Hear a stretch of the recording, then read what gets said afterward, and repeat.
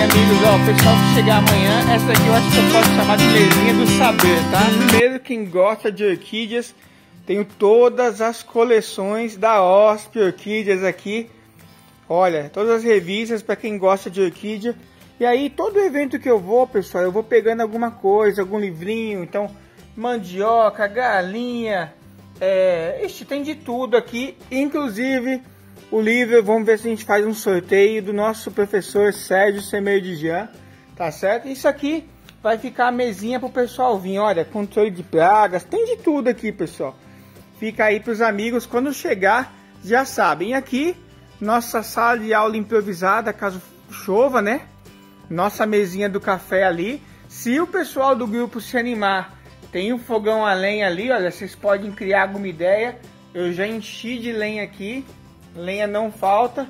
E nossa sala de aula, que seria a principal, ali. Também estou dando uma organizada.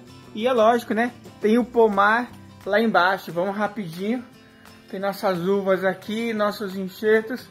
Infelizmente o tempo está meio nublado, mas vai melhorar. E lá embaixo, nosso pomar também para a gente andar. Só, só apresentar, ó, pessoal, quem não conhece é o Silvio, no Deve Facebook tá com o Paco Paquito. aqui. E ele, a gente pode falar que é especialista em orquídeas, especialista em pomar, pod, enxertia. É, esse realmente é um aluno do Sérgio mesmo, é. tá? Aqui para começar agora, a gente vai estar tá fazendo uma aula de enxertia. Ele já está fazendo errado já.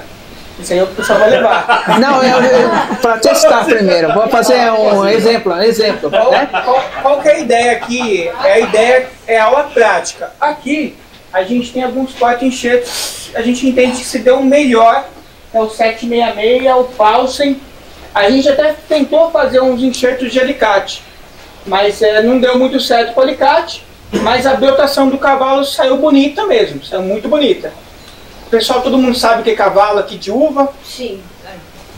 Porta-enxerto, né? Porta-enxerto. É uma uva que... Então, o, é. e o Silvio vai amar. Na verdade, o porta-enxerto também tem seu valor, tá?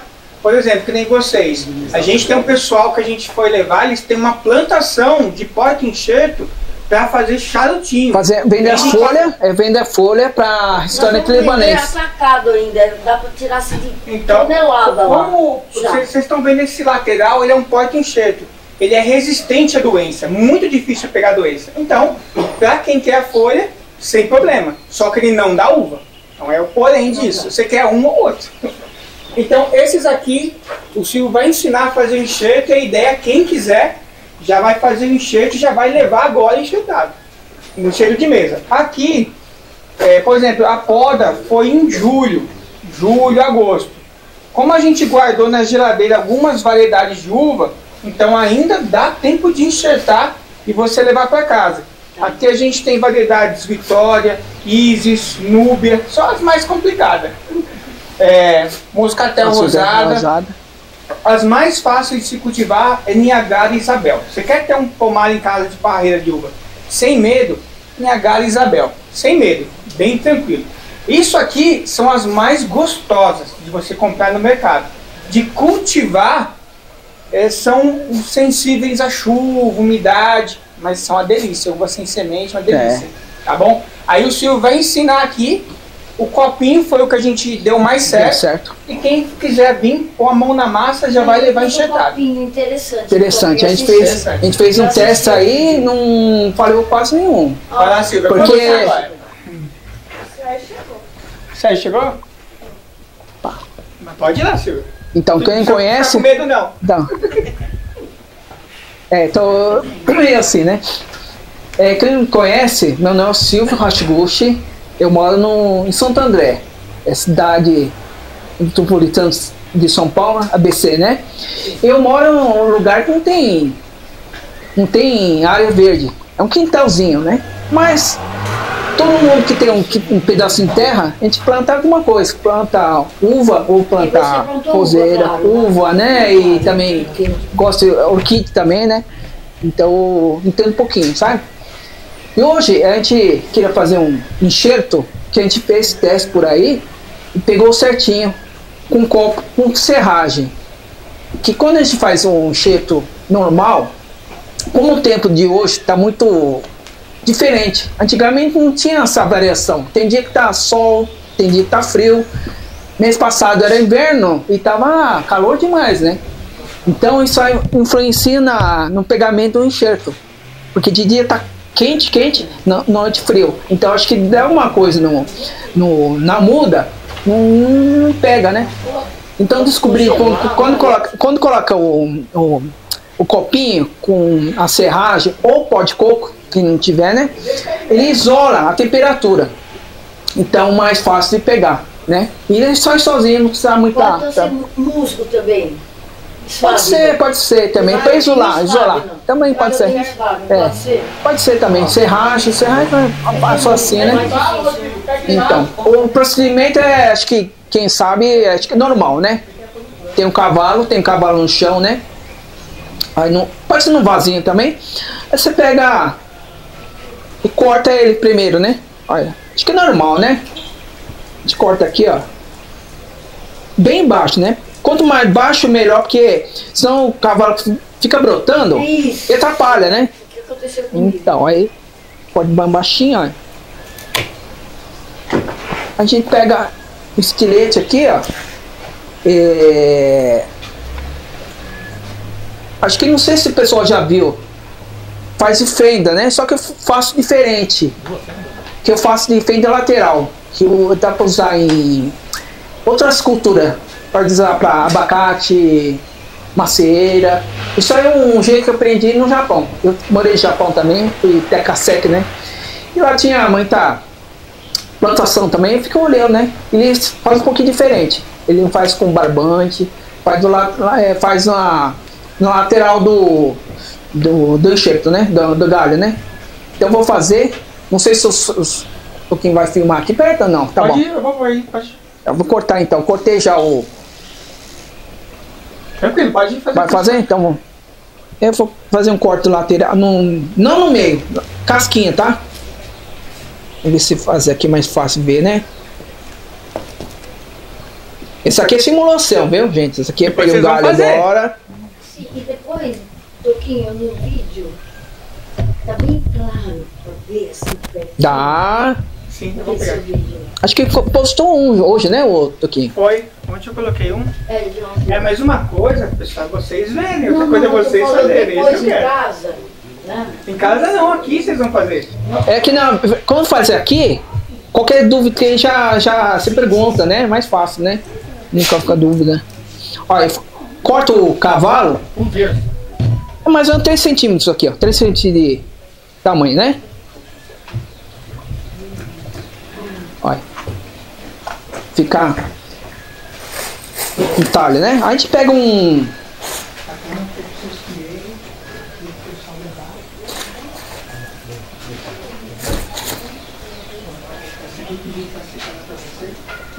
Tá vendo? A gente pega, a gente pega um. Ó. É, Tem, várias, tem Vitória que tem isso, né? Essa aqui é simulação, tá? É Vitória é simulação que vai fazer aqui, né?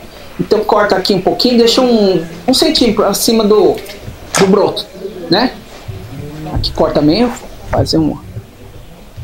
Então, tem gente que faz a cunha e coloca e amarra, né? Eu faço antes, faço antes. Primeiro corta aqui, eu tampo em cima, sabe? Eu uso, eu uso também aquela fita dentro da rosca de canamento, né? Aí coloca em cima aqui. já vende faixa aqui pela É. internet.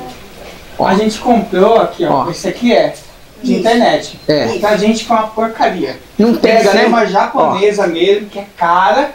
Mas aquela japonesa, o Sérgio tem ali, é, o, é, o- É aquela top, né? Essa aí- que É. estica assim. Isso, mas isso aqui também dá, viu? Tem, é que no chatinha tem vários elementos. Não é só a fita que é importante. Então, o que a gente. Eu descobri, né? Fazendo bastante enxerto por aí, né? Que quando você pega o galho, agora, galho aqui, e põe aqui, difícil pegar. Porque quando você corta o galho aqui, ele começa a chorar. Você corta lá também fica chorando. Então o choro com choro não é dá rejeição. Então eu percebi que se eu deixar o galho um pouquinho descansando, secando um pouquinho, ele fica seco. Quando coloca aqui, ele pega a seiva do cavalo e pega na, na, no cigalho. Pega mais fácil, mais porcentagem, né? Aí se ninguém apareceu o dono. No caso aqui, eu vou fazer a. Fazer a. Alguém perdeu 20 reais, tá? Vou deixar aqui depois. É, se achar aí. Então, agora eu vou fazer a. A cunha é um pouco diferente, coloca só na frente, tá? Na frente do brotinho. Faça assim, primeiro assim, ó. Entendi. Tá? Entendi. Depois que lá de trás, faço reto, só tira a casquinha, ó. Deixa bem plano, tá? Ah, eu quero fazer isso. Brincar em casa. Tá vendo? Ficou fica uma. Sim. Entendi. Não é, não é aquela de. de, Não é. é, de cunha, né? Isso. Aí encaixa aqui no. Reto com reto, tá vendo? Olha. Ali já segura. Você vê um, se alguém vê um vídeo no, do Japão, na, na China, aí eles usam também esse sistema aqui, né? Porque pra mim acho que é mais fácil.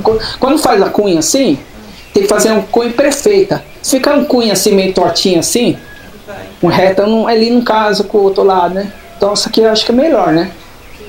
Aí uso a fita, a fita beira rosca. Ó. Eu vi que no vídeo você colocou já du- dois brotinhos. Pode ser também, pode doer, ó. Depende do cavalo muito grosso, né? tipo diferente? Pode ser, De pode ser também. uva. Ó. Vai amarrando aqui. Pra prender, né? Vê, fita aqui.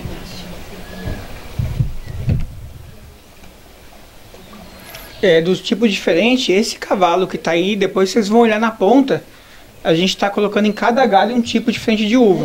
Vi. Na casa do Sérgio lá tem vários tipos de uva, lá no mesmo, na mesma parreira. E essa polinização não tem nada a ver. Polinização que você fala, que seria Então, tem cinco tipos de uvas diferentes. Tudo naquela florada. E a abelhinha vai Não, diz que ó, a gente já foi em local, o Sérgio pode explicar melhor, Ah, tá, tá, mas a abelha não interfere na questão da uva. Então depois vocês vão, ele vai é explicar uma melhor pra você. Sim. Então, agora essa aqui fez um enxerto, né? Sim. Quando faz na, no chão, o pessoal antigo, fazendo chão, fazia um cupizeiro. Levanta, levava, levantava a terra e cobria. Ah, tá. Antigamente faz assim, porque é, aí fica mais. A, o, cheiro fica mais hidratado, não pega sol, então funciona bem antigamente, sabe? Só que tem um problema, quando chove, ele começa a desbarrancar. Então você tem que ir lá, cuidar e colocar de novo. Aí o pessoal descobriu uma técnica com, com copinho, sabe? Faz copinho de plástico, faz um, uma cruz no meio para entrar. Aí coloca dentro aqui no, Chega, cobre ele, né? Cobre assim, ó. Tá? Acontece, a gente coloca o serragem. serragem, porque a serragem é um, um isolante térmico, né? Tem que ser meio úmido, tá? Aí, também, ela segura um pouquinho o choro que tem da, da vida, ela começa a chorar, né? Então segura a umidade isso aqui.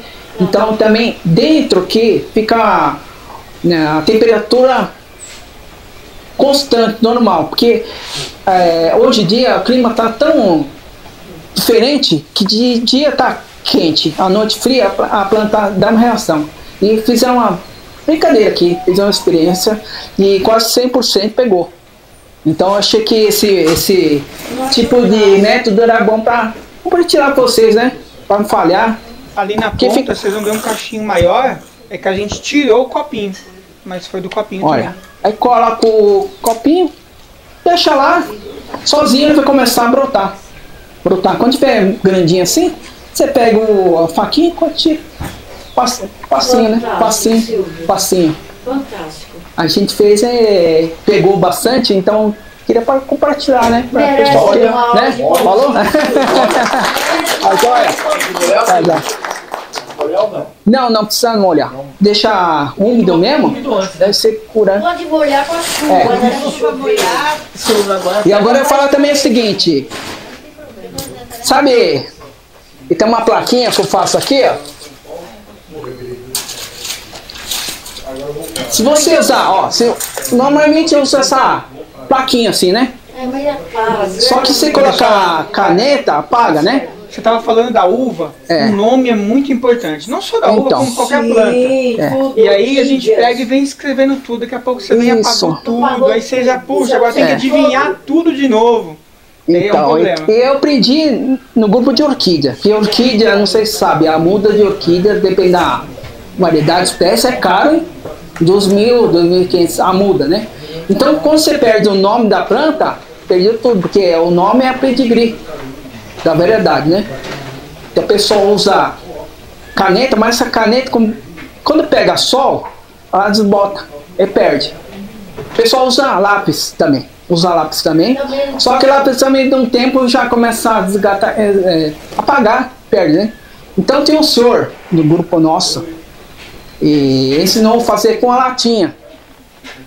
Então a gente pegar aqui, ó. Latinha, ó. Peguei do certo toquinho aqui. de cerveja, tá? Pega a latinha. Tá, isso aqui. Você corta. Ó. Corta assim, né? Faz uma faixa, né? Aí corta aqui, ó. Corta em tiquetinho, sabe? Tá vendo? Aí você faz a plaquinha, fica assim. Aí, pra fazer buraquinho, eu colocava prego, essas coisas, não fica legal. Fica meio macho, machuca, né? Aí descobri na lojinha, né? Lojinha papelaria, vende um furador aqui, ó. Ó, furador. Ó. Aí você colar na pontinha isso aqui, ó.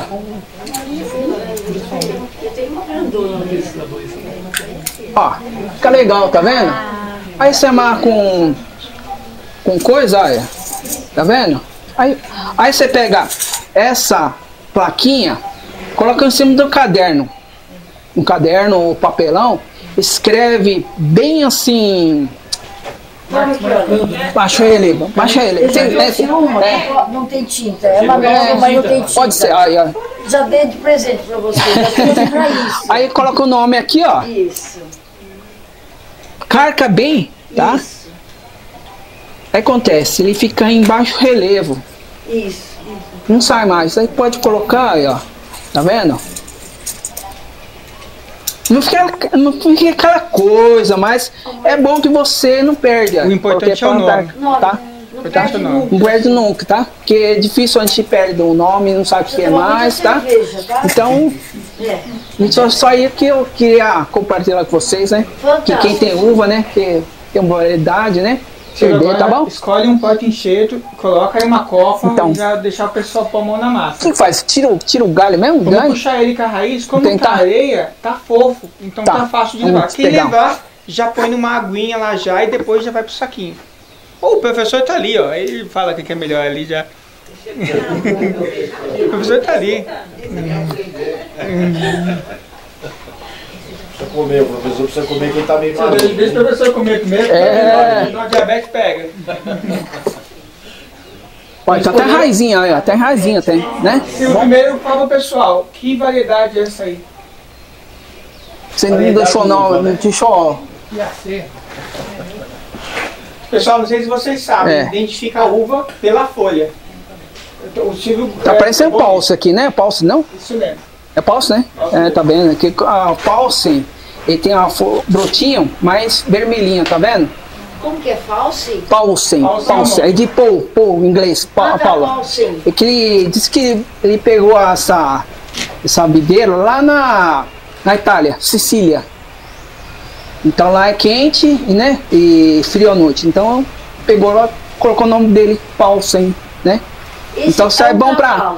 É, é, cavalo. Vai Isso é, ser é- um cavalo. é. Mas também se brotar, ele vai dar essa uva aí que você tá falando. False. não dá uns cachinhos pequenos pra Mas comer, não não é bom. não É bom porque ele tem a raiz dele, ele consegue controlar doenças do solo. E também esse tipo de, de videira aguenta mais o- a terra mais fria. É muito usada lá no sul do Brasil, né? Então, e a uva Então Pra que vinha também. Pra desprezar. vinha é bom também isso aqui. Então despreza essas folhas, Então, brotos. a gente vai colocar aqui Cada- dentro. Cada porta enxerto, É. quando você vincula a copa, ele vai dar um comportamento diferente. O Sérgio tem esse teste lá. Então, às vezes, a baga da uva é, ma- é, é Comprida, maior, né? Comprei o maior, Blitz, né? que é a doçura é diferente. É Então, Blitz, ah, tá. quando o cara vai falar de vinho, ele não vai pegar por pegar. Tudo é, tem um casamento ali, às vezes, para dar melhor. E o principal que o Sérgio fala é que cada um se adapta melhor na sua região. Então, sempre é o teste. Silvio, aí, Ó, Sérgio, agora é verdadeira, hein? o pessoal que vai levar aqui com essa raiz, o que, que seria o primeiro cuidado para levar para colocar em casa? Certo, tá no café lá, ó. Fala? Pra falar agora, tá mastigando. É, pro pessoal já levar já. não, primeiro se ele já estava hidratado. Estava na água uns dois ou três dias. Tava na areia, tava na areia. Tava Já com broto. Tá plantando. Plantar já numa terra peneirada, sem adubo, sem nada. Uma terra bem peneirada. Planta primeiro numa vasilha média, ou se alguém vai pôr no chão, pode pôr no chão direto. Ou se alguém tem dúvida onde vai plantar, põe num, Isso aqui, num, né? num vaso bacana, num saco plástico bem bacana. Deixa brotar. Você quer plantar em dezembro? Você planta. Quer plantar em fevereiro? Você planta no chão. Mas primeiro já põe num, num bom local com uma terra peneirada. Quando plantar, aperta a mão com a terra, a terra colar na raiz. Se você plantar por a terra e ela ficar frouxa, ela morre. Pessoal, então agora vamos fazer aqui uns que vocês vão levar, é de vocês. Então a gente tem aqui com o Pulse e tem o 766, se eu não me engano. O Pulse É. e o 766, os que a gente mais fez aqui. E. Como vai fazer? Vitória? E tem bastante, né? Quem vai fazer? Que faz de. No copinho, o pessoal levar no copinho. Ou coloca o copinho em casa? Você leva o copinho e depois coloca em casa, né? Enxertar, né? Copinho em casa. Alguém vai querer a uva, gente? Enxertada? Ah, não. quer só, quer levar sim, vai levar bastante. Então o Silvio, vai, Ó. o Silvio vai fazer a vou- e depois vocês vão pôr a mão na massa, hein? É, vou enxertar aqui, aí a gente leva a enxertada, depois em casa você leva o copinho aqui, leva coisa, vai nesse caso, né? Planta, né? É, então. Tem Vitória, eu vou separando o que tem aqui, mas tem Vitória, Isis, Núbia. Moscatel Rosada, Vamos fazer, fazer de frente cheio então? Vou fazer a, a outra de parabéns, tá? Fazer. Aí corto no meio aqui, ó. Vou cortar no meio.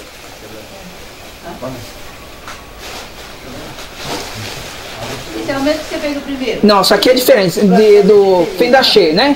Corta no meio, corta no meio. A gente tem Itália, Vitória, Isis, Melodia, Moscatel Rosada, Magma, Você falou que tinha uma rosada. é Moscatel Rosada, não é a Niagara Rosada. É que eu tô falando, a gente só tem bomba aqui. Isis, eu Vitória, é bom. gosta. Ai, Pouquinho. É a Isabel. Então essas eu não tenho aqui, são as mais fáceis, essas o povo já levou. Essas aqui são as mais mais gostosas. difícil, porque eu tô com um cavalão gigantesco. E eu quero saber Então, A. Vitória, não sei se vocês conhecem, é uma uva pretinha, sem semente. Se compra no mercado, é um mel. Mais, mel. Essa é a que o pessoal mais gosta. Isis, Núbia é a mesma melodia. Essa, Vitória, Isis, Núbia e Melodia são uvas que foram, a gente fala, hibridadas pela Embrapa recentemente. Então eles falam que são mais resistentes e tal, mas não é tanto assim não. Explica aí, Silvio, pessoal. Vai É, tem a Vitória. A que, que mais? A Vitória Núbia. Isis, Isis e é, tão- são parentes, né? Parentes. A Parentes. nuvem é fácil de cuidar? Então, é todas a mesma linha. O ideal é dessas uvas é onde você colocar ter um cantinho coberto. Seria o ideal, para ficar em paz. Qualquer uma dessas. Assim, coberto. É, a gente fala coberto, protegido, cultivo protegido. Nem que for uma lona transparente, alguma coisa. Oi? Sombrite não. Também. Ela pode Todas ficar a mesma linha. Ela pode ficar embaixo do, do, por exemplo, do, do pé de baracujá. Não, tem que bater luz.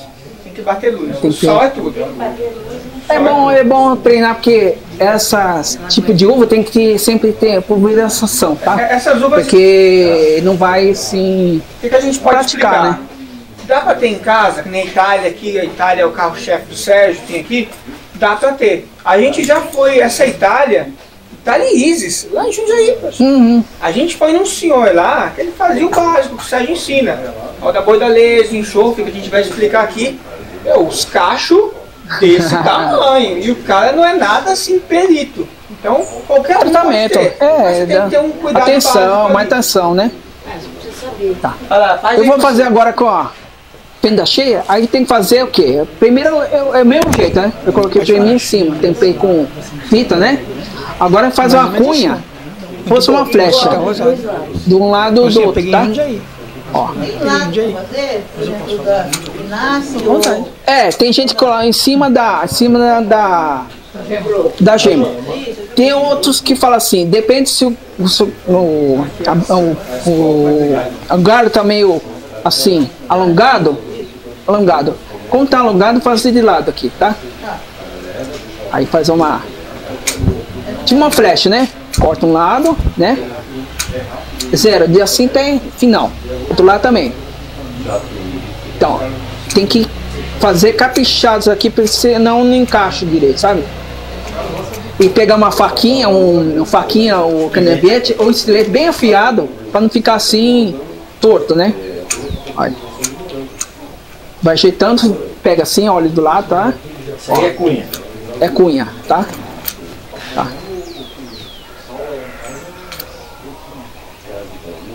O Sérgio já tem aquele inglês complicado. É, tem vários tipos, né? Tem vários tipos de É. enxerto. Tem até de. de Não, não existe o melhor. Porque, por É, exemplo, é que tem você adapta, né? Citos, o melhor é, aquele que você encostar. é. Aí, enca... Aí encaixa aqui dentro, ó.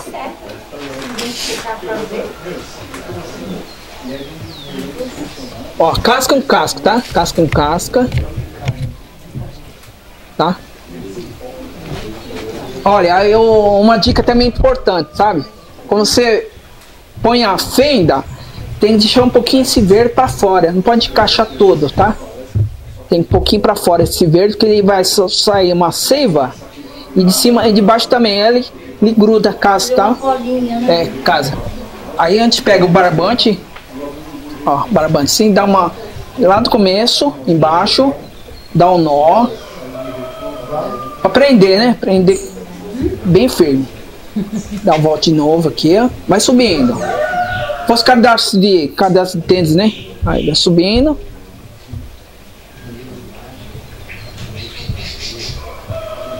Apertando pra colar bem, né? Grudar bem o cavalo com, com a copa, né? Um cheito aí.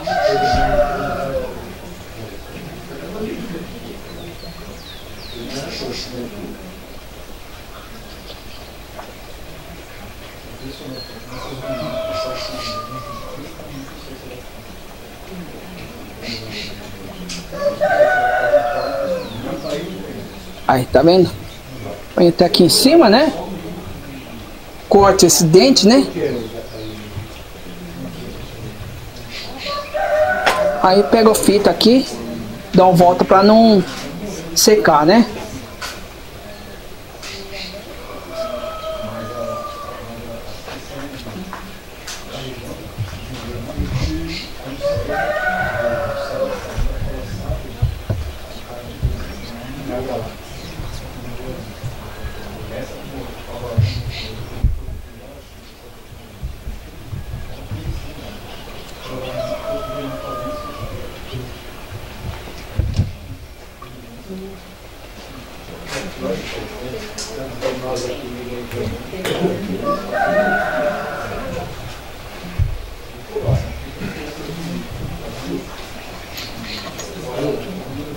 Tá vendo? Tá vendo? Aqui, como fez raiz assim, chama raiz nua, né? Então, agora chega em casa, coloca na terra, né? Saquinho, um vaso, deixa ele brotar. Aí quando ficar bonito mesmo, um galho bonito, você plana, plana no chão, um vaso maior, né? Aí leva, cada um leva pra casa depois, né? Vai fazer, leva levar casa. Isso aqui é. Vitória. Vitória, tá? Vitória, tá? Ninguém quer não, Silvio. Eu quero. Mas vou fazer mais, vou fazer mais. Fazer mais. Ó, Pessoal, e vai fazer mais aqui. agora E fazer mais, né? vamos fazer assim, se vocês com o Sérgio, vocês concordarem, o Sérgio já começa agora e durante o dia o Silvio vai É, vou fazendo. vocês, que é legal vocês virem com ele e vocês fazerem junto com ele. Né, Silvio? É, e foi ficar mais Aí, fácil também, né? o Sérgio vai ter na aula depois, só que ele É. parou, Pode vir no Silvio e você. Já vou fazendo. junto com ele. As copas vão aqui, ó. Você não quer continuar com o enxerto do corpo, você não perdeu o ritmo? Você que sabe, patrão. Não, o pessoal tá mais ligado no enxerto. Ó, o patrão, o patrão tá fugindo da. Então, então bota o pessoal pra vir fazer enxerto. Vamos fazer, então. Quem quer vir fazer o teste aqui? Não, vamos fazer. Todo cada um tem que fazer, né? né? Um- cada um faz, vai fazer. Vem um de cada vez aqui e vão fazendo. Esse daqui eu tenho que. Eu levo assim? Colocar num saquinho de terra. Eu vou te dar um saquinho pra você levar, mas é pôr num saquinho de terra. E o principal, tá? Marcar o nome. Ó, aqui. Isso. Vou deixar sacola aqui pra quem quiser. O que, que é legal vocês marcarem? O pote enxerto e a copa. Então você tem um pulse no Vitória. Ai, meu Deus. Vamos aqui, ó, tá aqui. Vou deixar pra vocês. Pode ir mais uma pessoa. aí? Pode, pode. Acho que pode vir todo mundo aqui. Quiser ver. Todo mundo vai fazer. Casquinha.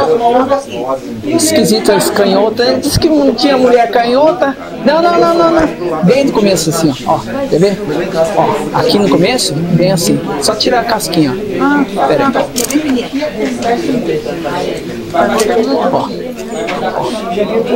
Você, primeira coisa. Mas a segunda. A Israel acontece muito. Ó, fica reto, né? Reto. Aqui. É um jeito diferente que eu faço, né? Cada um adapta, né? Tem gente que pega a gema e coloca, né? Eu já não consigo. né? Aí colocou aqui, não foi? Casquinha, né? Então isso aqui é parte de- do verde para dentro. O cara colhe a uva mais cedo. Entendi. Pessoal, vem, se vocês quiserem pegar aqui, ó, vem pra cá. Tudo bem? Tá bom? Tudo bom?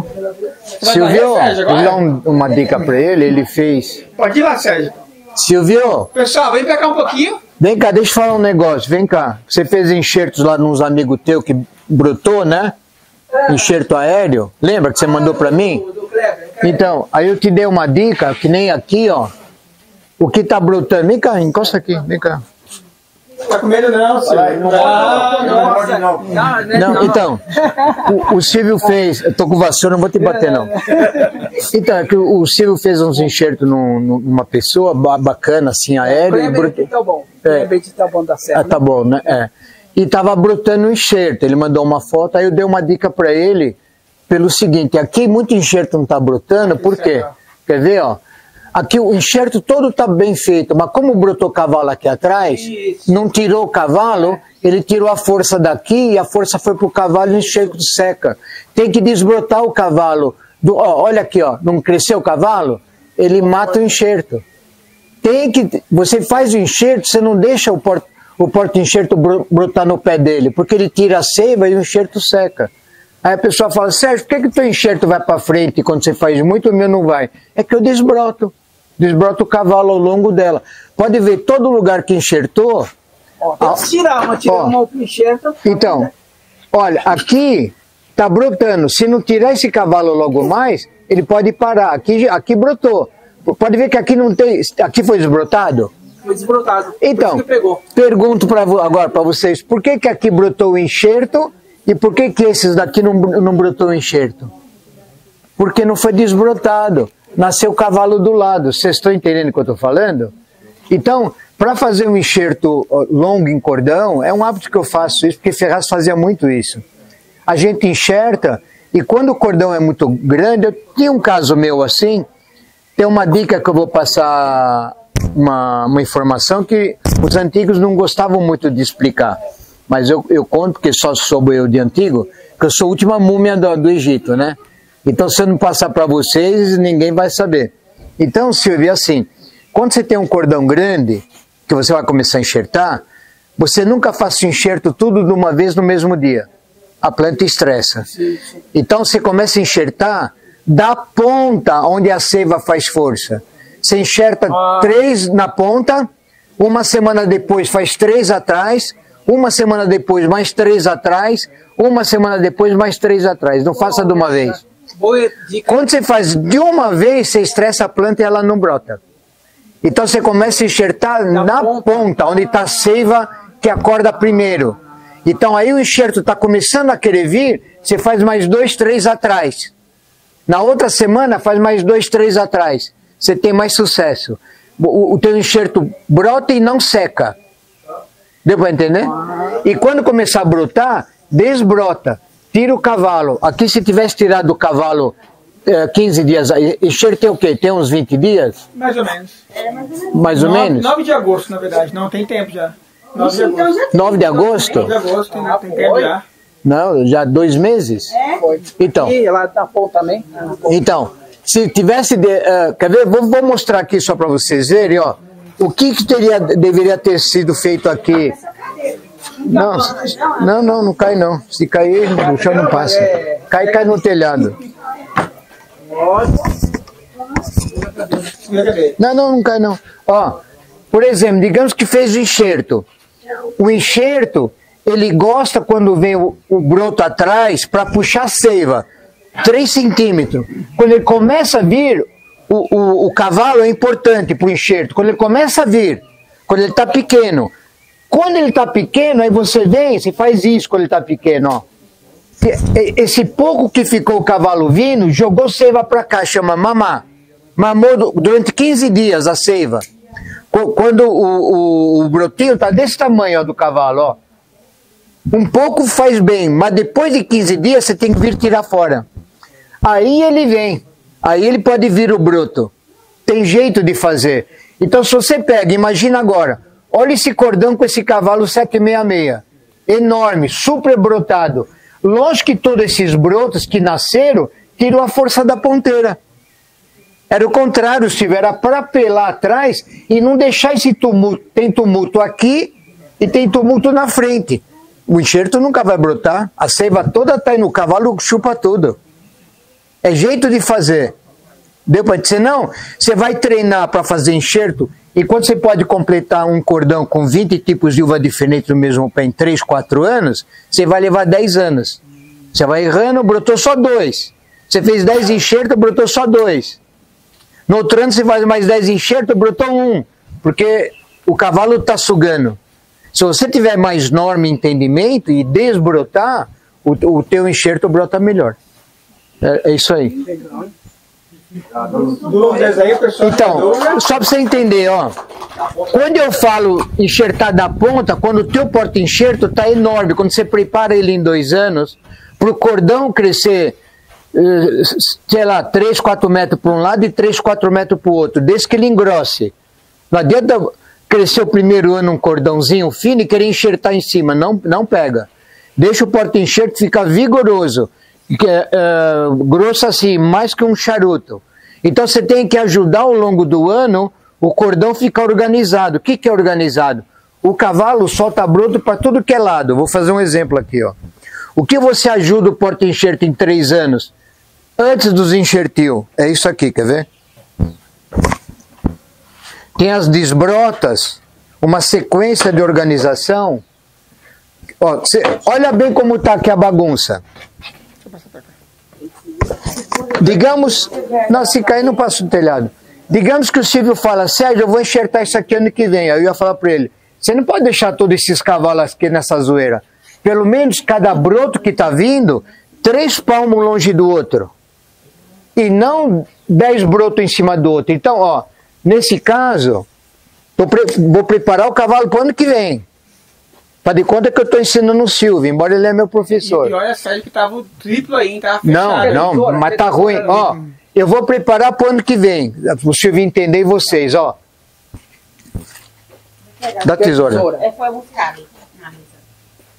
Eu vou fazer um exemplo aqui nesses dois metros, não se assusta, porque o que eu estou falando é o correto, ó. Tiro de baixo, eu quero o, o, o enxerto em pé, não virado para a cabeça para baixo. O que é cabeça para baixo não interessa. Sim, bem, se bem que você pode deixar. Mas como você tem parte aérea em pé, então aqui tem dois, tem um bonito e um pequenininho. O pequenininho eu tiro com a mão. Ó. Vou vir para cá. Eu quero três palmos de distância. Isso aqui é muito. Eu estou preparando o cordão para julho do ano que vem. Você tem que ajudar a planta. Com o tempo, a gente vai aprendendo. Eu mexo nisso há algum tempo. Eu fui treinando, fui vendo, eu fui mudando. Olha, é uma dica para quem quer fazer enxertos num cordão. Isso se faz muito antigamente. Ferraz fazia muito. Eu aprendi isso com os velhos, né? Eu era moleque curioso. Então, olha só aqui, ó. Aqui nós temos três palmos um do outro, tá uma boa distância pro ano que vem. Aqui tá muito perto desses dois, não tá? Ó, olha bem. É sem dó, viu? Você tem que organizar a planta pro ano que vem, senão não adianta. Então, você tira e faz o chá. Isso. Olha, veja só. Aqui tá perto. Tem um aí na frente. Eu tiro, porque já tá muito grande, é muito material. Eu tiro isso aqui. Olha, ó, olha a distância que eu tô deixando, ó. E outra coisa, quando, quando a, a guia está crescendo, não agora, que agora é outubro, se a gente diminuir um pouco ele agora na metade, para ele parar de crescer, vai nascer um monte de neto aqui, ela vai ficar confusa e vai, vai ficar muito grosso. Ela vai engrossar se podar isso agora, que seria o correto. Mas não agora. Você vai diminuir isso aqui, dezembro para janeiro. Porque se você diminuir ele agora, ele, ele vai ficar grosso desse tamanho até fevereiro e março. Fica ruim de enxertar ano que vem. Então você deixa ele crescer um pouco, ainda está cedo. Dezembro para janeiro você tira a ponteira. Aí ele vai estabilizar, porque o porta-enxerto já é bruto. Se você encurtar ele agora, ele, ele vai engrossar assim, ó, até dezembro, janeiro. Fica ruim para você enxertar ano que vem. Vocês estão vendo que tem um monte de detalhe? Tá entendendo o que eu estou falando? Quem estiver entendendo, fala, tá? Então, ó, o que eu estou dizendo, eu agora estou preparando essa guia para vocês fazerem o enxerto nela ano que vem. E também nada impede. Melhor, né? Aqui tá. Ó. Olha aqui, ó. Olha a distância que eu estou deixando, ó. Esse aqui eu podia tirar. Não tirei isso porque está para cima. Tinha três para baixo, lembra? Virado para baixo. Vocês dão preferência quando você for enxertar, sempre broto que nasce um pouquinho mais para cima, não, não, não de cabeça para baixo. Embora não é problema, mas tente fazer igual esse, ó, como ficou em pé bonitinho, ó. É mais por aparência, ó, porque o cavalo estava em pé e não virado de cabeça para baixo. Não que seja problema. Olha, veja só, aqui, ó, querendo adiantar um assunto, ó. Bate bem o olho. Olha como essa ponta o enxerto quer acordar. Olha lá. Olha lá, não está querendo acordar? Não tem broto? Por que, que ele não está indo para frente? É, é só tirar esses dois ele vai acordar. É, tô dando essa dica. Muita gente perde o enxerto aéreo por causa E disso. outra também, o Sérgio. É, Um cavalo aqui, você falou não- cortar, né? sim. Tem neto, deixa o neto. Pode Deixa- deixar, não deixa. nada. Não, se você também tirar o neto, você tirar o neto e deixar só ele, vai engrossar muito. também. O problema é engrossar muito, porque o cavalo é bruto. Nós estamos em, Pessoal, em outubro todo mundo ainda. sabe que é neto aí, tá? Sim, né? O que nasce aqui, ó, que é normal nascer. Então o que você pode fazer ao longo do cordão? É, nós estamos em outubro. Diga- Digamos que em novembro você olhou, nasceu neto em todo o olho.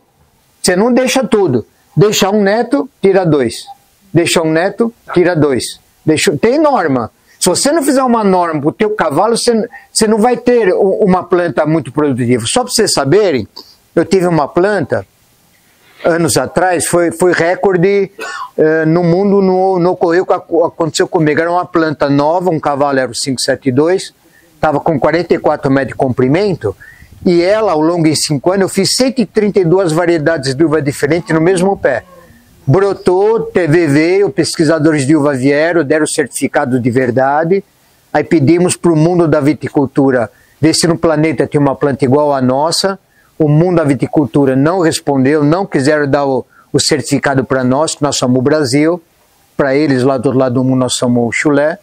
Então, não importa, mas o que eu quero dizer, eu apanhei muito e peguei o jeito de fazer enxertos, num, eh, vários tipos de, de uva no, no mesmo pé. Você faz a mesma coisa com abacate, você faz a mesma coisa no pé de maçã, você faz a mesma coisa no pé de pêssego. Eu tenho um pé de pêssego lá que eles conhecem, tenho 10 variedades de pêssego diferentes no mesmo pé. É normal fazer isso. Quem treinou, sabe, sabe conduzir as galhas, sabe fazer um enxerto, em 3, 4 anos você começa a ter uma planta. Por exemplo, eu não tenho muito espaço na chácara. Eu tenho goiaba. eu queria ter outros tipos de goiaba, não tenho mais espaço. Então, num pé de goiaba, eu tenho quatro tipos de goiaba diferentes. Cada pernada que eu fiz, é uma goiaba diferente da outra. Então, numa planta, eu tenho quatro tipos diferentes para o meu consumo. É normal fazer isso. Você pode fazer isso em roseira, a árvore, que você quiser. Flor normal, isso é normal. Os antigos faziam isso. Só que esse hábito se perdeu de 40 anos para cá. Os velhos morreram, ninguém mais treinou enxertia. Eu aprendi de criança e vim mostrando isso 30 anos para cá. Que tudo é possível fazer. Até enxertia em cordão. Porque na literatura de videira é dito, já li isso em livros uns 30, 40 anos atrás, que a videira é uma árvore frutífera que não aceita sobre ela enxertia de videiras da mesma planta. Então, era uma publicação que tinha. Eu falei, como que não? A minha planta reagiu naquela época. Minha planta é de 2005. Ela, ela foi matéria no mundo em 2014. Essa minha planta foi notícia. Como é que a minha planta aceitou 132 variedades de uva se a literatura falava que não? É o jeito de fazer. Então vocês não podem afirmar uma coisa, tem que tomar cuidado. Tem que ter experiência. É igual um médico falar assim: não, se eu fizer uma cirurgia em você, eu não vou acertar o teu braço. Aí vem um outro médico e fala: não, eu faço que eu vou acertar o teu braço. Ó, o outro médico resolveu, porque tinha mais prática. Então, cuidado com o que se fala. Cuidado, porque por aí se fala muita besteira. E desanimam vocês. E é contra isso que eu combati todos esses anos. O trabalho que eu faço educativo no Brasil há mais de 30 anos. Meu trabalho é gratuito, entendeu? Então, hoje o grupo cresceu no Brasil, como cresceu aqui, o Silvio e tantos outros, porque eles foram escutando, a gente mostrando, foi, foi, foi tirando o medo da cabeça. E hoje progrediu. Nossas matérias que a gente tem no YouTube, do, do Toquinho e tal, estão em 80 países. E eu não sou formado em nada. Eu só teve prática, aprendi com os velhos. Olha como foi útil. Só se falava de veneno, mata-mato, mata-sogra, mata-sogro, veneno. Eu não entendo essas loucuras, mas o que vocês estão falando? Então a gente teve que lutar muito contra isso. 30 anos para cá eu fui muito, muito maltratado. Eu falava para eles, vocês podem me bater, mas vocês não vão me derrubar. Porque vocês estão mentindo, não sou eu. Passou 30 anos, provaram quem estava mentindo. Eu estou aqui. E os caras que mentiram estão aonde? Sumiram, né? Então. Então, ó, continuando, Silvio, deu para entender? Você quer mexer um pouquinho só para aliviar, ó, que nem esse, esses dois, ó, só para você fazer, tira os dois e deixa esses dois aqui, ó, porque tá três palmos um do outro, ó, de distância. Faz você, sobe. Vai, vai, né? Vai, sobe com cuidado. vai lá. Só para comentar com o pessoal, Fala. o enxerto verde também, né? É, eu vou falar. Eu tenho que falar de pouco para não confundir, né? Esse aqui, o meu.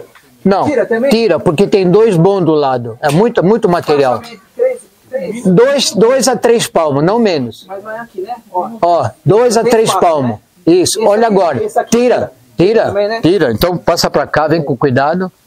Passa pra cá, deixa esse e tira o outro. Vocês estão, olha, olha, olha a diferença agora. Olha, olha como a planta agora está mais organizada. Vocês conseguem perceber? Eu estou preparando ela para o ano que vem. Olha. Agora nós vamos tirar aqueles brotos do enxerto. Tenho certeza que 15 dias esses enxertos da ponta vão, vão continuar. Por quê? Porque eu vou tirar isso aqui, ó. Ó, Silvio, tira você, vem cá. Você que está mexendo, vem cá. Sobe aqui, ó.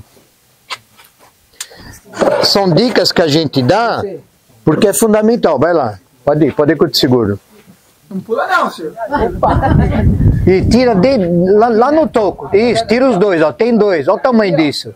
Como você quer que o enxerto vai para frente? Não tá roubando nutrição? Não vai. Ó, o enxerto quer brotar, mas não vai. Ó, ele vai tirar, vocês vão enxergar melhor agora. Olha lá. Olha bem, se vocês enxergam bem de longe, olha a ponta desse enxerto, olha a ponta daquele como ele quer brotar, Silvio. Olha a ponta de lá. A gema abriu. Olha bem. E veja que tá vindo um cavalo aqui atrás do plástico, ó. Ali, ó, tem que tirar com o dedo, ali dentro do saquinho. Dentro, dentro, tira isso. Esse também rouba. Tira fora. Não faz mal, mas tira, pra não ficar umidade. Ó, isso aqui é do copinho. Quem fez ó, o copinho zero aéreo, né? Tem um copinho aqui, ó. Então, Você vê que melhora. Dá até caixa. é, Então essa técnica que fizemos. Água nesse daqui, ó. Aqui também. é, depois ele fura a ponta, fura a ponta. E tem um brotinho atrás. Tira aí, na cavalo, tira, tira, tira, tira. Aqui, ó. Tira, tira. Não deixa vir brotinho dentro do saquinho de cavalo. Tira fora. Então, o... ô, Toquinho, você fez o cordão bem feito aqui, mas você fez muito para fora. Ah, sim. Depois, quando você puder, puxa ele mais. Um, essa parte que ele tá ali, ó. ó. E mais pra dentro. É, você vê que pregou ali, você pregou ali. Põe aqui embaixo, ó, põe aqui embaixo, ó. Ganha 50 centímetros pra cá pra você conseguir trabalhar. Porque não tem como trabalhar, ficou muito fora. Ele tá, tá muito vigoroso. E tá, não, e tá perigoso você trabalhar muito na ponta. Puxa ele pra cá que você tem mais equilíbrio, cuidado, tá? Então, olha a sequência agora, olha bem. Olha como ele ficou mais aliviado. E o que nós tiramos agora o cavalo, pode, pode filmar, daqui daqui 15 dias você filma, se a gema da frente não, não vai acordar ou não, porque tirou o ladrão atrás, tirou o cavalo atrás. Então agora você veja, olha o que tem de material, tanto material, vai ter que tirar isso da semana. Tira, deixa um, tira dois, tira um, aquele, aquela distância, dois ou três palmos um do outro. E o resto, ó, que, ó a cortina que você tem aí. Sérgio, você vai olhar aí que as ponteiras estão cortadas. Não, eu Elas- vi. Elas estavam chegando lá embaixo no telhado. Não, eu já vi, tá bom, cortou, tá bom, mas agora tem que tirar o excesso. Tá, tirou, cortou agora, tudo bem, não faz mal. Mas agora você tem que tirar igual aqui, ó, deixar aqui assim, ó. Você, ô Silvio, quantos tem aí sobrando? Uns 30? Tem 30 sobrando aí, uns 20 que vai tirar fora? Não tem mais de 20 que vai tirar? Tem, não tem, Silvio? Tem mais de 20 que vai tirar igual você tirou aí? Tem bastante, hein? Tem mais de 20, né? Tem que tirar. Tira- Se puder tirar hoje, tira mais tarde. Tá dado a dica nesse assunto, tá? Então, agora para não, não, não querer Ó, a- a- O tumultuar, pessoal do charutinho, ó, já dá pra Olha. levar tudo já, ó. você sabe o que é o charutinho? Você sabe o que eu tô falando? É, então, aproveita, leva aí, ó. Pode cozinhar hoje, amanhã. Põe na água quente um pouco, tira, ele fica mais molezinho, fica marrom. Vocês podem guardar na, na geladeira empacotado, dura um mês. Ó, tá tamanho bom, tá, tá bom, tá, tá ótimo para fazer o charutinho. Então, então veja, Silvio, ó, uma dica, ó. Você você está deixando essa cortina preparada agora, estamos em outubro, certo? Aí nós estamos pensando em fazer o enxerto aqui todo julho do ano que vem. Faz o enxerto mais tarde, quando a gema quer acordar da fêmea. Sim, sim. No enxerto um mês antes, quando a gema ainda está dormindo. Ah, Tira o material quando a gema está entumecendo. Tá, tá. O enxerto pega melhor. Sim, sim, sim. Bom, essa é uma É, dica. Já, já. Isso. Perceber já. Então agora veja só. De vez você fazer o enxerto ano que vem em julho, É. são vários enxertos no mesmo sim. cordão, faz um teste hoje, esse ano, até para vocês verem. Faz o enxerto verde. O que, que é enxerto verde? Você Ah. faz em dezembro. Verde com o material verde. A fêmea verde. Faz um, sim, um sim. verde, pula um. Legal, legal. Faz um verde, deixa um Tá. pulo para julho. Faz um verde, Entendi. pula para julho. Entendi. E julho você faz o enxerto da- do galho maduro vai vendo o que você achou que como é que funcionou. Às vezes funciona os dois jeitos. Você fez enxerto parcial, aliviou a planta e pegou bem, e você faz o resto do enxerto de, material maduro em julho. Você judia menos a planta. Isso. Deu para entender? Entendi. Tá bom? É isso aí. Alguma pergunta? Esse aqui não era bom tirar? É, ele vai tirar, ele vai tirar, ele vai tirar. É, tá demais ali. Ele vai tirar. E vai tirar até o de trás também do enxerto ali, ó. Tem que tirar até do enxerto, ó, que ele tá querendo brotar, ó. É igual aquele ali, ó. Olha, olha como a. Ó, quer ver, ó? Quer ver? Cuidado, hein?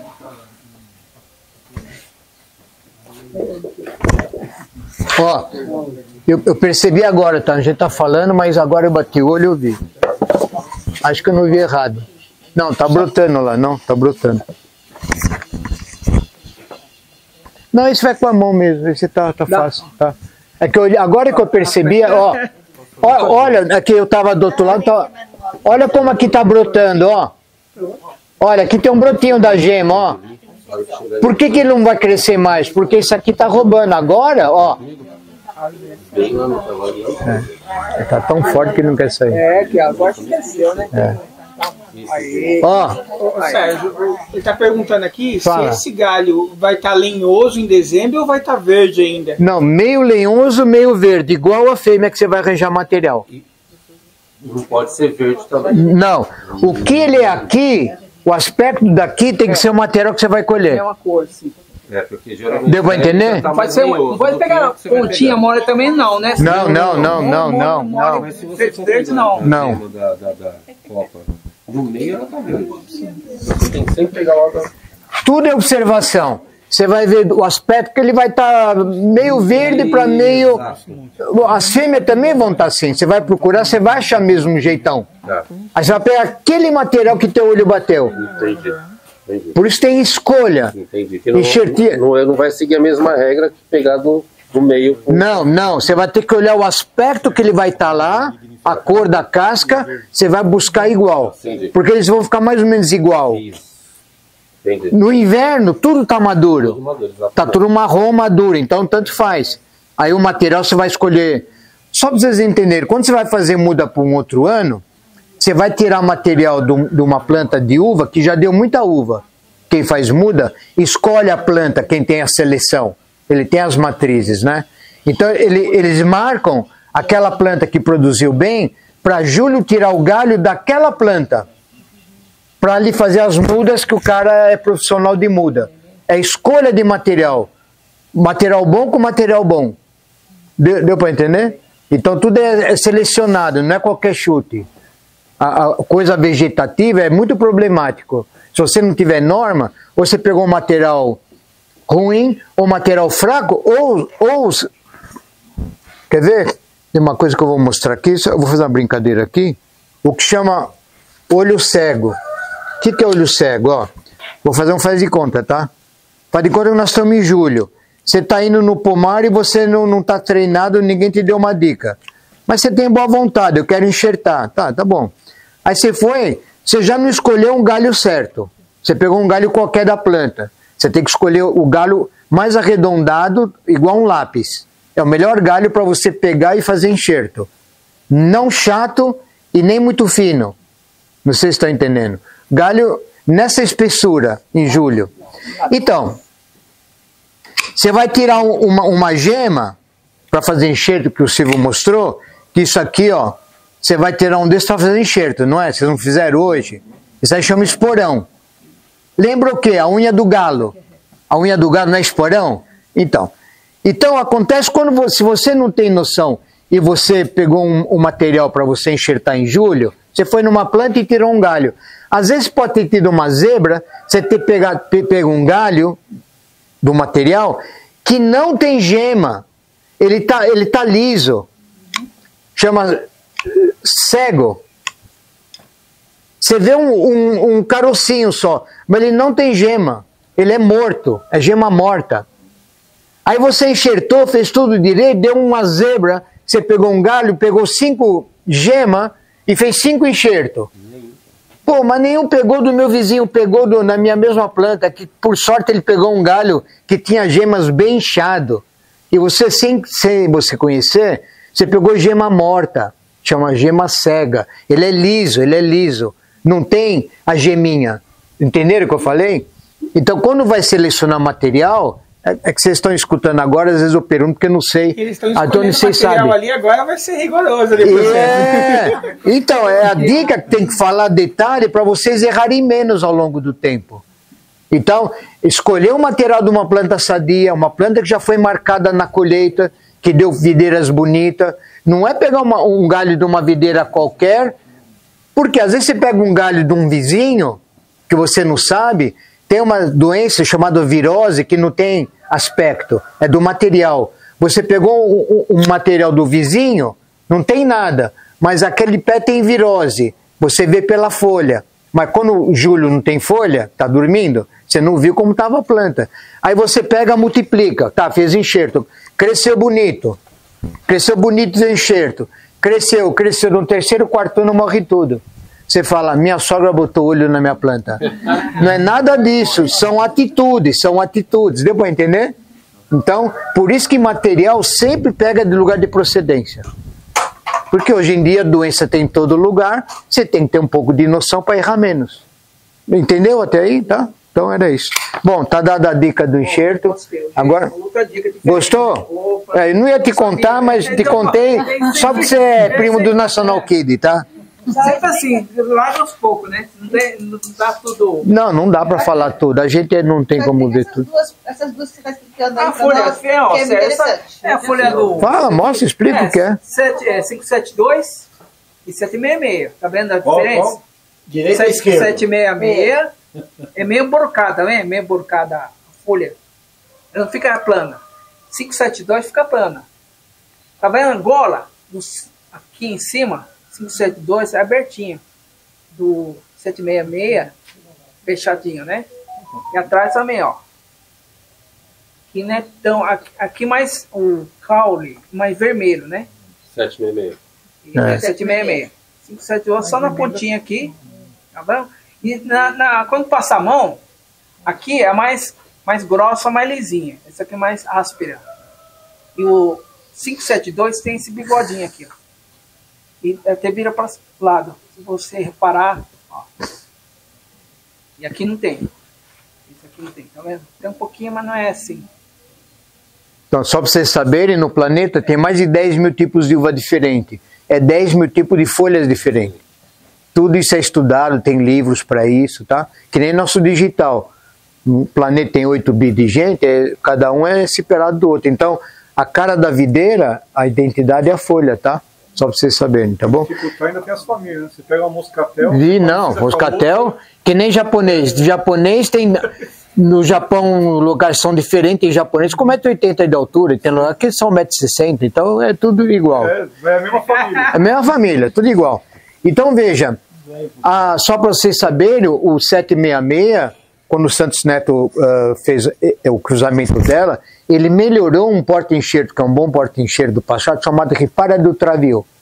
Então o 766 é o Ripara do Travio melhorado. Então o 766 é um belíssimo cavalo e a Ripara do Travio do passado é um bom cavalo também do passado. É mais rústico também, né? Não, ele, ele é mais vigoroso. Ele mais vigoroso. E, e- e ele pega menos doença, inclusive. Não só na raiz, como na folhagem. Não, o 766. Então, os cavalos que o Santos Neto lançou no Brasil nos anos 50, o 766, 572, 571-6, 313, esses quatro porta-enxertos que ele lançou nos anos 50, foi a revolução da viticultura brasileira a partir de 90 a 92. Porque esses porta-enxertos começaram a ser usados no Brasil em grande escala, começou a dar uva sem semente em cima desses cavalos. Na Riparo Travio não dá uva sem semente. A videira fica, não aceita. Então ele, é anterior. O Riparo Fabio é anterior. Anterior, muito, muito anterior. Riparo Travio, rupestre, é cavalo americano da mata americana. São de- parecidos com a Campos da Paz, não são? Sim. Então, A, a, a, o rupestre, serve como, então, como cavalo. não, o rupestre, quando o Pereira Barreto criou a primeira videira no Brasil, que ele pôs o nome Campos da Paz, ele criou quando? Em 1889 em Pirituba. Ele, ele cruzou o cavalo, o pólen da rupestre com uma uva dourada francesa Chigelet Doré. E nasceu o que ele deu o nome de Campos da Paz. Por isso que o Campos da Paz tem uma folha parecida com a rupestre. Tem sangue de É, cavalo. parece americana mesmo. É, né? É, Tem sangue de cavalo, ela é bruta. É bruta, parece. Ela é bruta. Eu enxertei foi melhor que o 766. É, ele, ele é bruta, é, entendeu? Então, porque ele é, é, foi feita do pólen da Ele rupestre. não pega fluxera. Não, não, ele é cavalo, né? Sangue americano, né? Ah, Da mata americana. Foi o cavalo americano que salvou a viticultura da Europa com a filoxera em 1860. Foi os cavalos americanos, o porta-enxerto americano, que não pegou a filoxera que deu na Europa. A história é longa, bom, você já entendeu, né? Bom, vamos lá? Costa aqui, Silvio, vem cá. De- deixa eu contar. Você estar sabendo, mas a coisa está andando, eu quero explicar direitinho. Então, eu falo muito sobre a história da viticultura de São Paulo, tal, que eu lia muito livro desde moleque. Enfim. E é dito em livros que na Moca, em torno de 1890 e 1900, a Moca teve a maior coleção de videiras do Brasil. A Moca, o Alto da Moca. Quem era o dono desse parreiral? Era um jurista que chamava Amador da Cunha Bueno. Ele foi aluno do Pereira Barreto, que criou a primeira videira do Brasil em Pirituba. O médico Pereira Ba- Barreto, ele era botânico, e ele melhorou a botânica do café, do guaraná e das videiras 130 anos atrás. Estou resumindo. Ele, ele, Pereira Barreto, criou a primeira coleção de videiras do Brasil em Pirituba em 1889, 1900. Primeira coleção no Brasil. Ele era o único no Brasil. Lá ele chegou a ter 400 variedades de uva em Pirituba, entre 1890 a 1930. Ele trouxe algumas variedades de uva do mundo que tem até hoje no Brasil. Ele é o patrono de algumas variedades de uva. Ele era um grande médico sanitarista, farmacêutico e biólogo. Bom, o que acontece? Ele ensinou, ele tinha dois alunos, amigos dele, vamos chamar de aluno, vai. Um era mineiro, chamava Campos da Paz, tanto é que a primeira videira do Brasil que ele criou, brasileira, pôs o nome desse amigo dele, era um médico mineiro, Campos da Paz, e o outro aluno dele, amigão dele, o Amador da Cunha Bueno, grande jurista paulista, dos anos 1880. A coleção do Pereira Barreto, das 400 variedades de uva que ele tinha, ele passou para Minas Gerais, para Campos da Paz, que ele era mineiro, passou as 400 variedades, e ele passou para Moca, para o Amador da Cunha Bueno, 400 variedades dele de Pirituba para Moca e dele Pirituba para Minas Gerais. Entendeu até aí? Por quê? Porque na época ele já tinha 60 anos de idade, ele queria que alguém continuasse o trabalho dele. Porque ele fundou a Santa Casa. Ele, ele fundou a Santa Casa. E ele eh, organizou e fundou o Hospital Beneficência Portuguesa.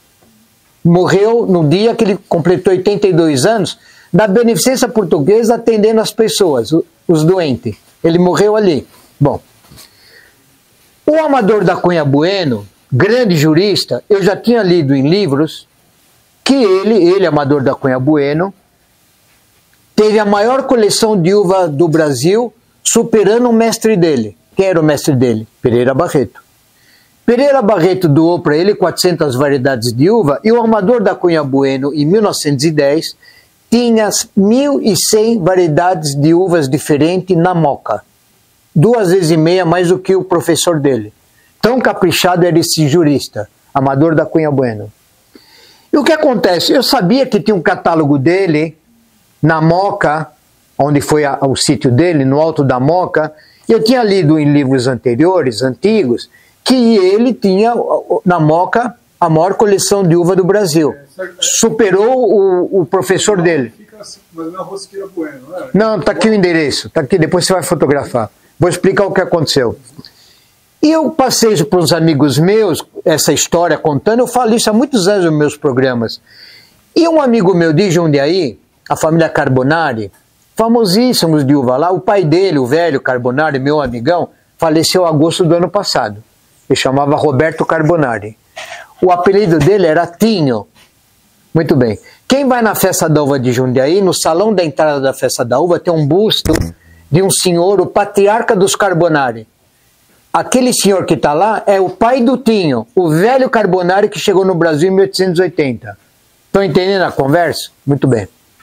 O filho do Tinho, o Eduardo, meu amigo, mais novo do que eu, mandou no, no celular foto que ele procurou ar- no armário do pai dele, que tinha muitos livros, um livreto, que eu estava atrás desse livreto desde os anos 80.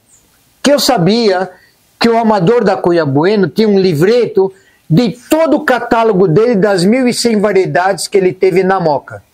Tem no livro dos anos 50, mas eu não achava o catálogo dele. Deu para entender até aí? Muito bem. E, o- e o Eduardo Carbonari mexendo no armário do pai, mexendo nas fotos, tô com ele mexendo, ele tá me mostrando. Ele pega, manda uma foto disso para mim. Eu olhei isso e falei, "Ô, Eduardo, ô meu, você sabe que você tem aí na gaveta do teu pai? Ele falou, olha, não sei. Ele fez assim, é, Amador da Cunha Bueno, é um catálogo que está aí no do meu pai, mandei uma foto pro meu grupo e para você. Falei, Eduardo, eu tô atrás disso há 40 anos nesse catálogo do Amador da Cunha Bueno. Ele falou, mas como assim? Aí eu contei a história para ele. É assim, assim, assim, assim. Ele falou, Sérgio, tá na minha mão o catálogo. Fui na casa dele em Jundiaí, ele me deu uma cópia. O que aconteceu? Passei por um historiador que me apresentaram, um grande historiador da Moca. O senhor tem uns 80 e poucos anos, famosíssimo, um historiador. E me botaram em contato com ele e falaram para ele: Olha, Fulano, sou Ângelo, tem um tal de Sérgio dizendo que na Moca teve a maior coleção de uva do Brasil, 1.100 variedades de uva. Ele falou: Não, na Moca? Ele falou: Não, esse Sérgio está fazendo confusão. Na Moca não, ele falou: Meu pai nasceu aqui, nós estamos aqui há 130 anos na Moca, eu sou historiador, nunca vi isso. Deve ser ou no Belém ou no Tatuapé, Moca não. E me retornaram a ligação, dizendo, Sérgio, estão dizendo que na Moca não é. Eu falei, é Moca.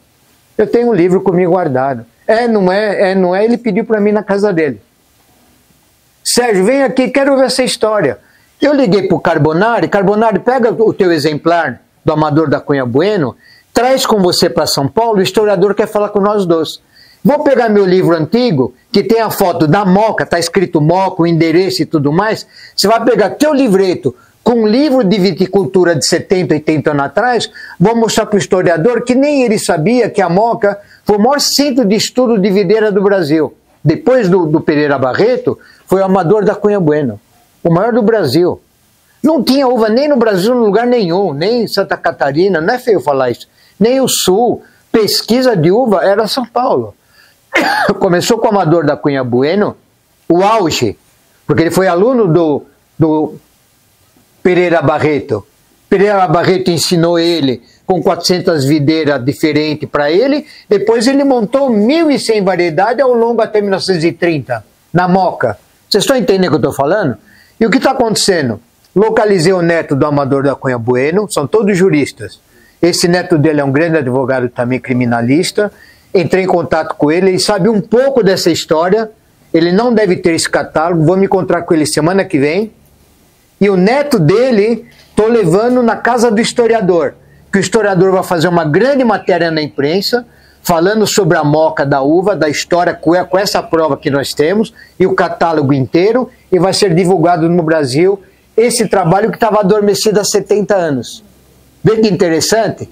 Cai no colo da gente, porque a gente leu muito desde criança, e as coisas aconteceram. E Eduardo Carbonari mandou uma foto por mandar. Quando eu leio, eu falei, meu, eu tô atrás desde 1980. Aí ele perguntou para mim, mas Sérgio, mas o que é isso? Eu não tenho noção. Aí ele falou, quando eu contei a importância desse catálogo, falou, Sérgio, não imaginava o que era isso. O pai dele sabia o que era, mas ele não sabia toda a história do Amador da Cunha Bueno. Entenderam o que eu estou falando? Então, a gente cutuca vários assuntos e várias coisas saiu da, da, das múmias do Egito. Saiu tudo atrás da gente porque a gente tinha noção e a gente, por sorte, soube achar ou caiu no nosso colo. Caiu no colo, uma série de coisas. Está entendido até aí? Veja o trabalho importante que eu quero dizer da viticultura brasileira. Não, não é feio falar, tudo saiu de São Paulo. Primeiras videiras plantadas no Brasil foi em São Vicente, em 1532, quando chegou as do, do, do Brás Cubas, que era o grande plantador de fruta da, da Europa. 1532 desceu as mudas do, do, do, das caravelas em São Vicente, cana-de-açúcar, caqui, os citros e as videiras. E o primeiro carro de boi desceu em 1532 em janeiro, em São Vicente. Ali começou o Brasil, primeira vila do Brasil, primeira Seis Marias. Eu vou parar de falar, senão a história vai longe, tá? Depois, depois Por enquanto é isso. Vamos lá, vamos lá. É? Tá aqui que acontece? É uma cola amarela, então ela já atrai pela cor. Muitos insetos se atraem pela cor, tá? mas nem todos que a gente gostaria. É, os insetos que são atraídos pela cor, eles acabam caindo aqui e morrem. Abelhas não são atraídas pela cor, é, tanto que a gente deixou aí para você ver mesmo. Não tem. O, o Sidney, é o nosso professor de abelha, não achamos nada. Não pega a mosca da fruta. Não pega a mosca da fruta. O que, que vai pegar? Vai pegar pulgão. Tá. Porque o que acontece? O pulgão, o macho voa, ele cruza. Certo. Pra lá, cruza pra cá ele cai aqui. Ele vai. Né? Ele pega a mosquinha preta, ele pega a mosca branca, né? Ele pega outras mosquinhas, vocês vão ver aqui. Ele pega também uma coisa muito importante que é o maldito psilídeo, tá? que ataca tanto uh, citros como o psilídeo da goiaba. Ele, ele pega também o psilídeo. Percevejo não pega. Percevejo não. Tá. Se vocês verem aqui um percevejo, até a largatixa coitada que morre aqui, é por acidente, ou uma abelha, porque elas foram, foram passar, o vento empurrando, encostou e ficou. Tá. Né? Mas essa aqui é amarela. Tem uma outra que é uh, transparente. Aí o que, que você tem que fazer na transparente? A transparente você pode ter um azul, que é mais ou menos da, cor da sua blusa, e o amarelo. Aí o que, que você vai fazer? Você pega uma tinta acrílica, pinta, por exemplo, ó, o pessoal faz em horta. Então, você pega uma. Aqui, imagina só, você pegou uma estaca que está cheia de alface. Você pinta essa, essa estaca de amarelo com tinta acrílica e depois pega a, a cola transparente e aplica. E aplica uma, essas colas você aplica com uma rolinha. Não, com... Você pode fazer uma espécie de espátula. Sabe aquela, Ah, tá, coisa tá, de tá, sorvete? sei, sei, sei. É perfeito. Isso, aí você vai passar, aí você vai atrair, aí depois que fica cheio, você pega uma espátula, raspa ali e passa de novo. No caso da- das, das garrafas, você pode pegar a tinta, coloca dentro, fecha, mexe bem, tira o excesso, ela vai ficar colorida. Aí você pode usar tanto a cor amarela como azul. Eu quero isso, não sei o que, que é, mas eu quero. Eu Mas beber quero, não. É isso. É interessante. Isso, é aqui, ó. Essa aqui, ó. Cadê, o- cadê o moço do vídeo? Ó, essa aqui é perfeita, ó. Qual que é essa? É uma espátula de Ah, doce, ó, de sorvete. É perfeita pra usar pra, pra passar Posso aqui. colocar então? Sérgio, o teste nosso aqui foi pra ver se pegava abelha. Pode, E acabou não pode. pegando. Que era o teste não pegar abelha. Tá, tá bem. A, a cor azul atrai mais trips. A amarela também traz, atrai também as tri, o trips, mas o azul atrai mais. Por exemplo, no maracujazeiro, a cor, a flor é azul. Então, e também tem um tom de amarelo. Então você pode pôr os dois no maracujazeiro. Então você tem ali o maracujazeiro, seu varal, aí você põe a armadilha azul e amarela. Então o bicho que não vai numa vai na outra. Mas assim, não dá para se iludir, não pega tudo e é um controle. Por exemplo, outra coisa que pega, que é uma maldição para quem tem, é cigarrinha. Cigarrinha de milho, eu vendo muito a amarela, né, de cartela, eu vendo muito para quem é, trabalha com milho, porque elas vão direto no amarelo, cigarrinha. Né? Cigarrinha faz, o que a cigarrinha faz? Ela começa a raspar aqui, raspar, aí você vai ver, ah, é um buraquinho, esse buraquinho vai lá e começa a abrir. No pêssego também tem cigarrinha, que é, o pêssego é terrível. Caiu cigarrinha no pêssego, três dias, todas as folhas estão furadas, seu pêssego vai perder todas as folhas. Aí você tem que ter essa armadilha, cigarrinha é, vai direto aqui. Percevejo, pode esquecer, não vai. Percevejo, infelizmente não vai. Uma série de coisas que a gente gostaria que fosse, por exemplo, a mosca da fruta, ela não vai. Eu já peguei muita mosca da fruta, por acidente, porque ela cruza o, o, o persegueiro, bateu e caiu. Mas a mosca da fruta, outro dia eu fui fotografar a mosca da fruta, para mostrar lá que tinha no pêssego, eu não consigo. É um bicho esperto. Ela tá aqui, você vai bater, ela vira pra lá. Ela sabe que você tá olhando ela, sua filha da mãe. Aí você vai, aí eu fiquei horas pra tentar pegar, ela não conseguia. Tem que ser no suco de laranja. Tem que ser no suco de laranja. Tem, tem assim, tem o suco, tem, você pode fazer o suco, tem o negócio pronto, mas é, é a mesma base, né? Você tem que pegar ela na parte física dela, entrar e não sair mais. Isso aqui é muito, muito útil e muito barato se você for pensar no que, no que ele consegue pegar. Orquídea, por exemplo. O cara tem um monte de orquídea, vai dar flor, ele põe uma, uma azul. Por quê? O trips que mora, que come a- as flores, ele vai. Ele, ele acha que ele está vendo uma flor gigantesca, ele cai na armadilha e morre ali. Né? É isso de armadilha. Tem a outra coisa, a armadilha que a gente faz também para bloquear. Né? Você vai pegar a cola transparente, e aí o que, que você vai fazer? Você tem du- duas formas. Uma é pôr direto na planta. Tem gente que não gosta. A outra, o que, que você vai fazer? Pega aquele filme de, de cozinha, sabe? Mesmo que faz enxertia também, e faz com força aqui. Pega e coloca a cola nele, nas extremidades dele. A formiga não sobe. E a formiga tem uma inteligência. Eu, eu tive um problema no meu parreiral lá no sítio, lá do meu tio. Eu percebi- Dá pra gente fazer uma isca depois? A isca dá. Ah, não, é pra não causa fazer isso. E aí eu, eu vi que, eu olhei que tinha seis acessos. Por que são seis acessos? São duas barras e quatro os arames. Então o que, que eu tive que fazer? Cercar os seis acessos. Eu via que a formiga ia, voltava e ela já passa informação para o formigueiro. Ali não dá mais. Isso fica por anos. A informação delas fica por anos. Aí o que vai acontecer? Só vai voltar a ter formiga, mesmo se a cola secar, que é uma formiga que veio do vizinho, não se procriou com essa e começa a pesquisar de novo ali. Se tiver cola de novo, ela volta e fala, ó, ali não dá mais. Então o- os insetos são muito inteligentes. Eu estava falando com o Sidney das abelhas. Eles não vão onde tem ameaça. Eles falam, ó, ali não, fica marcado e para a próxima geração eles passam a informação de que ali não dá. Então assim, cola é muito legal, não estraga a planta. E eu falei, você pode pôr um Magipack, né, que falava, um filme, fica legal. Só que é, outro dia o Toquinho colocou, mas ele não- a gente estava conversando, ele não tinha se atentado ao quê? Tava com comunicação colado. Então ela, elas falam assim, ah, eu não consigo subir aqui, eu vou para lá. Elas são extremamente inteligentes. On- Ontem chegaram na goiaba ali, eu olhei e tava festa na, na- de uma vez só. Então você precisa ser, assim, o ideal, se você tem um parreiral, o melhor é, é trabalhar com latada. Porque latada não, com espaldeira, né? Porque aí você controla. Mas não pode encostar em nada. Então você vai fazer daqui e ali. E aí você fechou. E nas plantas. E aí a cola ela não sobe. Se você faz o alto, aí você vai ter que pô, pô, pôr um monte de lugar. A minha sorte é que eu tinha feito assim. Eu tinha feito um arame principal e todos os outros cruzando. Então era só fechar os dois arames. Se eu tivesse pre- preso todos eles na parede, eu tinha que colocar em todos os parafusos a cola. E aí a, a cortadeira ela desiste. Tá? Outra coisa, a Ana Maria Primavera falava muito tempo atrás, e depois os caras foram ver, e é verdade, todo mundo agora fala que é o quê? A, a cortadeira ela não se interessa por plantas que já tem muita proteína dentro. Por quê? A planta com proteína, a folha com proteína não gera fungo, então ela não quer. Ela quer plantas que não tenham proteína, que a planta esteja fraca. Então se você, por exemplo, aplica enxofre, você aduba com enxofre. Ó, Sérgio, quem planta, chegou aí? Ou com aminoácido, você aplica com aminoácido, o que, que acontece?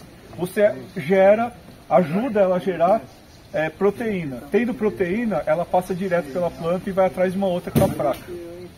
Tá? Então, isso é uma, é uma das, das coisas, assim, por isso que é bom usar enxofre em tudo, é, é bom usar produto de enxofre sempre, né? Para você, inclusive, nutrir a planta para evitar de ter mais problema com inseto. É porque se sua planta não é gostosa, também, né? Também serve o ácaro, você elimina o ácaro, né? Depois vai ter o enxofre aí preparando. Enxofre é borboleta também. Vamos ver se a gente faz aí. Agora, isso aqui pro Sérgio? O nome dele é correto, só pra você saber, é acaricida. Ele é para ácaro mesmo, acaricida. Isso, é importantíssimo. Sérgio, aqui Tem produtos que, assim, tem, por exemplo, o, o Cabaço lançou há muito tempo, o Cúmulo, tem um outro que, que também chama Azufre, que são iguais, eles são enxofre elementar. Então, quando você coloca na planta, a planta não absorve, ela absorve muito pouquinho, ou praticamente nada. Só que ela dá uma porrada no ácaro e nas coisas muito forte. E aí eles vão embora. Né? Ou morrem queimados, né? porque se a gente põe a mão corrosivo, eles também corroem. E tem outros, que é a sulfocal, a antiga sulfocal que chama sulfoc e outros produtos, o enxofre Dime, que são, além de ter essa propriedade, eles também são adubo. A planta também consegue absorver um pouco. Que é um outro processo de enxofre, fica mais caro, que eles e esquentam não sei quantos graus, aí ele muda um pouco o enxofre, e aí ela consegue pegar. Então tem esses dois tipos. Quando vocês verem enxofre elementar, que é o azufre ou cúmulo, é, pensa que é para dar uma porrada. né? Os outros é uma porradinha mais leve, mas e você tem que dar uma, uma adubação mais contínua para ela absorver. É assim que. E aquele enxofre de nuvem é pa- pagado. Tá bom.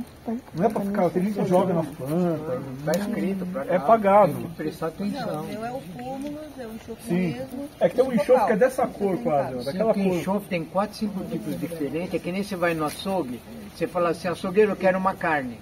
Ele vai falar, mas que carne? Você fala, quero carne de boi. Mas tá bom, mas que carne? Enxofre é igual. Enxofre pra quê?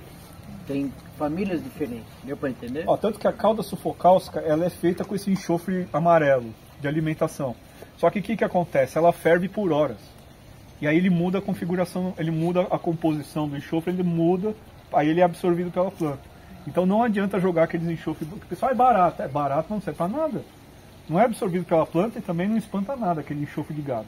né? Então existem os enxofres foliares, que aí sim vocês usam, principalmente em goiabeira. Você, você tem isso aqui, você pega o psilídeo e o enxofre também ajuda a expul- expulsar. Né? Porque aí ele não. É, é- é aquela- coisa, né? Eu- eu disse, o, o- o inseto ele é inteligente. Ele vê que aquilo ali não está virando um bom alimento, ah, ele vai, ah, quantos alimentos eu posso ir aqui? Aí depende disso, ele vai para O enxofre ajuda na ferrugem também? Então, o enxofre ele também ajuda na ferrugem. A, a- a ferrugem, então, a ferrugem o pessoal usa muito mais enxofre do que sulfato de cobre. Se você usar os dois, você, você cobre mais, mas a ferrugem é. é- eu sempre é- brinco, eu digo assim, para quem começou há muitos anos eu falo, eu chamo de eh, dupla dinâmica, Batman e Robin. 15 dias você pulverizou com enxofre, na outra quinzena com a cauda bordaleza. Você não erra muito, o pomar ele vai bem, ele vai bem, você tem um certo controle. É, e Então esse- não tem muito assim, muita dificuldade pro- de entender. Se você né? fizer isso, você consegue bater. você- porque assim, tem, tem época, né, que a gente tava Sim. falando. Tem, então, a época do oídio. O oídio é enxofre. É o mofo branco. Aí não adianta você passar só a calda bordaleza. A calda bordaleza, ela, causa que ela é um sulfato, ela é um enxofre também. Mas é só 10%, 15%, é pouca coisa. O enxofre puro você bate em oídio. Aí o míldio você já não bate com enxofre. Você bate com o sulfato de cobre. É, o que ele está falando, vocês que são novos, só para resumir, não é que é chute a gente usar hoje enxofre daqui 15 dias a calda bordaleza. No clima de São Paulo, tem semanas que é só quente e seco, é enxofre, porque dá mais doença na secura, o sol intenso. E semana que choveu, está abafado, mas está úmido, é a calda bordaleza. Então, digamos, vamos fazer uma brincadeira, faz de conta que em São Paulo, vamos dar um nome qualquer, novembro, fez 30 graus e 20% de umidade. É só enxofre. Porque o enxofre combate os insetos ou, ou não nessa temperatura, ou seja, quente e seco. Põe isso na cabeça. Quando você pega uma quinzena ou um mês chuvoso, garoano no, em São Paulo, onde for, é mais a bordaleza, é mais o fungicida. É, e Você aquela- erra menos, viu, se for nessa linha. É aquela coisa, se você quiser ter um parreiral e, e colocar debaixo de, de- de telha, muda tudo. você vai ver que só vai aparecer o ídio. Ah, é, o, é o mofo branco, porque Preste atenção que as uvas que vocês estão levando é, é, é esse caso aí. E videira hoje, pelo clima que mudou de 20 anos para cá, principalmente 5 anos para cá, hoje quase nenhuma fruta, quase nada, hoje fica no tempo direto, porque o tempo está bruto, ou o sol queima, ou chove gelo, quebra, ou vem vendaval, leva tudo embora. Então, quem está colhendo alguma coisa tem que ter cobertura com telha fosca, não toda tra- tra- transparente, que ela queima com o sol, a, a fosca, ou alguma proteção. Tem que ter alguma proteção hoje em cima do teu parreiral, da tua verdura, hoje deixar no clima assim é, é perca É, total. é, você- As coisas mudaram. O sorvete ajuda muito? Ajuda, ajuda. Tem gente que põe assim, tem gente que põe telha e depois põe um negócio que chama luminete. Não sei se você conhece. Existe aluminete de verdade, é, assim, tem que ser aluminete de verdade, aquele alumínio rasgado. Ele é picotadinho com o sombrito. O que acontece? Ele deixa passar mais luz que o sombrito, porque ele é, trans- ele é, ele é prateado, só que ele segura calor, metal segura calor. Então às vezes o cara colocou um, um- um negócio, um- Tá gelado. e aí fica quente pra caralho. Às vezes, esses dias de 36 graus, a planta não aguenta. Aí tem que pôr um aluminete para não ter transferência da telha para a planta. E aí, o sombrite já deixa passar o calor. Entendeu? Então assim, se o seu problema é calor, você tem que ir atrás de um negócio que chama aluminete. Se o seu problema é luz em excesso, aí é um pouco mais o sombrito. Então, para vocês entenderem, tudo tem um porquê na, na agricultura. Que hoje em dia, para produzir alguma coisa, está muito difícil por causa do clima. Então, o que você fazia correto dois, quatro anos atrás, hoje já não é mais. Não é que você errou, o clima mudou. As atitudes agora são diferentes. O jeito é diferente. É isso que está acontecendo. Tudo está mudando, tudo está mudando. E você, se você não estiver atento, você vai apanhar, apanhar e você não vai tomar atitude nova. Você não vai estar atento, você vai tomar só paulada. Você só vai reclamar. Então hoje em dia tudo mudou, você tem que mudar teu ouvido também. É, você É tem que aí. adaptar. Se Adaptar. aplicar a calda e o enxofre com a florada, isso prejudica ou não? Então, sulfato de cobre derruba a florada. Derruba. O enxofre menos. Não- Também não é bom não pôr nada quando tem florada. É, então, é boa a tua pergunta, eu sempre respondo assim. Por exemplo, se você tem um calendário de pulverização logo após a brotação, pré-primavera, você está vindo com pulverizações quinzenais. Na semana da florada, como você já está pulverizando, teu pomar não tem problema de inseto ou fungo. Para que pulverizar na florada de 10 dias? Daqui 15 dias você vai pulverizar, espera cair a florada, deixa vingar a frutinha, você continua, continua pulverizando. Não sei porque alguém falou que na semana da, da, da florada tem que pulverizar a florada. Eu não sei quem tipo falou isso 10 anos atrás. nada. Ideal não, você, entendeu o raciocínio? Se você está pulverizando o teu pomar normal, na semana, na, na- nos 10 dias da, da florada, você não precisa pulverizar. Você já pulverizou 15 dias atrás. Única- Você não tem doença. Você tá vindo limpo já. A única planta que precisa geralmente é manga, porque o oídio ele não pega na É, flor, manga ele vocês vão ver ali embaixo, ali, é o local úmido. É, é- é o, o- o- o mofo vai na flor, aí você tem que ficar jogando enxofre. Porque é um. É um Vocês vão ver ali embaixo. Sérgio, vamos começar, vamos pegar na goiaba, senão O não. maracujá é a única planta que vocês, se vocês tiverem, vocês vão ver que é muito louco. Assim, você fala, se eu não vou passar nada na florada, você não vai passar nada nunca, porque sempre tem flor. Aí você, vai, você tem que desviar a cauda da, da flor.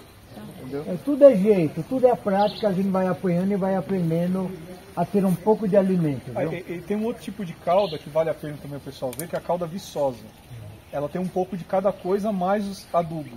Então assim, se você quer pre- fazer prevenção, ela tem enxofre e tem sulfato de cobre. Nutre bem a planta e defende. Então sim. você consegue na prevenção trabalhar. Aí o pessoal fala, mas quando eu paro? Se você pegou um milde, por exemplo, na, na, na videira, aí você para a viçosa e faz calda bordaleza, porque aí você vai combater o cara, entendeu? Que a bordaleza é para fungo. O que, que é fungo? Mofo, Podridão. podridão. Então, é borda, calda bordaleza, tá? É isso. Esses dois produtos vocês usando, começando a entender o enxofre de pulverizar e a calda bordaleza, vocês vão ter muito pouco problema no sítio de vocês. Inclusive em orquídea e tal, a mesma conversa. Calda bordaleza, enxofre, tomate, pepino, giló, berinjela, normal. Mamão, tudo normal. Maçã, normal, normal, no, é em tudo. É em tudo. Pessoal, só comentar com vocês. Em Assim, ó, a diferença dos saquinhos é o seguinte, ó. Esse saquinho aqui, ele protege de quê? Da mosca da fruta. Porque ela não consegue passar o cano dela aqui, no papel. Mesmo que ele esteja molhado, ela não passa. O TNT ela passa. O, o, aquele outro que é de... Saquinho do Silvio, você vai? Aquele, aquele que parece de festa de casamento, qual que é o tecido? É, não, não é TNT, é Não, furadinho, é... Tem ori, Tule. tule. Aquele de tule serve para passarinho. Por quê? O que, que acontece? A uva, no caso a uva, você vai proteger a uva. Por, a uva ela é, tem um problema que é aqueles é, vespa, principalmente aquela vespa carpinteira, aquele marimbondo carpinteiro tem uma aquele pretinho grandão. Ele consegue rasgar a, se ele vê, se ele sente o cheiro, eles conseguem rasgar a capa, né, do, a pegar a baga e passa. Então aí você pode usar o TNT. Por quê? Porque ele segura aquilo, eles não conseguem furar. Se você usar isso aqui, eles furam o papel. O, o, o pássaro fura isso aqui, mas ele não fura o tule e não fura o, o TNT, entendeu? O tule, eventualmente, pode ser que alguma vez para fure. Aí o pessoal, né, o pessoal tava falando das abelhas. Não é a abelha que fura. É a vespa, a vespa fura, o negócio tá doce pra caramba e vem a abelha. A abelha não fura o- a- as bagas. Quem fura é a vespa. Principalmente aquele carpinteiro que é desse tamanho. Né, Ele, ele consegue, se tiver ali, é, a, a- a não tiver bem nutrido também, fica, fica o que acontece. Se não está bem nutrido, esse negócio chove, esquenta, chove, esquenta, Pode passar a, pra cá, a casca da uva racha. Aí o marimbondo fala, é agora. Aí você lota de marimbondo ali. Não está protegido, o marimbondo faz a festa, aí vem a abelha, aí, aí os caras falam, é abelha. Não é abelha, é marimbondo. tudo. Ele fura primeiro. Ele fura primeiro, ele fura o quê? Aí sai a goma, sai a goma e vem. Aí vem, os- vem todo mundo, aí vem pássaro. É. Então assim, esse aqui não serve para ah, pássaro. Os caras eles abrem isso aqui e falam, ah, grande coisa. Choveu, colou, o pássaro Já era. fura. Agora, pra, agora a mosca da fruta não fura isso. Ela não fura de jeito Mosca nenhum. da fruta é uma mosquinha, metade da mosca normal, ela, ela é pretinha com asinha amarelinha. Ela é pequenininha. Parece um tigre. É, isso, mais ou menos isso. Isso aí é- dá muito em país tropical, que é o problema do Brasil, a mosca da fruta. Quando exporta a fruta, quando vai para fora, o maior medo dos outros países é a, a mosca da fruta dentro. Por isso que fica refrigerado, a baixa temperatura. Se tem algum inseto do Brasil que vai para o navio, já morre dentro da, da, da- geladeira. Tem um controle, aqui a gente não sabe, mas Aqui, o não é brincadeira. não. pode ir passando. Aqui é o ataque. Ó. e com um controle mais radical, a gente foi num, num produtor lá em Tapira, o que que acontece? O problema dele é guaxinim. Nossa, olha. E tem os gambá também. O que, que você tem que fazer? Pega, sabe aquela tela de mosqueteiro de, que você põe na janela? O cara fez um sanduíche. Então, a, a- a uva dá aqui embaixo, né? Ele cercou, fechou e comprou muitos metros. Aí o guaxinim vem e não consegue pegar. E nem o saruê consegue pegar. Aí um você tem que ir mudando a, a estratégia para ficar mais forte. É, então, Mas ó, uva isso aqui. Hoje faz isso. Tem muita gente que Então, usa, mas se o tá pássaro sacar que dá Tá rasgar, ele tá rasga estranho. Se molhar também, Fica bordaleza, Fica frágil, aí o pássaro vai lá. Quando cair, Vou mostrar aqui, pessoal, vai passar aqui o filtrinho pra vocês verem o ataque da, da doença. O pássaro não consegue passar porque é pequenininho, ele, às vezes ele bloqueia. É a mosca da amarela. É, isso É, é, tá ele plástico, né? Minhoquinha da goiaba. O de TNT, então, o de TNT eu, eu acho ideal. é, Por quê? vai Porque ele protege do, do pássaro e, da, é, do, e do, das vespas. Né? Ele é, o- pra mim é o volta, ideal. O pessoal vende em rolo, né? É, o produtor compra em rolo o de TNT, aí eles vão soltando, aí vai lá. Tem TNT que já vem no rolo, que você só faz assim, tira, aí os caras vão lá pondo em todas as E, e a gente já viu também uma fazenda de goiaba, Sérgio, todo fechado sem um saquinho. Só que o cara não quis falar o que, que ele aplicava lá. Não tinha um saquinho, lembra? A fazenda inteira. reduzido, ele falou que tinha reduzido o agrotóxico em 80%. Eu, mas assim, não tinha um saquinho. A gente, meu, mas o que, que você aplicou aí? Ele não queria falar, não falou nada. Ele conseguiu regular bem o pH da planta. E ele, e Tem ele com- lógica também. E ele combate o, a, a mosca da fruta quando ela está nascendo, quando ela está. Você tem que. Você tem É. tempo para fazer isso, senão É, você joga preventivo. inseticida e perde. Não, tem que ser tudo preventivo. Tudo é preventivo. É Porque isso. na hora que ela vai acasalar, você tem que pegar ela.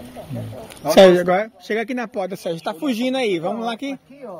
Pessoal, se você quiser vir pra perto aqui, pra vocês verem os detalhes, é legal. Tá aqui, era melhor estar aqui, viu?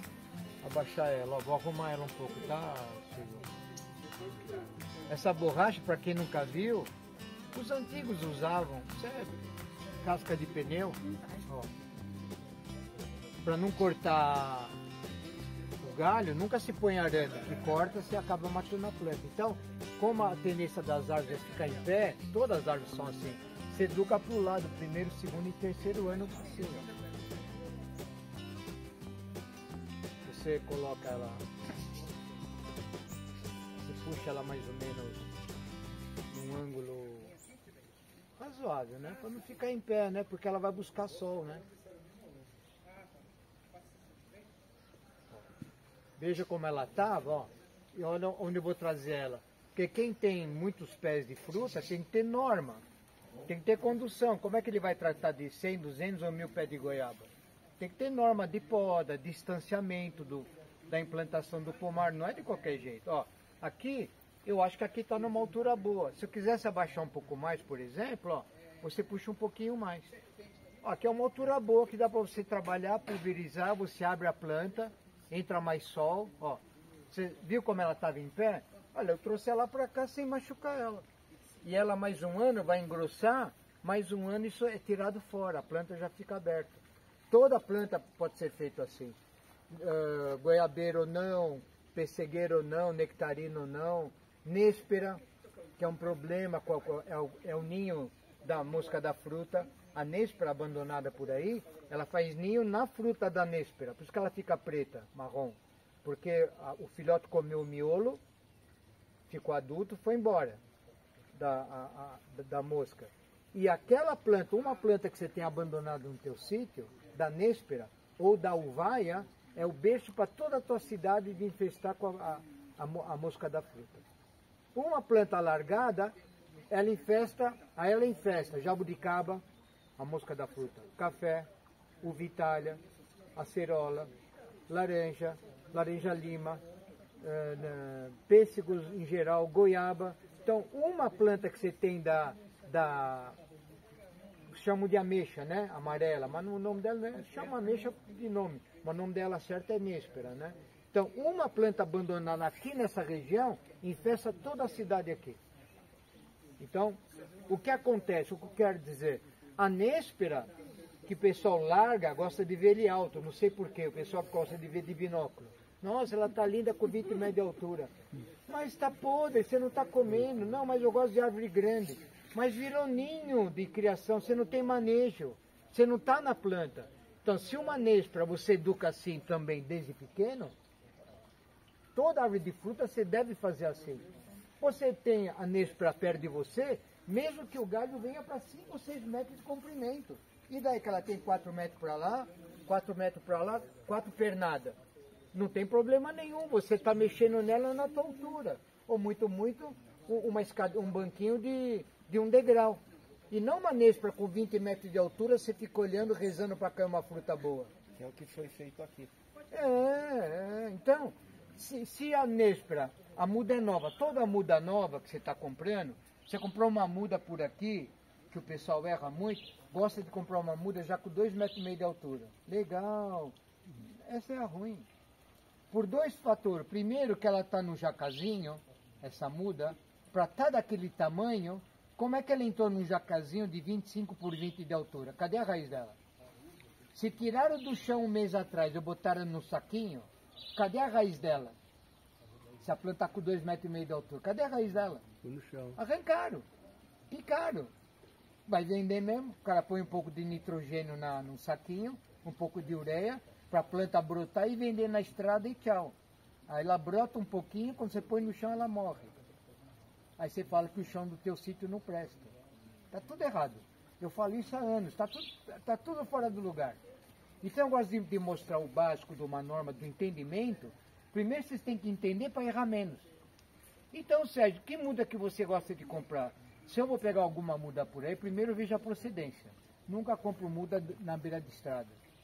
O cara já comprou refúgio. Aquela terra que está no jacá pode estar tá contaminada, vou trazer contaminação no, no solo do meu sítio. Tem tudo isso, hein? Eu gosto de pegar muda, tamanho médio para pequeno. Se eu for comprar muda, se eu não fiz a minha muda. Por que médio para pequeno? Porque ela está no saquinho onde teve menos amputação de raiz. Não sei se estão entendendo o raciocínio. Está entendendo? Começa por aí. Dois, não existe muda que você plantou, que ela está, por exemplo, na tua casa já dois anos no chão. Digamos, vamos dar um nome qualquer. É, pé de amora. Amora, você pegou uma amora preta, pôs um galinho que ele brota à toa e cresceu. A amora cresce rápido, porque ela tem um leite branco na casca. Amora. Tudo que tem leite branco é enraizador dela mesmo. Deu para entender? Por isso que o pé de figo, figo, quando você corta só aquele leite branco, ele enraiza fácil porque ele é enraizador dele mesmo. Entendeu até aí? Aí você tem um pé de amora no, no, na tua casa e por um motivo qualquer nasceu preguiçoso às laterais e nasce, nasce só ponteira. É normal, ela vai buscar sol. Aí você tem um, pé de amora com 4 metros de altura e três folhinhas lá em cima. Cadê a formação lateral da planta? Não tem, por quê? Porque quando ela estava no primeiro, segundo ano, você não podou ela com 80 centímetros, a primeira tesourada da vida dela. 80 centímetros, é obrigatório. Para ali abrir as pernadas baixas para você conduzir ela assim. Aberta. Não sei se vocês estão entendendo o que eu estou falando. Quem não estiver entendendo, me fala, eu estou falando no básico. Deu para entender? Tem gente falando, não, minha planta está bonita, está com 3 metros de altura. Mas é uma varetinha assim, parece um bambu. Árvore de fruta não é isso. Você tem que formar ela já na altura do teu umbigo, ela tem que começar a se abrir. Como é que você faz abrir? Poda a planta no primeiro para o segundo ano para estimular brotos laterais. E quando você faz a poda, brota 8, 10, 12 brotos ao longo do tronco novo. Você não vai deixar 12 brotos, você vai escolher 3 ou 4 lados opostos com alturas separadas, para a planta abrir em quatro lados separados. O resto vai tirar tudo com a mão. Você vai organizar teu pomar. Qualquer árvore de fruta é assim. Ah, me falaram que é só manga. Não, senhor, toda árvore de fruta é isso. Primeiro ano é a poda de, de formação, desbrota de, de, de excesso de broto, para você deixar no tronco que está ficando grosso, três ou máximo quatro pernadas. Um para cada lado. E não nascer quatro pernadas, quatro brotos do mesmo ponto. Um aqui, um aqui, um aqui, um ali. Não é um aqui, um palmo para baixo, outro ali, um palmo para baixo, outro para lá, um palmo para baixo, um para mim. Para a água abrir certinho quando é pequena, arejada. Você vai ter mais facilidade de abrir ela, porque ela já está aberta do início. Tem casos que você nem borracha você usa. Se você já começar a podar certinho, quem sabe mexer com, com frutífera. Você põe quando precisa, que às vezes precisa pôr borracha, é normal pôr.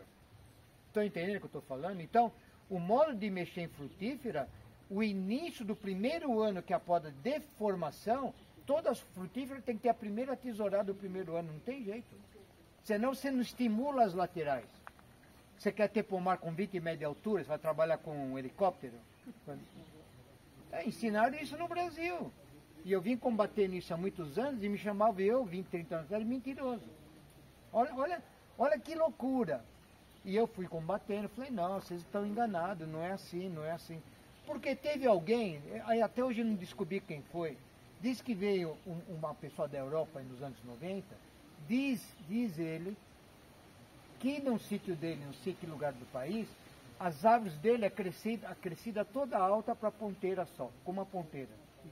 Eu acho que o cara falou isso, enganou o brasileiro, para o brasileiro não ter fruta. Você vai entender? Ele falou porque ele vendeu matéria, vendeu matéria. Eu duvido que o sítio dele no céu no mundo, eu duvido que o sítio dele, a, a, a, todas as árvores frutíferas dele é uma ponteira só com 10 metros de altura. Foi enganação. Isso não existe. Então, às vezes você tem que combater coisa no Brasil que é difícil. Eu faço isso há mais de 30 anos. Só que a gente conseguiu mudar muita coisa. Entendeu? Por quê? Mostrando. Te pergunto, isso para você é lógico ou é melhor deixar o, a goiabeira crescer 4 metros para cima? O que, que você acha que é melhor? Desse jeito já baixinho. Ó, olha como eu abri outra vez que eu tive aqui, um para direita e um para esquerda. Olha bem, ó. Olha só. Ele, se você soltar o borracheiro, faz assim, ó. Um entra dentro do outro, sombra, sombra, você não vai enxergar mais nada, é uma bagunça. E haja mofo, porque está fechado, não entra sol. O que é, é a saúde de um pomar? As plantas abertas recebendo luz solar. Diminui o mofo, diminui as pragas do seu pomar, porque não tem umidade. Não, eu quero mil produtos, eu quero uma magia. Você quer magia no teu pomar? Aprenda a fazer teu pomar abrir tuas árvores de fruta um pouquinho, entrar só um pouco dentro das tuas frutas. Luz solar, você tem roupa no teu armário. Vou aumentar no inverno, faz de conta. Você tem 10 cobertores guardados no teu armário. Está trancado há um ano no armário. Vai vir o inverno. Qual é a primeira coisa que você faz pra, quando você tira o cobertor? Você vai usar o cobertor daqui a um mês. Você faz o quê se está com um pouco de mofo? Que é a primeira coisa que você faz? Por quê? Mata o mofo. Mofo do cobertor ou mofo da planta são famílias diferentes, mas é mofo, é fungo. Todo fungo se combate com a abertura do pomar com as árvores. A primeira coisa que eu falo. Depois que eu falo de pulverização. Adianta eu falar pulverização deixando as, as árvores fechada, uma dentro da outra, você vai pulverizar hoje é meia boca, porque o produto nem pegou nas árvores, catar uma dentro da outra. Por que, que uma árvore está dentro da outra? Você plantou uma jaca, dois metros uma da outra? Você, você plantou jabuticaba, um metro e meio uma da outra? Não, cada árvore de fruta tem seu espaçamento. Não é tudo igual. Tem planta que é 3 por 3 de largura, tem planta que é 4 por 4, tem tipo de fruta que é 5 por 5, tem fruta que é 7 por 7. Não é tudo igual. Porque saiu matéria 3540 anos atrás, uma publicação, dizendo assim, você quer formar um pomar? Quem vê minhas matérias de anos atrás veio falando isso. Você quer montar um pomar no teu sítio? Olha a frase errada. Plante as suas árvores frutíferas, plante suas árvores frutíferas dois metros por dois metros. O que, que você entende que você é leigo? Bom, eu quero uma jabuticabeira, vou plantar aqui. O livro, a, a está dizendo plante qualquer árvore frutífera dois por dois. Então uma jabuticaba no tal Pedro, eu aqui sou eu, vou plantar uma jaca, você aqui uma goiabeira, ele ali um pé de maçã, ela aqui do lado dela dois pés de, de limão, e ele aqui do lado dela dois pés de, de videira. Muita gente tem, até hoje tem isso no Brasil. Depois de 40 anos ainda continua o erro. Não, não tem de entendimento de espaçamento de, de pôr um, um pomar. Depois você entender o espaçamento do pomar, tem abertura das tuas árvores. Como é que você vai abrir a goiaba? Assim. E o abacateiro? Nem tanto, mas vai abrir. E a manga? Também vou abrir, mas não igual aqui. Mas vou abrir também. Não, mas a manga no sítio do meu avô quando era criança, é 390 metros de altura. Antigamente era assim, porque os antigos, 100 anos atrás, plantava um pé de manga em frente à casa para fazer sombra nos anos 30. Presta atenção. Para fazer sombra, não que eles eram produtor de manga, fazer sombra na casa. Porque era uma casinha no sítio, eles depelavam tudo, não era assim, 100 anos atrás?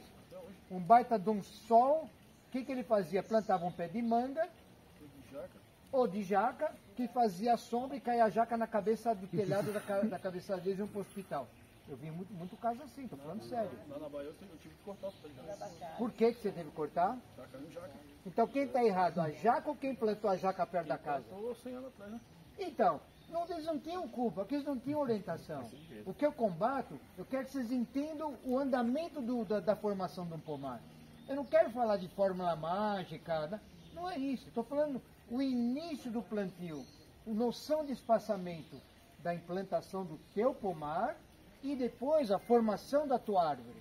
Ah, então citros, Sérgio. Eu também vou abrir ela no meio e abrir assim aberta e deixar ela pelada no meio? Não. Citros já é diferente. Ele tem que ter o meio dele, você vai tirar a ponteira no segundo ano para abrir as laterais, mas ele tem que ter um esqueleto no meio para segurar 50 quilos de laranja, senão o galho quebra. Não sei se vocês entenderam.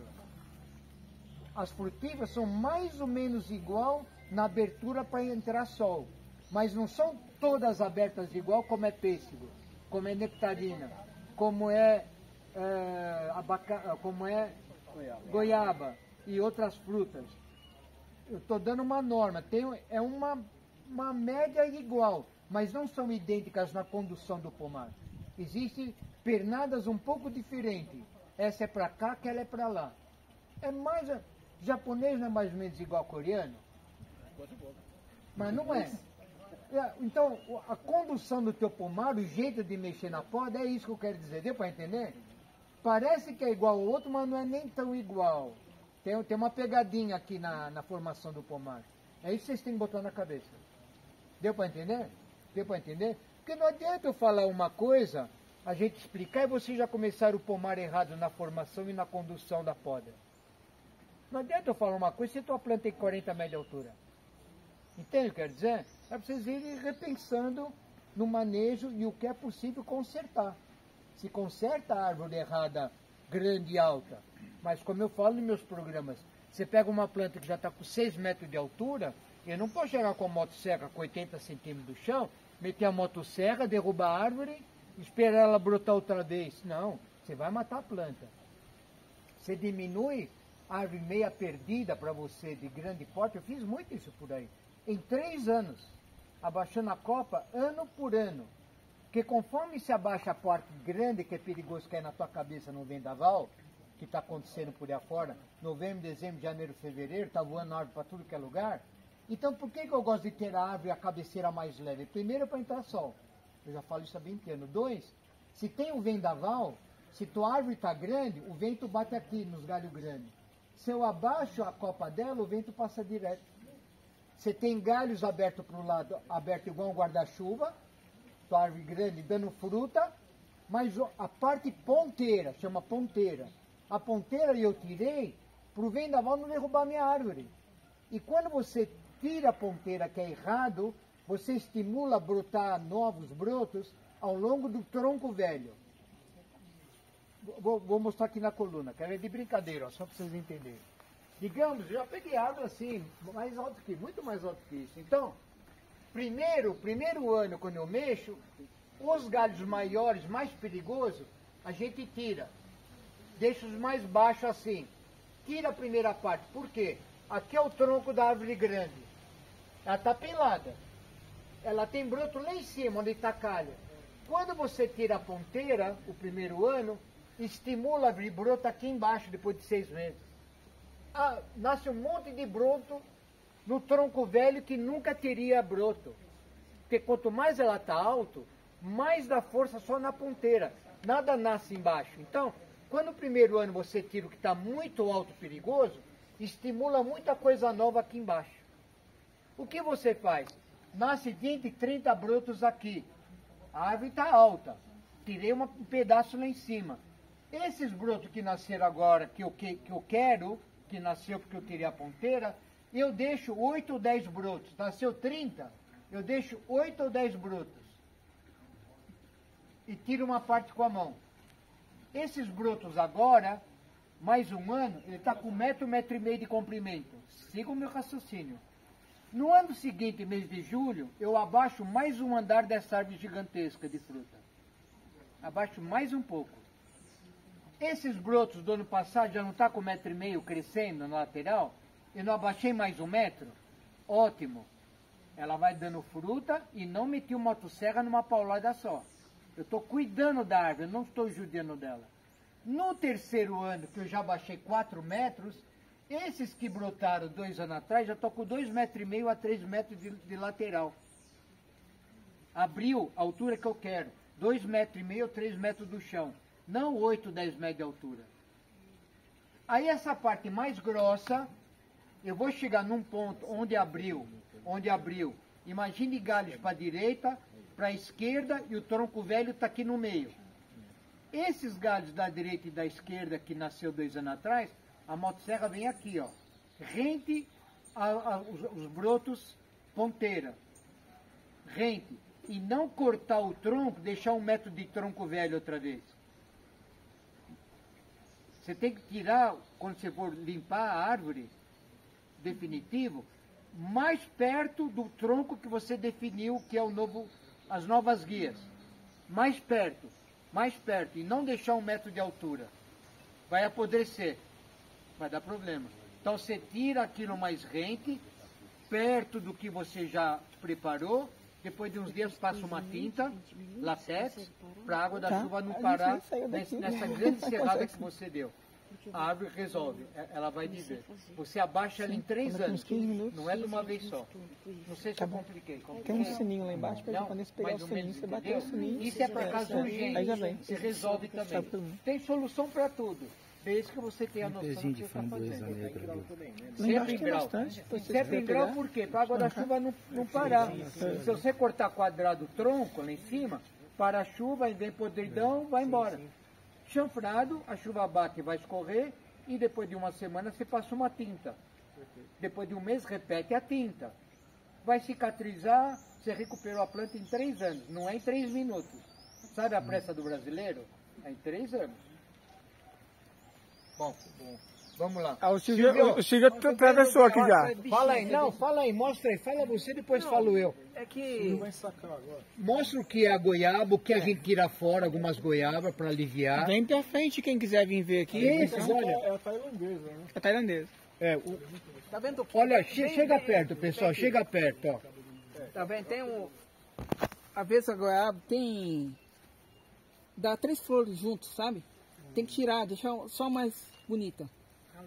Tá É vendo? raleio, toda fruta tem raleio. É, é bom também tirar isso aqui pra não ficar feio assim, ó. A coroa, né? É. Se colocando isso aqui, ele é, começa a rasgar também. É, é essa coroa, ele, essa coroa, vocês entenderam o que é? A ponta da florada. Se ele secar, ele fica duro. Começa você ensacou, ensacou, legal. Mas ele tá duro, pontudo. Dá uma chuva, o papel cai nessa coroa, bate um vento, rasgou o saquinho. Então tem que tirar a coroa, o que é. Mostra, Silvio, com calma. É, aqui, ó. Vamos ver. Tem aqui, Silvio. Tira aqui. Essa aqui, ó. Tá vendo? Chega perto, Cor é pessoal, essa aqui, ó. bem, ó. Essa aqui, ó. Passa o dedo lá, passa o dedo. Tira aqui. Você pode tirar. Tira, manda pro pessoal. Pode tirar. Tira. Tira uma goiaba e dá pra eles rodar. Pulveriza, no outro dia você ensaca. Tem que ralear, tirar a coroa. Eu gosto de tirar uma ou duas folhas do lado da, da, ó, da flor aqui, É, ó. vai ficar da mais fruta, fácil de sacar, né? Para ensacar e pulverizar. Um dia antes de, de pulverizar, eu tiro a folha lateral, tiro a coroa, tiro o que está bichado, que você vê um buraquinho preto, que já está com a mosca amarela, eu tiro fora. O que está bom eu deixo, o que está ruim eu já tiro. Pulverizo no outro dia, passo o enxofre ou calda bordaleza e no fim da tarde, que já enxugou, eu ensaco. Aí você não tem problema. Aí você continua pulverizando o quê? As folhas. Continua pulverizando. Dá pro pessoal ver o Ó, bicho. No caso aqui tem, tá vendo? Ó, Pa- passa- essa furinha já da, do bichinho. A mosca, a mosca da fruta botou ovo, né? Ó, vai passando, ó, tem, quem não tem óculos, ó, é isso aqui, isso aqui já era. A, a mosca fêmea já pôs ovinho aqui dentro. Você tá aqui, tem né? que ter olho para você saber o que você vai tirar na hora. Sérgio, Você já, às vezes tem um que sai até uma gosminha.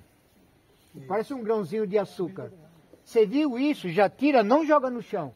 Você está no teu pomar com, com uma cesta, tudo que não presta, que você vê de fruta, passado ou não, já bichado ou não, joga na cesta vai recolher no fim do dia, você joga no lixo ou em terra. Não joga no sítio. Volta. Nada de folha doente no chão. Recolhe. Ah, Limpeza. eu ver passa se pegar lá embaixo. Você consegue Ah, enxergar? Lá embaixo tem. Ele sabe, ele sabe. Lá no quartinho. Vocês entenderam? Então, o tratamento é pulverização antes da no florada. quartinho, acho que foi em cima da Você já está bancada. tratando. Depois que já deu a florada, a frutinha está vindo. Ô Sérgio, tá- só pra você fala. explicar pro pessoal, que todo mundo pergunta isso, o momento. Então você pode ver que já teve ataque, né? Igual você tá falando da florada aí. Tem que escolher, escolher também, né? Tem que escolher, ó. Ó. Vendo aqui, ó. Já tem, tá vendo? Olha, já olhou, tem. já viu que tem a mordida da mosca amarela. Eu Então, tiro fora tira aquele, fora, tira fora. Tira fora, já não tem. Não, não adianta mais. Tem que olhar, tem que É. Aqui Sem já não tem. que tá- Aqui já não tem, tá? Aí já vai. Fica, fica, né? Ó. Aqui tem. Aqui tem, ó. Tem. Tira fora. Já viu, viu o pontinho preto? Porque a mosca amarela já pôs o filhote, já era. Você vai pegar uma goiaba, ela vai cair a goiaba daqui um mês. Porque ela come o miolo, a, a goiaba cai. A manga é igual, a manga cai. É a mesma coisa. As mangas lá é tudo Bichado. Aí eu te pergunto, qual a altura das mangas? 20 metros, 10, 15 Chama bombeiro para pulverizar. É aquela história, a pessoa não tem noção. E ele é a pessoa que está disseminando a mosca amarela em toda a cidade. Ei, o Brasil Aqui eu acho todo é que assim, porque não aqui tem tem- informação. não pegou, Não é lugar de produção de caqui. Que aí você faz o teste do Já ensaque. era, já era. Um está passando pro outro. Morango. Aí o que, que eles têm que fazer? Tem um saquinho Usa seu veneno também, forte. Não tem. Aquele saquinho seu. Veneno, veneno. Porque não teve manejo já 10 anos atrás. Não teve Tem educação de formação de pomar. Você não usaria menos veneno. Aqui, Sérgio, só vou ensacar aqui pra, pra mostrar. Sérgio, Ele vai aqui, sacar, ele saca. aqui, Fala. você não vai fazer alguma desbrota nesse momento? Precisa, não? Olha, aqui é assim, ó. Mostra os dois métodos aí do. Deixa eu mostrar uma coisa aqui, gente. Olha, eu vou fazer aqui uma brincadeira. É, é só pra um, um- Ó, essa galha depois, gente, ó. Você vai falar, Sérgio, aqui tá alto. Aqui, aqui não tá baixo, ó. Aqui ele, não tá com a borracha, vocês estão vendo aqui. O que impede... Tem um barbante aí ou não? Ih, Sérgio, for... Não, não faz mal. Tem um barbante aí, não? Tem ali, Não tem, Silvio, não ali, ó, na não tem, mesa. Não faz mal. Na mesa tem, Silvio. Eu vou mostrar o que eu faço muito na, nas minhas árvores de fruta. Tem alguma galha que está fora do lugar, eu não deixo assim. Eu pego um barbante, não um arame. Pego um barbante, amarro aqui e amarro na planta do lado. Para mim trabalhar com ela. Aqui, Sérgio, pegou o barbante ali. Olha, é só para mostrar. Um barbantinho. Isso. Porque você não pode deixar o pomar, a árvore de fruta, ficar galho para tudo que é lado sem norma. Não pode, tem norma. Você tem que saber mexer na planta. Não só na guia principal, como nas brotações. Que é o que eu vou mostrar agora. Quer ver? Ó? Onde ela está? Está lá em cima. Você, você, você não consegue mexer nela, porque já está com 2 metros de altura. Ah, eu vou pegar uma escada. Aí eu vou falar, para que você vai pegar uma escada se você pode resolver isso dessa forma? O pomar você faz isso direto, para você arrumar a planta e pulverizar. Então tem dia que às vezes eu tiro lá um dia só para amarrar galho, abaixar para direita ou para esquerda. E no outro dia eu faço o quê? Pulverizo. Por que eu pulverizo no outro dia? Porque eu já deixei as plantas todas do mesmo tamanho. Então eu consigo pulverizar, o produto pega em todo o pomar igualzinho. E não galho para lá, um no chão, você está pulverizando, mas está passando à toa. Tem lugar que passou batido. Ó, ó, olha como é simples, ó. Olha. Aqui, aqui não está fixo? Está fixo. E por que eu não faço isso, ó? Isso eu faço direto, direto, direto.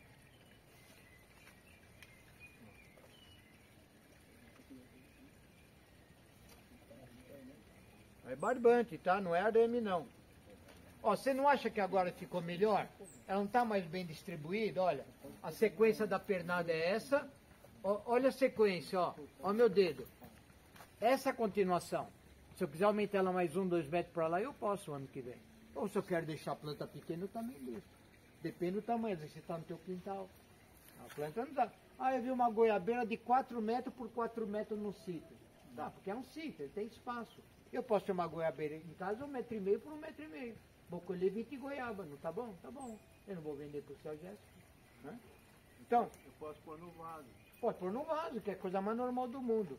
Então veja, faz de conta, você fala assim, Sérgio, eu estou achando que aqui tem, tem muito material. Faz de conta que você olhou, digamos que se tivesse, que não é esse caso, tem muito tumulto, tem muita brotação. Nada impediria, se aqui tivesse muita brotação, aqui já não está, porque aqui foi limpo. Mas se aqui tivesse muito fechado, essa parte estava comprometendo a pernada do lado esquerdo, então essa parte aqui se tiraria fora na época da poda de julho. Eu estou adiantando só um assunto. Então aí o que aconteceria? Essas galhas, quando você for podar a goiabeira, isso que está brotando agora, é que nem o pêssego.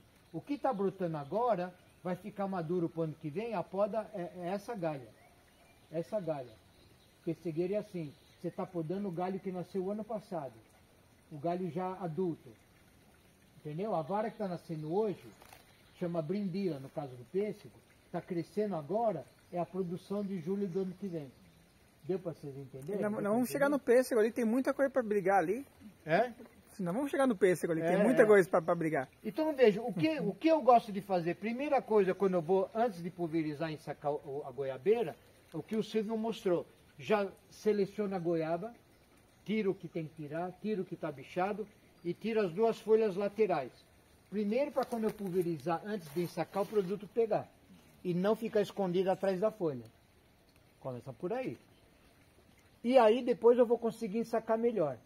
E quando eu vi, se eu vi a goiabeira tá com muita folhagem, que às vezes acontece, muito excesso de folha, tá muito fechado, eu tenho o hábito de fazer isso. Quando a, vara tá longa, muito folhada, ó, eu tiro uma folha aqui, pulo três, tiro uma daqui. Pulo três, tiro uma. Eu deixo um pouquinho com menos folha, quando a árvore está muito frondosa. Às vezes acontece. Para que o meu produto, quando for pulverizar, pegue em toda a parte. Essa, essa uma ou duas folhas que eu tirei de um galho, não faz falta. Mas é importante para luz solar e para pulverização. Aqui nessa atrás de você, ó, você vê que já vai criando tumulto já. É, então, ó, aqui dá pra, é que aqui tem galho para tirar, né? É que aqui tem galho, por exemplo, aqui, ó, se vocês estão vendo, é que eu vou falar, não quero confundir ninguém. Veja como aqui tem broto a mais e aqui tem uma frutinha. Aqui na frente não tem nada. Então esse nada agora, eu não quero ele. Eu quero fortificar esse aqui, ó, onde, onde tem a fruta. Então eu tirei o que não me interessa. Ó, ó como eu abri a planta, ó. Ó, não parece. Mas eu já abri e não, não estraguei nada. E se você for olhar aqui, tudo que está virado para baixo, ó. Eu estou olhando como aqui tem planta, não adianta eu tumultuar. Então eu estou vendo aqui um, um material bom que vai ser a minha poda do ano agora. Isto aqui que está em cima dele, olha, vou tirar o que eu acho que é excesso, ó. Ó, ó como abrir um pouquinho a planta, estou ajudando ela, ó. Ó um pouquinho. Não sei se vocês entenderam. Olha agora, vou tirar aqui duas folhas, ó. Ó.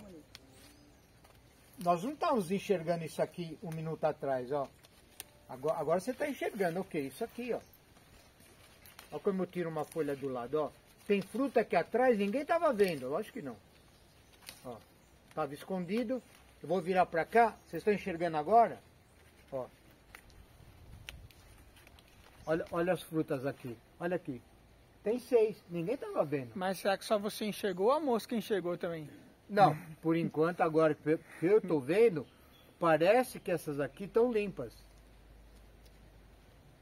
Onde o Silvio mexeu lá estava mais aparente. Acho que é por isso que ela viu, né? Ela viu, aqui estava um pouquinho mais escondido, ó, salvou. Não, essa, essa dois, quatro, seis.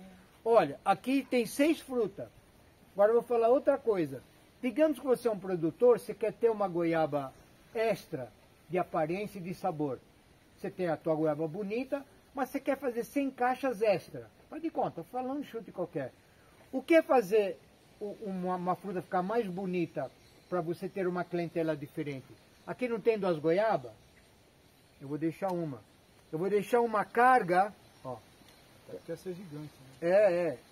Eu vou deixar um- alguns pés, que eu tenho um cliente especial, com uma goiaba mais bonita, tirando fruta neste ponto. Porque tem menos competição. Aí você vai ter uma goiaba para essa clientela, uma goiaba para outra clientela, e minha outra quadra é goiaba menor para fazer para fábrica de doce. Vocês estão entendendo? O produtor ele não tem uma coisa só. Porque também hoje em dia as frutas, tem fruta precoce, mediana ou extra tardia. A mesma fruta, que nem pêssego. Você tem pêssego que você colhe em outubro, tem pêssego em novembro, dezembro, janeiro fevereiro. No, no teu terreno. Ah, é o quê? Variedades diferentes. Igual uva. Tem uva que começa a colher começo de novembro, tem uva até abril. Ciclo longo. Então, quem entende o ciclo das aves frutíferas, você pode ter poucas plantas no teu sítio, mas colhendo ao longo de, um- de um- de um- alguns meses a mesma fruta. Como assim? Se é pêssego, eu posso ter quatro pés de pêssego diferentes, que eu vou colher aqui em outubro, novembro, dezembro e um atrasado em janeiro, que é o Beauty. No teu terreno, quatro pés de peixe para tua família. E não quatro de um, de um tipo só. Vai amadurecer tudo na mesma semana. Vocês entendem o que eu estou falando? Isso eu falo, ó. Até a pessoa entender que você tem que diversificar não só o tipo de fruta, mas diversificar a mesma fruta de famílias diferentes, maturações em quinzenas diferentes. Isso existe. Não existia há 20, 30, 40 anos atrás, com tanta facilidade. Hoje já tem muito mais. Isso dá, dá pra, até outubro, até fevereiro, né? Se você, for- se Tem. você variava até março. Tem, tem variedade. Tem variedade. É, eu vou tem aí variedade sacar. Extra tardia. Tem tardia, tem extra tardia. Eu vi um cara que ele tinha em março, quase. Tem, tem. tem. Um grande. mostra como ensaca então, pro pessoal ver. Ah, Aqui, vocês viram a importância de dar uma mexida? Estou fazendo uma brincadeira. Viu como a planta está mais aberta? Se eu for pulverizar agora, não vai pulverizar melhor? O produto não vai pegar na fruta? Não vou ensacar melhor? Vou ter fruta melhor, com menos mofo. Porque eu já estou trabalhando antes. Tudo tem que ser antecipado na, na- na agricultura. Você tem que antecipar um problema, tentar antecipar uma praga, tentar antecipar mofo. Como? Tratamentos e manejos. Não adianta chorar. Entenderam? Serviu para alguma coisa? Serviu? Então o Silvio agora vai fazer. Vocês só essa entenderam quando que ensaca? Porque tem a, florada, a gente tem aqui a florada, tem que esperar passar a florada. Ensacamento é quando as frutas estão do tamanho de uma azeitona. Não só pêssego, como maçã, como tudo. Mas antes disso já teve três, quatro pulverizações nas frutinhas. Sérgio, eu vou quebrar isso aqui só para vocês verem. Tira, tira, tira. É porque aqui ainda não abriu. Então a gente já viu o pessoal ensacar aqui. Não, não, não. Então só pode passar aí. Só... E aqui Abriu já a pegou. florada, depois da florada é aquilo ali que vocês viram, parece uma azeitoninha. A, a coroa que é, legal de ó. Veja que isso é diferente do que eu mostrei lá agora. Chega perto lá, chega perto. Esse é esse é vê se isso é igual o que eu vi lá. Vê lá, põe a mão lá. Chega lá. Silvio vai te mostrar. É igual? Isso aí é botão, né? Olha a ponta. Tem a coroa, a coroa. Esse ainda vai abrir o que está na tua Esse é mão. botão. Esse abriu a florada. Esse ainda vai abrir. Aquele já é fruta. A coroa era a flor. né? A estrutura da flor. Entende o raciocínio? Cada É que senão uma você vai coisa. tem que tudo e nem abriu ainda. né? Não, e vai dar errado. Não, não é assim. Não é isso. Vamos lá, Silvio. Então, isso aqui Vai lá, mostra lá. é um saquinho de papel, só que esse papel, o que, que ele tem? Ele tem uma proteção para não molhar com a É chuva, né? papel manteiga. É papel especial, Não é papel de especial, né? hambúrguer não, viu? É, É, papel não é manteiga. hambúrguer, não. Aí chega lá na. Se. pra- Chega na fruta aqui, Ó, ó. chegou o almoço, hein? Dá pra Isso é ver, né? rápido. Chega aqui, o pessoal faz assim e amarra com barbante. É o- um careminha, tá? Ó. A goiaba é muito mais fácil que pêssego. É, sensível, tá vendo? Só que eu faço um jeito diferente, porque às vezes o araminha você não tem, né? Aí pega assim. Pode usar pega- grampeador. Pega Isso. assim, primeiro corta no meio aqui, ó. Grampeia aqui no chão já. Grampeia aqui, ó. Aí chega lá, abre aqui, ó. Vai na fruta aqui. Ó. Coloca dentro. Aí dobra aqui, ó. Grampia. ó, pronto. É um jeito, né? Cada um de um jeito. É. Mesma forma. É Vocês que entenderam o porquê do papel? Porque aquela mosca amarela nunca mais vai atacar aquela fruta que ela está sadia. Agora, as chuvas estão arrancando os papéis fora. falar, Eu na chácara já troquei mais mil saquinhos de peixe que voou tudo, por causa do vendaval. E hoje os saquinhos não é o mesmo papel de 10, 20 anos atrás. Tem mais baixa qualidade. Antes, mesmo que chovesse, não rasgava. Hoje está rasgando. Então, eu já troquei vários saquinhos novamente para não perder meu peixe, tá tamanho de um ovo de galinha. Se eu não trocar, eu vou perder o peixe. O passarinho vem e come. Tem gente que pergunta, né, se não vale a pena colocar de saco. Só que saco não deixa respirar, né? Saco de plástico. Não, não, não, não, nunca. Sempre papel. Não deixa Nu- respi- isso aí que Não, vai respira, cozinhar, né? vai cozinhar. Nunca É, saco de deixa papel. passar sol e respira. É, é, ele fica protegido, o sol não é tão. Entra luz solar lá dentro, não sol queimado. Não sol intenso. Nunca, plástico vai cozinhar, não. Ó, antes de passar, deixa eu só uma pergunta. Tem um bichinho vermelho, qual é ele? Que bichinho, bichinho é esse? Tem um vermelhinho. Deve ser ácaro, né? Deixa eu pôr o óculos.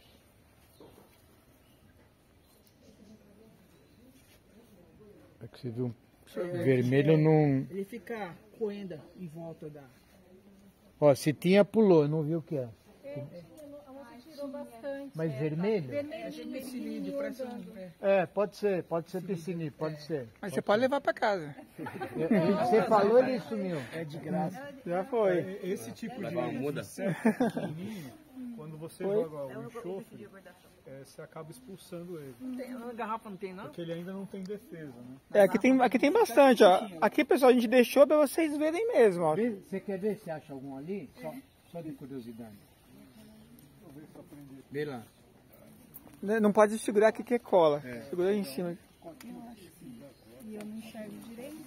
Mas eu acho que eu vi um pequenininho mesmo, tipo É, ácaro. bem vermelhinho, Pode ser piscidele, pode ser, pode Não, ser. é vermelhinho, é, só pode ser, só pode Pessoal, agora vocês vão almoçar agora, tá bom? É, ser. Vocês Aqui, ó, entenderam aqui, ó. que Ó, manejo de um pomar novo, Sérgio, abrir que ele no início, entrar luz solar, pulverização É, duas vezes aqui, por mês, isso aqui não tem enxofre calda bordaleza, época certa de desbaste. Você vai começar a entender, você vai começar a ter sucesso e colher fruta. Tem da cara tua de- família. Você não vai Ou vender é no uma- mercado. Você está começando a entender o ritmo da natureza. Tem uns livrinhos de Você praga tem ali, que ó. entrar no ritmo da planta. E não você querer que ela entre no teu ritmo. Aí fica mais fácil, né? É isso, quando você começa a pegar o jeitão, Não é plantar e largar lá. não, larga lá, tem, tem gente que fala assim, um Deus, pulgão ali. Deus vai cuidar pra mim. Aí eu falo, será que Deus desce e pulveriza pra você também? A Deus, tudo é Deus, joga tudo no colo de Deus. Fala com essa conversa. Que é isso? É ó, deixa eu só pegar aqui, que que essas agora vai ter que vir sempre, não tem jeito. Depois dessa agora vai ter que vir sempre aqui, não tem como. O pessoal não vem não, eles estão perguntando?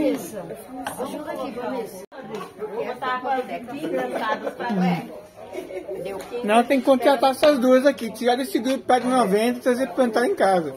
Ah, viramos sócio da casa? Olha só. Mais um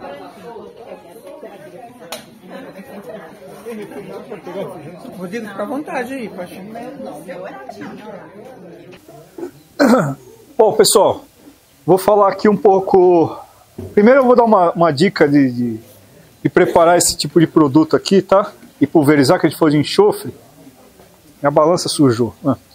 É papel higiênico? Uma coisinha assim? Vamos pegar lá. Guardanapo? Guardanapo serve. Peraí, parece um guardanapo pra mim? Guardanapo?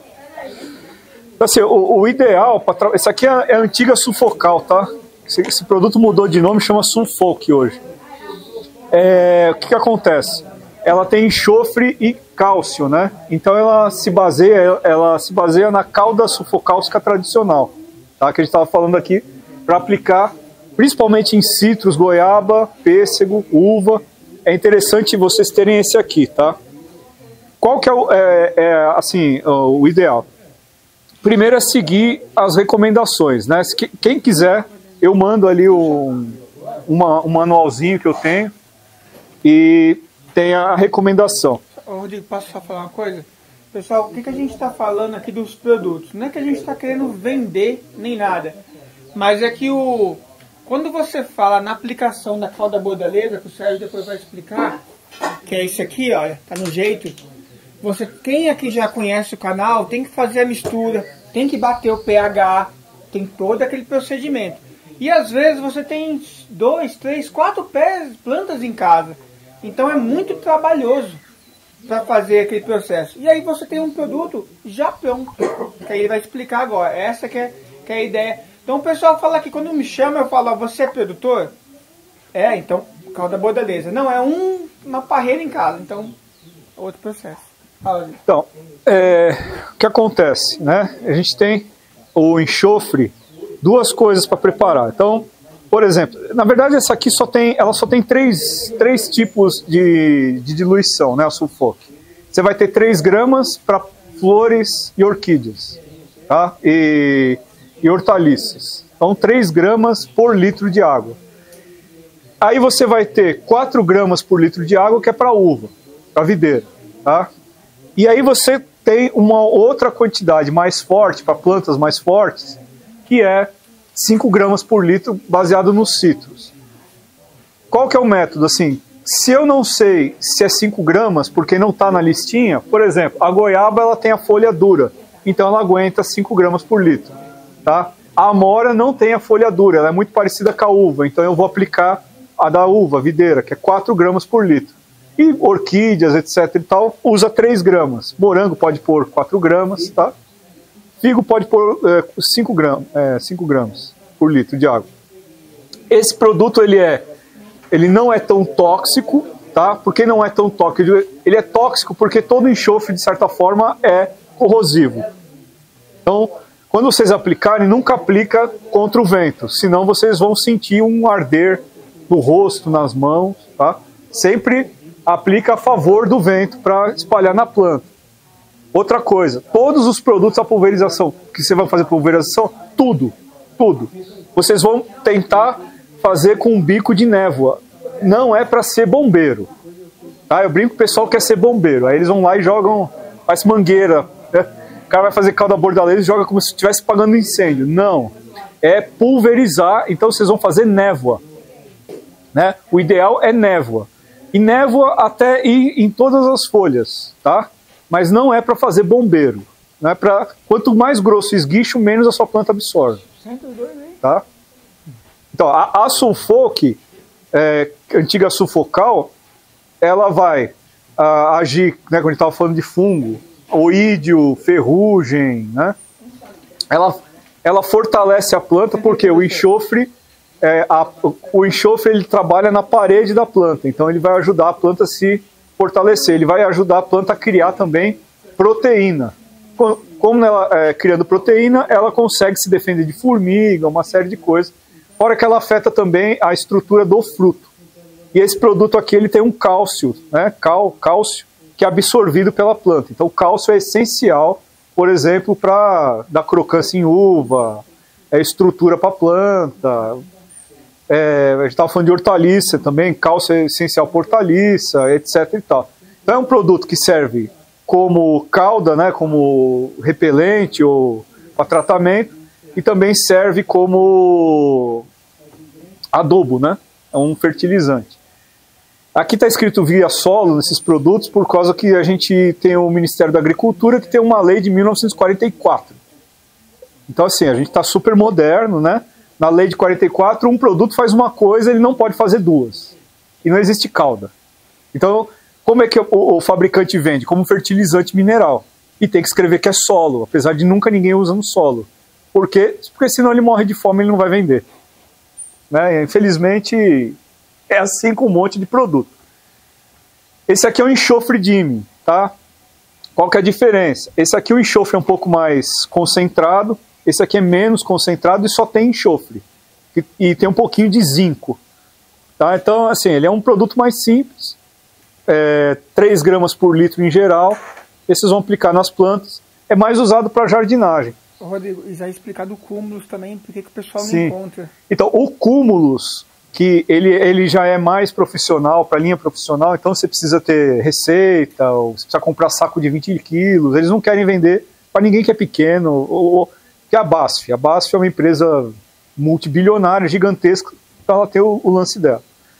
O cúmulos, ele é um, como eu falei para vocês, ele é um enxofre pesado, ele é um enxofre uh, elementar. Né? Tem um produto da mesma marca aqui, do mesmo fabricante, que chama Azufre, que ele é igual ao cúmulos. É, são produtos que dão uma batida mesmo nas coisas. Então, assim, vai ter o ácaro, o ácaro em contato com esse enxofre mais pesado, ele cai, ele morre, ele desaba. Aqui ele já tem um efeito mais suave. Porém, o enxofre elementar não é absorvido tanto pelas plantas. Então não vai servir como adubo. Esse aqui serve como adubo. Por exemplo, olha só, na lixia, aquele maldito ácaro da lixia. Na lixia, para vocês verem, para funcionar legal, tem que usar 7 gramas por litro desse aqui. Que é muito mais do que o de 5 gramas, que é o citrus. A lixia aguenta bem, tem que usar 7 gramas, é pesado. O outro, o cúmulos, o azufre, você usa de 3 a 5. Então você usa menos, porque ele é mais forte nesse combate. Né? O legal, se, se a pessoa tiver condição, é usar mais de um tipo de produto. Então você pode usar o azufre ou o cúmulos e usa sulfoque uma vez um, uma vez o outro, você vai estar nutrindo também a planta, né? Mas tem que usar, não tem jeito, a gente é, é aquela coisa, você não consegue matar esse bicho, principalmente se seu vizinho tiver, vai estar sempre passando para você. O que você consegue é controlar, isso aqui você controla. E no ácaro da lixia é só em folhas jovens. Se a folha maturou, ele não consegue penetrar na folha. Ele vai precisar ter uma folha jovem. Ele vai lá, eles ficam na folha jovem. E outra, não é um ácaro sozinho, é uma alga junto com um ácaro. É um negócio chique, bem elaborado, né? um ajuda o outro. Então, o enxofre atua no ácaro e também ele derrete, as, a, atrapalha a vida das algas, que os líquens. Líquens são os que ficam azulzinho nas plantas, na umidade, aquilo ali não é fungo, aquilo é uma alga. Tá? É uma alga, quando você passa o enxofre ou o sulfato de cobre, você derrete ela. Né? Então é a mesma coisa que acontece na lixia. Só que na lixia precisa ser pulverização mais constante e você eliminar as folhinhas que estão contaminadas. Desaparece da terra com as folhinhas. Se o seu vizinho tiver, você vai lá e corta a planta dele. cuidado aí que você vai lá pulveriza. É, ou pulveriza, né? Se o cara não for legal, você vai lá com uma serra.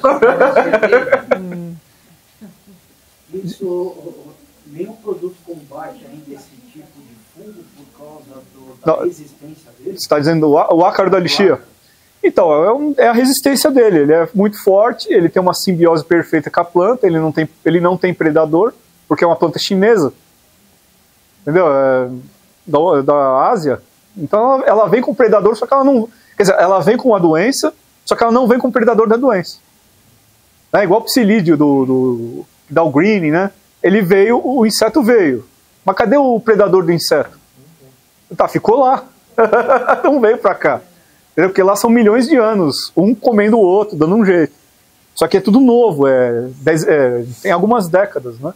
Então, assim, produtor que, que, que trabalha com molécula, produto químico, ele vai no acaricida. O problema é que eles estão ficando cada vez mais fortes com acaricida. Entendeu? Mas, para a gente que, que não quer trabalhar com isso, também não pode, por lei não poderia, você tem que fazer o controle manual, com a tesoura, e fazer controle com enxofre. E assim, vai pegar um ou outro, dá para comer a lixia? Dá. Vai dar. Você só precisa também adubar bem ela. Então, fazer uma adubação forte com cálcio. Porque aí você vai ajudar a resistência da planta. É, tem silício, você pode usar silício, que é os que tem nos pó de rocha. É, assim, trabalhar bem, pensar no, na, na proteção, né, na força da própria planta. E aí ela, você consegue. Eu consegui com o pé, eu fiz uma primeira poda drástica, deixei 10% das folhas. É, então é só um galinho, deixei assim. Minha tia quase desmaiou lá. Aí depois a planta veio com tudo, fazendo essas pulverizações. Ah, deu para tirar uns 20, 30 quilos de lixia fácil. Bem docinha, certinho. Mas é, mas é todo ano. É, dá um, eu, não tenho, eu, não, eu não gostaria de ter lixia, dá muito trabalho para controlar isso. Né? E aí atra- atrapalha o sabor da fruta, quando tem muito, né? Porque ele se espalha muito rápido, ele vai para fruta, ele começa a se espalhar muito rápido. O rambutã e a longano tem esse tipo de água. Então, tem a tal da fruta dragão, que é prima. Não tem. Tem outros tipos de coisas. Mas tem outros tipos de, de doenças também. É, é chato, né? Mas. É que em geral não são daqui. Pelo né? que eu sei, Toda né? que você traz alguma coisa de fora, é sujeito. Esse mesmo aí virou moda agora. É. Agora, então vamos ver. Né? E aí tem esse produto aqui, que é. É o bode açúcar. Tem gente que gosta, tem gente que não gosta, que é um pouco polêmico. Esse aqui o Toquinho não usa de jeito nenhum, que até virou museu, Tá porque aí, não é mais borda sul, já faz um tempão. É borda mil. O que, que acontece? Ele também tem sulfato de cobre, como a calda bordaleza, a base dele é a calda bordaleza, e ele tem uma outra espécie de cal. Só que o que, que os caras fizeram?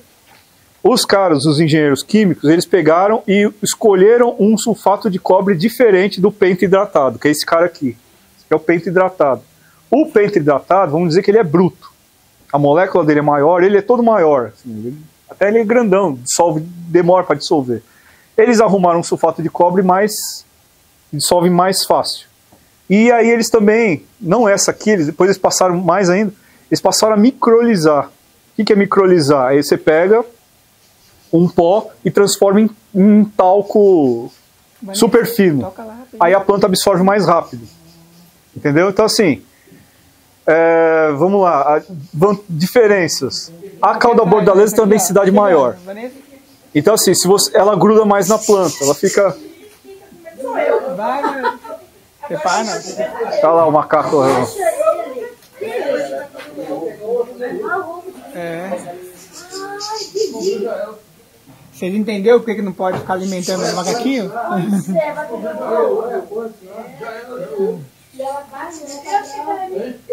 Ah, Se vocês for olhar, tá até com um filhotinho nas costas. Onde tá? Vizinho aí? Ali, ó, sabia a branca ali? Em cima.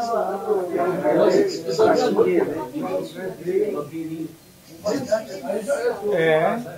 Se dá comida, quando eles vêm, gente, eles vêm Tá, a- Claudio. Então, aí o, o efeito químico, que assim, tem, outro, tem umas caudas, cauda bordaleza pronta, no, vocês vão ver na internet, elas não são de sulfato de cobre.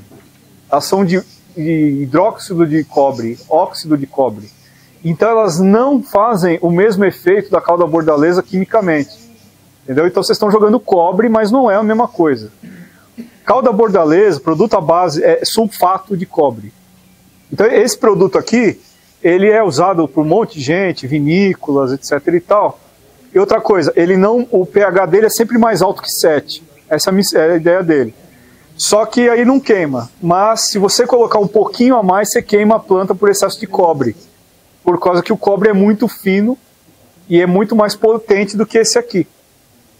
Entendeu? Essa é a diferença das duas. Essa aqui tem uma densidade maior, né, gruda mais na planta, etc e tal. Essa aqui tem a praticidade, enfim. Aí cada um escolhe, né? Igual a gente explicou, se você, a gente fala sempre pro Sérgio, se você tem poucas plantas, é, eu sempre falo a praticidade. Agora, se você realmente tem um pomar grande ali, uma chácara, a cauda bordaleza sempre é, é melhor. Porque assim, o importante é ter sulfato de cobre. Tá? Aí sim é um produto ou similar ou parecido com cauda bordaleza. Outras fontes de cobre têm outro tipo de ação. Por exemplo, tem fontes de cobre que são tóxicos para abelha. Não é sulfato. É o outro tipo de cobre. Entendeu? Que você tira, faz quimicamente. Né? Então, assim, E não chama mais borda sul, chama borda mil, que é mais fina do que essa aqui ainda. Porque o pessoal de soja não queria comprar, o fabricante teve que fazer ficar mais fino ainda. O pessoal de soja, para você ver como são as coisas, né? Só usava produto químico. Produto químico, fungicida. Aí um cara foi lá e comprou isso aqui da empresa. Aí o cara falou, pô, custa um décimo do valor e funcionou. Aí, aí eles me ferraram, porque eu fui, eu, eu fazia pedido, os caras falavam para mim assim, ó, pra tua loja vai demorar, porque os caras da soja já chegaram. Aí os caras compram de caminhão. e eu tenho que ficar esperando os caras. Por quê? Os caras sacaram, é um décimo do valor, e é sulfato de cobre, é coisa que já estava tempo. enganado, É. soja. Já falei muito sobre isso. Estava tudo muito informação distorcida. Perderam um monte de dinheiro, aí agora, poucos. E aí eles usam biológico. Eles estão mais perto de um orgânico do que muita coisa. Só que essa soja que a gente come não é a soja que, que assim, existem vários tipos de soja, do animal, da gente. O que é melhor que vai para o Japão, para a China para comer, que usa essas coisas, a gente não come. Eles não deixam para o mercado nacional. É o que dizem. É isso que, isso que eu estava comentando, é, comentar com vocês. A gente foi dois anos seguidos num evento em Jarinu, Uhum. uhum. cultura. O Silvio foi até um com a gente. E lá é para exportação. É praticamente quase que um orgânico. Porque se chegar o resíduo químico lá na Europa, volta tudo para trás. E aí é bem explicado. O que sobrou, fica para cá. O- É, de- é bem nítido mesmo. Então, eu, eu tava. Eu, falando sério que eu tava comendo uma. Eu compro uma uva Itália de São Miguel Arcanjo, que é a uva Itália top, né? Ela é- tem marca de, de sulfato de cobre. É semi-orgânica. Por que semi, né? A gente está até falando com os produtores, lembra aquele cara de, de novo, aquele cara de Tapira, né? Sim. Que ele fazia 18 aplicações de fungicida no ano. Ele foi equilibrando para o orgânico, ele chegou a fazer uma só no ano. Que é onde tinha mais mildio, que aí ele teve que bater para não perder dinheiro. Aí ele teve que bater ali um pouco de, né, de, de produto químico. Mas imagina, 18 para 1. Né? Então, assim, você consegue. Só que é um trabalho a mais, né? Entendeu? Assim, então, assim, funciona. Olha, funciona. Um produto químico, etc e tal. Porque, assim, é isso que eu falo. Tudo é química no mundo. Se não existisse química, não existia universo. Né? Então, existe química boa e química ruim. É isso que o pessoal tem que buscar. Que que, isso aqui é, é, orgânico, tem selo da EcoCert e tal. Por quê? Porque são minerais. Quando você vê é, é, selos, é porque é, aquilo ali não foi, não passou por um processo que desenvolveu um produto terceiro. Quando passa por um processo que desenvolve um produto terceiro ou uma molécula, aí não é mais orgânico, aí é químico mesmo. Então, quando você usa um material com base mineral, aí você está trabalhando de uma forma segura. Entendeu? Bom, esse aqui, quem quiser, também é o, é o cupro Jimmy. Isso aqui é sulfato de cobre puro. Tá? É o sulfato de cobre puro. Mas não é o pento hidratado. Faz muito tempo que eles largaram o pento hidratado. A cor desse bicho aqui, ó. É feio. Olha só. Pega um banco pro patrão aqui que ele não. Tá vendo? Ó, isso aqui é sulfato de cobre e isso é sulfato de cobre. Só que esse aqui é pento hidratado e esse aqui não é pento hidratado. Tá? Essas são as diferenças quando vocês forem comprar. O problema desse cara aqui é que ele é forte pra caramba. Por que, que ele é forte pra caramba? Primeiro que ele é só sulfato de cobre. Segundo que ele tá muito mais triturado que isso aqui. Então ele dilui mais fácil, dilui muito bem isso aqui. E aí você passa, eles recomendam passar 5 gramas, é muita coisa. Aí teve gente que queria me processar porque viu que estava escrito aqui e perdeu 3 mil maracujás. Eu falei pro cara, cara, não fui eu que te indiquei, foi a marca, você processa a marca. a advogado dele foi ligar, cara, eu, só vendi. Eu sou um gol. Então eu, eu também, se, eu, se tem um golpe, eu também tô, né? Porque não fui eu que escrevi isso. É muito, isso aqui é muito forte. Cupro Dimo.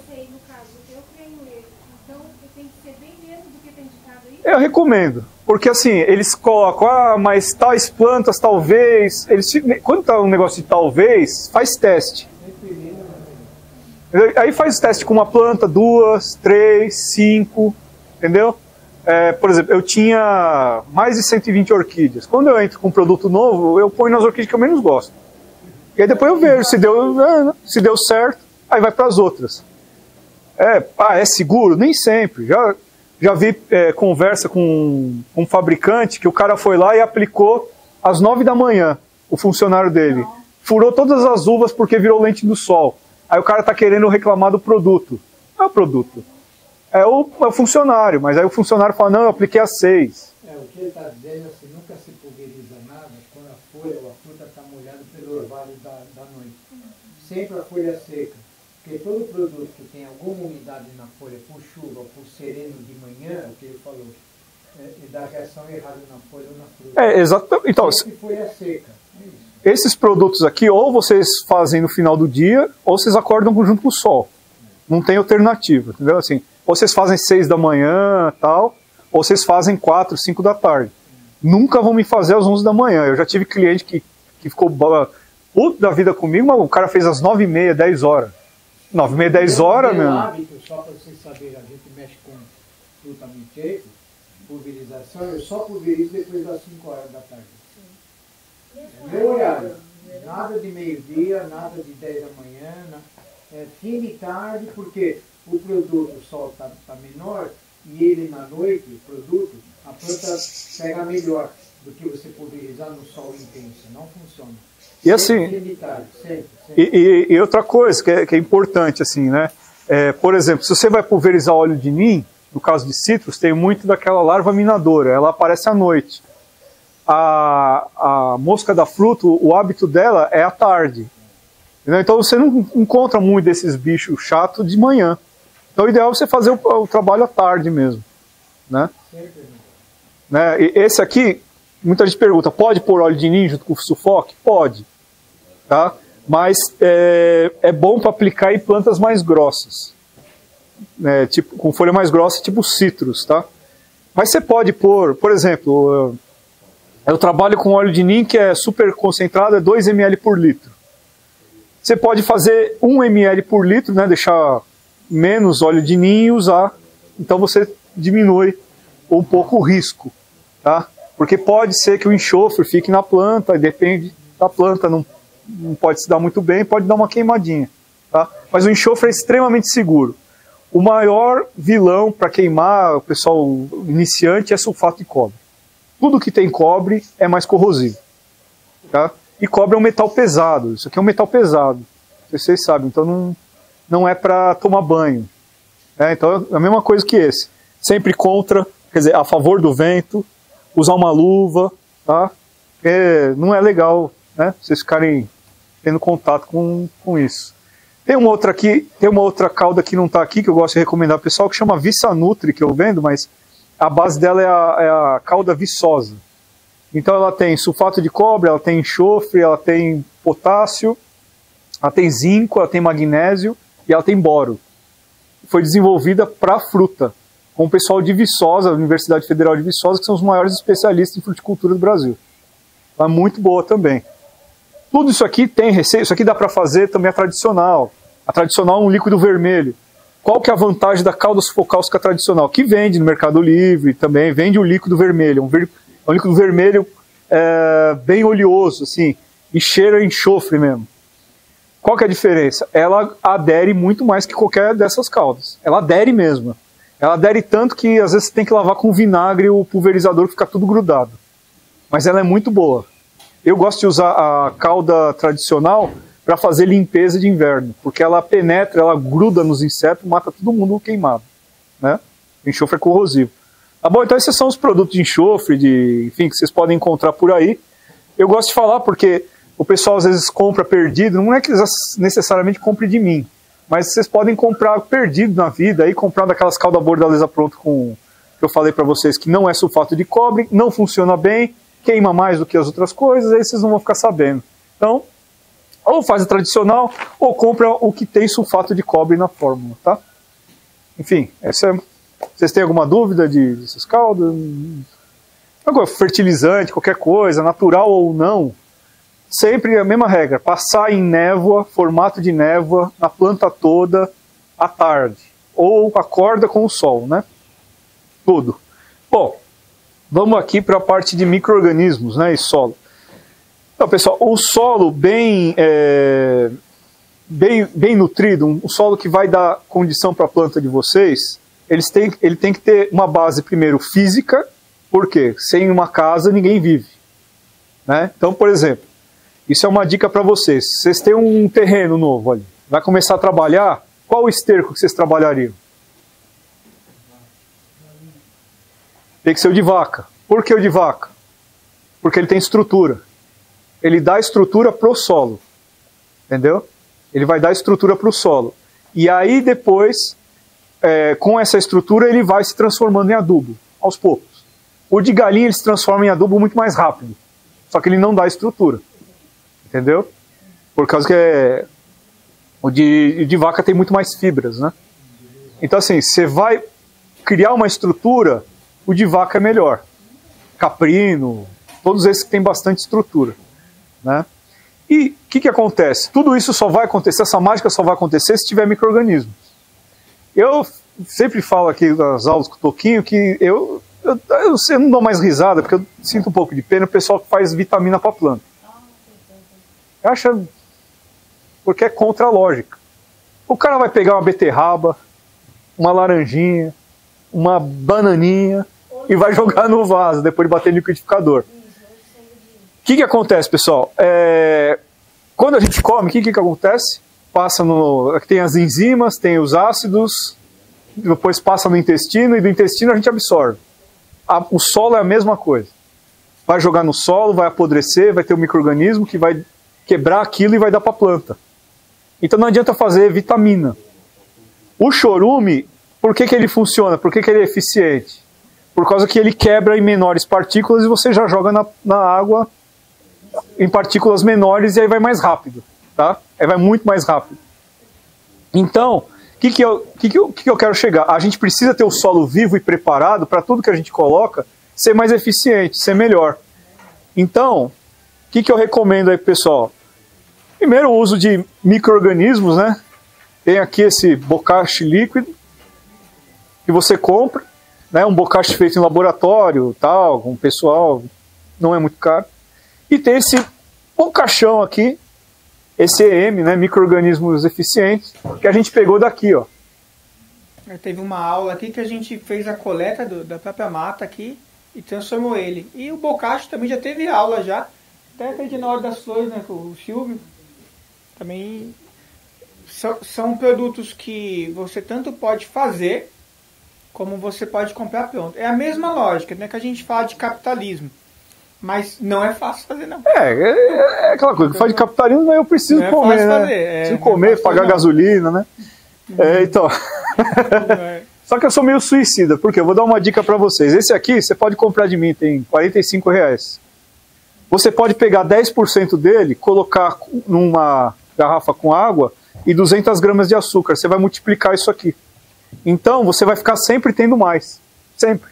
Você pode multiplicar até três vezes e usar nas suas plantas o tempo todo. Você pode usar de 10 a 20 ml por litro de água e regar o solo. Aquele esterco que você colocou, aquele material que você colocou, vai acelerar. Outra coisa que é legal, você pega um chorume de esterco de galinha e coloca um pouco disso aqui, você vai ver que ele vai muito mais rápido. E aí, só que não pode deixar mais de três dias, que senão o bicho vai pegar. Aí os vizinhos, alguém não vai gostar, porque o cheiro fica. Ele ajuda muito mais rápido. E a- o esterco de galinha também, biologicamente, ele é muito melhor que o de gado nesse sentido, porque ele, ah, ele promove uma quantidade maior de micro-organismos. Outra coisa também, é, se vocês vêm de galinha, tem que procurar galinha que fosse orgânica, porque eles colocam antibiótico e hormônio nas galinhas e pode passar isso também, aí não vai atrapalhar um pouco, tá? Então, assim, para recuperação de solo, você tem um solo ruim, trabalha primeiro a base física, que é com esterco ali, ou com matéria orgânica que você quiser. Pensa no tempo que a matéria orgânica demora para se decompor, tem vários tipos. Por exemplo, a, a torta de mamona, ela se decompõe 10 vezes mais rápido do que o, o esterco de, de gado. Então ela ps, rapidinho, né? Mas ela dá, é, é, mas ela dá pouca estrutura. Aí vocês trabalham com micro-organismos. Né? Então aquele, micro, aquele material que você colocou de, de matéria orgânica vai virar casa de micro-organismos por causa do carbono. Qualquer planta que você colocar lá vai ter um abono melhor. O que, que acontece? Todos os nutrientes que estão ali, a planta vai ser, vai ser entregue para a planta muito mais rápido, muito melhor. E eventualmente você vai ter aqui um micro-organismo que pode salvar a planta de um fusário, de algum outro problema no Olha, solo. A gente, a gente foi num produtor de banana, lá no norte de Minas, e eles vão cortando e jogando como cobertura. E aí aquela cobertura estava gerando mais doença. E aí eles começaram a usar esse processo, ele falou que rapidinho você chegava lá, o chão já estava limpo de novo, porque como é que fala, acelerava demais. Sim, né? acel- é, acelera e não dá chance para outros micro-organismos virem junto, entendeu? Então, assim, é muito legal vocês terem isso. Tem outros produtos agora, uma linha de produtos que vem saindo. Por exemplo, esse aqui, o chama Leon Trish. É um negócio que ele é muito forte em termos de cheiro e tal, porque ele é suco de, de turfa. Então o cara pega a turfa importada, acelera a decomposição dela e tira o suco. Esse suco, o que, que é esse suco? São ácidos. Ácidos fúlvicos e úmicos. Não sei se já ouviram falar. Esses ácidos é o que vai quebrar, por exemplo, a resistência do solo. E vai dar. Esse ácido ele quebra a resistência do solo e ele chama o microorganismo, ele cria um ambiente para o microorganismo. Né? Então, hoje se vende muito isso, isso aqui é como se você jogasse matéria orgânica pura, líquida no solo, que não tem nada. Isso é, é interessante. Esse produto aqui já vem com micro-organismos é, junto e também vem com aminoácidos. Então é uma salada muito doida. É, isso aqui é uma espécie de turfa líquida, chama Leon Trish. Tem vários no mercado que você vai ver fúvico, úmico. Por que é interessante fazer isso, você comprar um produto desse? Quando você quer que a planta se desenvolva rápido e seu solo é ruim, e o esterco vai demorar meses para se, se adaptar ali, você coloca isso, a planta já dá um, e você já joga micro-organismo junto, o negócio já começa a, a voltar à vida, entendeu? Mas você vai falar assim, Rodrigo, eu não quero pagar nada. Beleza, não paga nada, usa isso aqui. O que, que é isso aí? Chorume de composteira. Isso. Chorume de composteira, isso aí saiu agora um, um estudo da Embrapa, ele não é um adubo NPK, nada do tipo. O pessoal se engana. O que, que acontece? Da mesma forma que, que, que as outras coisas, ele precisa passar pelo processo de mineralização. Então aqui, a gente pegar microscópio, um microscópio, vocês vão ver um monte de coisa boiando, que são o quê? As minhocas e os micro-organismos pegaram sua comida e quebraram. Quebraram em mi micropartículas. Aqui está cheio de micropartículas de comida, que vão virar nutriente, que vão virar, é, vamos dizer assim, um NPK natural, mas ainda não é. Mas o, o importante que tem aqui é a quantidade de ácidos que tem aqui. Aqui tem muito ácido fúvico e ácido úmico, que os caras fazem processo e põe nesse produto. Então, quando você colocou ali o esterco e colocou esse material, o, o churume de composteira, o que, que você está fazendo? Ativando os micro-organismos que já tem aqui e dando ali uma condição para trabalhar mais rápido, para a terra recuperar mais rápido. Eu fui numa, numa horta comunitária e a gente fez um teste. Tinha uma, é uma, um lugar horroroso, o, o solo é horroroso, por quê? Porque um solo, na década de, de 10 ou 20 foi feita uma casa ali. A prefeitura derrubou, construiu um viaduto do lado e abandonou o terreno. Aí o pessoal fez uma horta comunitária. O solo é duro, mas é duro. E não, nada recuperava. Falei, vamos fazer um teste? Vamos fazer seis meses de compostagem em cima do solo. O que, que acontece? Esses ácidos começaram a descer nesse solo compactado. E aí esses ácidos começaram a trazer o quê? Outros seres, minhocas, etc e tal. E isso também começou a derreter, quebrar esse, esse solo compactado. Sem brincadeira, pessoal, em seis meses você conseguia pegar uma pazinha, enterrar e tirar. Entendeu? É, não... Então, assim, eu tenho um solo ruim, beleza, faz assim. Aqui eu quero fazer uma horta ou plantar uma videira daqui a três meses, seis meses. Eu faço uma compostagem clássica aqui ao céu aberto, deixo seis meses ali, retiro isso, retiro isso aqui, aí eu posso colocar meu esterco, etc e tal. O solo vai estar totalmente mudado. Quando você colocar sua planta, ela vai, pá, porque a raiz vai sair fácil. A raiz vai atrás desses ácidos, tá? Esses ácidos, assim, eles chamam o microorganismo e também chamam enraizamento. Então isso aqui é fácil, chorume de composteira, mas não exatamente como adubo, tá? Mas como um ativador do solo. Um, chorume que eu gosto de fazer, que é uma bomba, é uma bomba. O que eu faço? Eu faço em lata de 10 litros, ou 20 litros, vou falar 10 litros, 10 litros de água, eu coloco 1 kg de esterco de galinha, 100 ml desse aqui e 100 ml desse aqui. Deixo só 3 dias, porque senão ninguém aguenta. Eu, no, no sítio, eu peguei um balde e comecei sem querer derramar, né? Correndo com o balde, né? Até chegar na planta. No mês seguinte eu voltei no sítio, onde eu escorri com o balde, tinha uma trilha de capim. Porque ali ficou super concentrado a atividade, e aí todas aquelas sementinhas que o capim já tinha deixado, acordaram. E é um negócio fedorento. da mãe do governo, ou a prefeitura do Nordeste, naquela terra árida lá, não joga isso aí. Não, então, eles. O, o, ó, a coisa mais comum no Nordeste é você ver a seguinte história: um agrônomo paulista foi lá, vendeu o carro e comprou uma fazenda. Então você vende um carro de 40 pau, você compra um sítio lá. Aí o cara, com esse tipo de conhecimento, bombou, exporta coisa, e hoje é milionário. Mas por que, que a prefeitura uma vida lá não, faz isso? Então, primeiro, primeiro tem que ter um interesse público. E depois tem que ter o conhecimento. Infelizmente, esse conhecimento não é para todo mundo. Não é para todo mundo. Então, assim, o pessoal fala de Israel, Israel. Israel tem um porém. Eles estão acabando ecologicamente com, sub, com o lençol freático.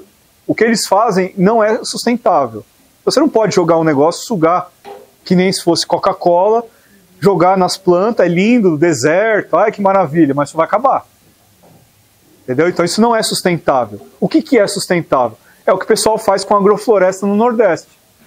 Matéria orgânica, sombra, captação de água, micro-organismo. Isso é muito, muito mais sustentável. Só que isso envolve o quê? Conhecimento. Entendeu? Conhecimento e aplicação de conhecimento, qualquer um pode fazer. Vocês podem pegar o que eu falei aqui, que é mais ou menos o que o pessoal de soja faz. O que, que o pessoal de soja faz? Pega em laboratório esses micro-organismos e faz uma fazenda de micro-organismos. Então o cara pega uma caixa d'água de mil litros e faz isso aqui que eu faço em casa, numa caixa d'água de mil litros. Ele gera aquilo, já coloca no trator e ó, e o pessoal já aplica. Oh, ele tá aqui um pouquinho, né? Não, não sei pra que que você pediu pra trazer garrafinha. Ah, não, quem quisesse um pouco aqui do. Aqui, olha, pra mim e pra Tereza. ó. É, você Tá bom. preparado, hein? Olha, Preparado, hein? preparado já. Tá certo. Ah, aqui ó, é uma outra forma de microorganismo, tá? Eu comprei, é um inoculante, então eles fizeram em laboratório e aqui tá cheio de microorganismos nesse pó, que é um pó tipo de arroz, de cana. Então eu misturo para fazer isso aqui também. É, é um, é um meio de cultura que fala, né? Eles se desenvolvem aqui dentro. Então você tem várias formas de trabalhar isso, tá? É pagando muito ou pouco, ou não pagando nada, entrando no mato. Isso aqui tem bastante vídeo meu no canal do Toquinho. O que, que é, é esse aqui, né? Que eu trouxe para vocês, quem quiser um pouco. É, O que, que acontece? Esse produto a gente tirou dali, você pega uma. A gente pegou uma cacimba de. Né, um gomo de, de bambu, cortou no meio, fez um arroz papa, sem sal, não pode ter sal de forma alguma, colocou ali, fechou, lacrou e deixou debaixo das folhas ali. Coisa de 15 dias, todos os micro-organismos que estão ali, naquelas folhas tal, eles povoam o seu arroz. Você tira, tira os pretos, que os pretos geralmente são de decomposição, e coloca os coloridos aqui dentro, com açúcar e água. O que, que vai acontecer? Eles vão se alimentar do açúcar e vai começar a produzir. O único problema é que isso aqui explode. Por quê? Eles produzem é, gás carbônico e aí explode a garrafa. Então você tem que ficar abrindo cada dois ou três dias. Ou você fura aqui uma é uma, uma coisa pequena, furadeira, coloca uma mangueirinha de aquário, coloca num outro na água e ele vai ficar jogando o, gás carbônico ali. Depois de 15 dias você já pode usar. Pode entrar oxigênio. Tá? Não, é anaeróbico. Aí tem, você pode fazer bocache com isso aqui, né? Que é os farelos fermentados, aerobicamente ou anaerobicamente. Né, Então, é ótimo. No Japão, o que, que acontece? No Japão, o professor que, eu- que a gente aprendeu, o, o que eu aprendi lá, o Kunio Nagai, que veio do Japão, ele estava falando que o pessoal, como ali a terra tem muito mineral, por causa que é vulcânica, o problema deles é o quê? É biológico. É vida. Então eles colocam o bocashi uma vez por ano e mistura com a terra que está cheio de, de material mineral. Não precisa fazer mais nada. Porque tem um depósito ali de, de material mineral infindável, entendeu? De rocha. Mas não tem a parte biológica, é a parte biológica que você faz com o bocashi ou o EM. Tá? Então, se, experimenta. Se vocês plantarem uma, alguma planta com e sem, vocês vão ver logo a diferença se vocês fazem essas aplicações. Né? E aí a gente vai fazer a aplicação lá embaixo também. A aplicação do EM. Ah, e tem esse produto aqui que vocês devem estar vendo, que é o quê? É, é um pouco disso aqui, de ácidos flúvicos urúmicos, misturado com aminoácidos tirado de peixe. Então tem 18 aminoácidos de peixe, mais ácidos. Então isso aí desenvolve a planta, e cada aminoácido tem uma função, ele vai lá e pum, entra na planta e ajuda pra caramba, além de favorecer a, a, a vida no solo. A ideia aqui que eu estou dando para vocês é de favorecer a vida no solo. Lucas, vocês não querem os produtos, comprar produto, vocês usam o churume de composteira a cada 60 dias. Tá?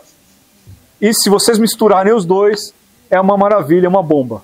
Ou um a cada 15 dias, 30 dias, a coisa desenvolve pra caramba. E aquilo que eu falei também, de esterco, escolhe o esterco de acordo com o que você precisa. Você precisa re- renovar a terra, mais massa.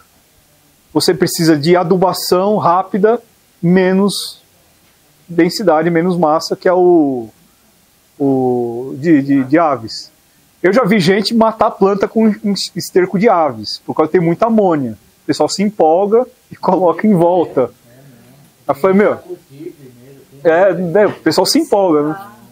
Aí eu mandava foto, o que, que é isso? Enrolou todas as folhas. Isso é, tox, é toxicidade de nitrogênio. Aí usou isso aqui e resolveu. Por quê? Porque os micro-organismos que estão aqui ou aqui, eles pegam todo aquele nitrogênio e começam a trabalhar. E aí vai trabalhando a planta. Entendeu? Então isso aqui também ajuda a curar a planta. O cara exagerou a mão no adubo, aminoácido, é EM, esse tipo de coisa para trabalhar. Uma dúvida, se você jogar o NPK, aplicou isso, o NPK vai interferir em matar... Tudo, assim, é, o, o, o, esquema biológico, o sistema biológico do solo, qualquer coisa que você fizer altera. Se você mudar o pH, vai alterar drasticamente e aí eles vão se adaptar. Porque a, a vida na Terra é adaptável, né? A gente acha que nós somos inteligentes, ela é mais que a gente. Então, ela vai se adaptar sozinha. Então, quando você joga calcário dolomítico, você faz uma bagunça. Em duas semanas, mais ou menos, essa bagunça acaba, se estabiliza. Se você jogar cinza, é pior que calcário. Aí você cria um, um furdúcio. Então é, é mais, você aumenta mais o pH. Então aí você, então o que, que eu, que eu digo? Você jogou um produto desse que diminui o pH, depois de uns três meses você entra com um pouco mais de, de, de microorganismo, né? A parte de esse, assim, a parte de NPK, então, é que NPK, os produtos à base de NPK, enfim, são hoje em dia um mundo. Tem uns que acidificam menos, tem uns que não acidificam e tem outros que acidificam pra caramba. Aqueles que a gente conhece à base de petróleo são complicados, eles realmente vão mudar. Mas se você colocar um mais leve, à base de nitrato, meter um nitrato de cálcio, que não é uma coisa tão terrível, não acidifica, alguma coisa você muda, entendeu? Ou seja, o que eu quero dizer assim, até se você colocar esterco, você vai mudar. Você vai estar sempre mudando o solo quando você mexe nele. Não tem como. O que você tem que fazer é, é, é tentar evitar coisas drásticas. Por exemplo, o que o pessoal fazia antigamente, que é subsolagem. Isso é crime, cara. Crime. Não, pegar um arado enorme e passar numa área. Vai ver se alguém faz isso hoje em dia de grande produção. Eles fazem o quê? Plantio direto. O que é o plantio direto? Derrubam o milho, o milho vai entrar em decomposição. Aí eles jogam um monte de micro-organismo. Aí tá. Aí eles vão lá e plantam a soja no meio do milho que está apodrecendo. Aí cresce. Aquele milho, o que, que acontece no solo? Aquele milho vai virar isso, certo? E isso aqui desce. E aí aquele solo que era só laranja, que era só pedra, etc., começa a mudar, começa a ser marrom, começa a ter matéria orgânica no solo que ele vai descendo. Eu vi uma, uma matéria no Globo Rural de uma família que planta uh, hortaliças no, em Santa Catarina.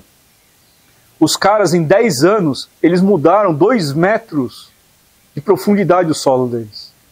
Então tem matéria orgânica até 2 metros. Porque eles derrubam. Ah, essa alface não deu. Deixa aí. Ah, essa coisa não deu. Deixa aí. Aí vem o trator, planta de novo, cresce, planta de novo, cresce, e tudo aquilo vai se decompondo e vai descendo. Outra coisa, por isso que hoje em dia se sabe que não precisa, é, é, se você vai enterrar, você tem que enterrar a, dentro do que, isso aqui, do que eles respiram, que é 10 centímetros. Mais que isso, você já pode criar gases. Ou você pode pôr por cima. Esses ácidos vão descendo. Vão descendo, vão descendo, vão descendo, vão modulando a terra para baixo, entendeu? Agora, qualquer coisa que você mexe na terra, você altera. Né? É o que eles fazem hoje no sistema agroflorestal. Sim. Entendeu? Isso foi um cara da Embrapa que desenvolveu e mudou o Brasil. É isso que faz o Brasil ser o maior produtor. Isso fez em 40 anos, vi comprando a terra na Bahia, o Ernesto. Então, é porque assim, é, é, eles desenvolveram o plantio direto para o cerrado. Porque o cerrado, ele jogava o NPK e lixiviava, descia. Não ficava, porque não tem matéria orgânica. E a terra era ácida. Então, muito de falar de terra ácida também por causa do cerrado. E tem alumínio. Então, o cara tem que, ali tem que estar calcário pra caramba para eliminar o alumínio. Aí, o que, que acontecia? É, não dava certo. Aí, o cara desenvolveu isso. Que, que, que, na verdade, é o que o Sérgio fala: é aporte de matéria orgânica.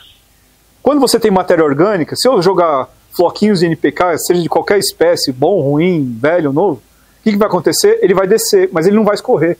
Ele vai ficar ali, parado naquela matéria orgânica. E aí quando você plantar, você não precisa plantar, jogar um monte de uma, já está lá. Entendeu? Eles começaram a sacar essas coisas. E aí mudaram toda a configuração física da, da terra do cerrado, por causa da matéria orgânica. No Nordeste, um pouquinho Estava mostrando ali um agricultor, o, o cara passa a roçadeira, mas não, não mexe no solo. Né?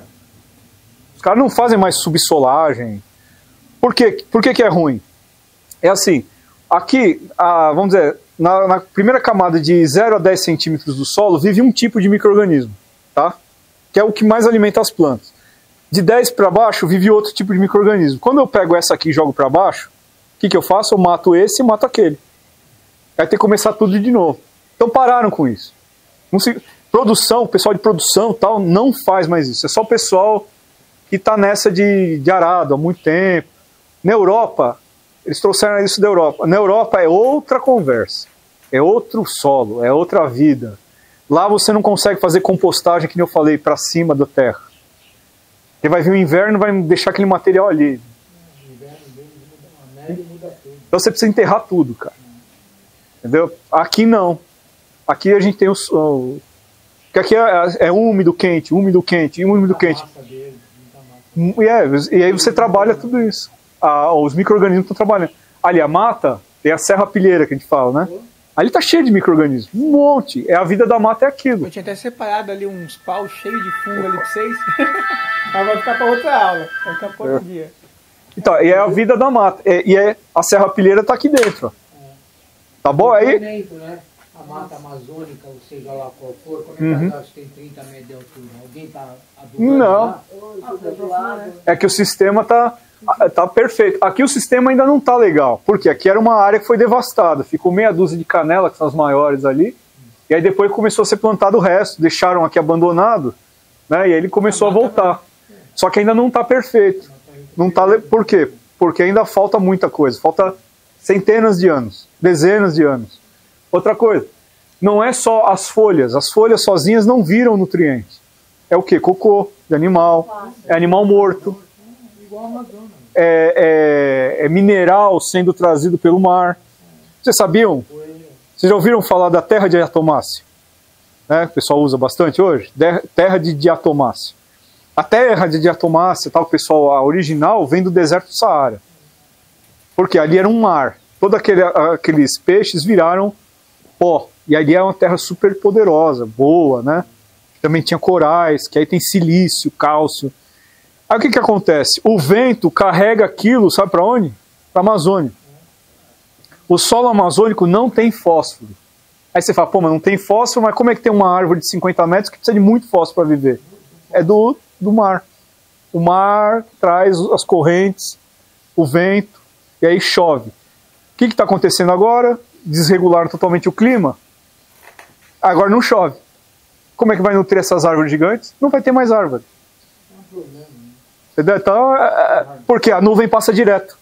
Ela precisa ter uma, né? a- a- aquela quantidade de umidade faz ter, chamar umidade. Não tem, passa direto. Aí vai virar deserto. Né? Mas assim, a- os nutrientes minerais, eles vêm pelo ar. Eles vêm por tudo quanto é lado. Tá legal? Sim, a parte mineral vocês conseguem fazer de várias formas, né? Se juntar com o biológico. Então, assim, tem gente que gosta de fazer com casca de ovo, que eu estava falando, mas casca de ovo não funciona. Tem que ser pó de casca de ovo. Porque pó de casca de ovo vira carbonato de cálcio. Entendeu? Aí é um, aí é um adubo carbo- carbonato de cálcio. Ele não é químico, porque ele é uma fonte única, como eu falei para vocês, ele é retirado de uma fonte única, não foi passou nenhum processo químico, você pode usar. Né? Ou tem várias fontes, né? E aí você ativa com o microorganismo. Microorganismo é, é isso, pessoal. É esses- a ideia é manter o solo vivo, entendeu? Quanto mais a gente mantém o solo vivo, mais a gente ganha. É isso aqui eu só não, não recomendo muito para orquídea, tá? Porque como eu não sei exatamente o que tem aqui, porque eu não passei por um laboratório, pode ter algum microorganismo de decomposição. E aí vai matar, a micro, vai matar a orquídea, porque a orquídea tá, ela virou, ela se adaptou milhões de anos a estar lá em cima, não embaixo. Mas no solo, o solo é um próprio, é um filtro. Ele sozinho já, já filtra o que é bom e o que é ruim. E esse aqui está bem testado. Quem quiser um pouquinho, Aí, ó, então, pessoal. Uma, uma vez aplicado ele, ele permanece ou tem que. Tem que voltar, colocar no, mais ou menos 90 dias. Tem que repor sempre. Tem que repor sempre e repor a casa. A casa dele e o alimento dele é matéria orgânica. Não adianta você jogar isso na terra vermelha. Né? Não adianta. Aí para terra vermelha, você quer algum efeito rápido, aí você tem que usar um produto assim. Por quê? Porque tá cheio de matéria orgânica e micro-organismos, como se fosse um suco. Aí você vai jogar naquele mineral, que é aquela terra barrenta de mineral, você vai alterar ela rapidamente. Só que o que acontece com as chuvas, isso não vai embora logo. Então não tem jeito, tem que aplicar matéria orgânica nas coisas. Né? Rodrigo, vamos fechar pra gente descer também um pouquinho, pessoal. Vocês têm mais Aí a gente vai descer aqui? lá e fazer. vai- Depois vocês fazem a. Vocês dividem aí. Quem trouxe a garrafinha? Nossa, o pessoal nem olhou o grupo, hein? Tá vendo? Tá vendo? Ó, quem, quem tiver dúvida, Quem tiver dúvida, pessoal, depois pode perguntar. o cheiro disso aqui é terrível. Como vocês Não. têm o. Ó,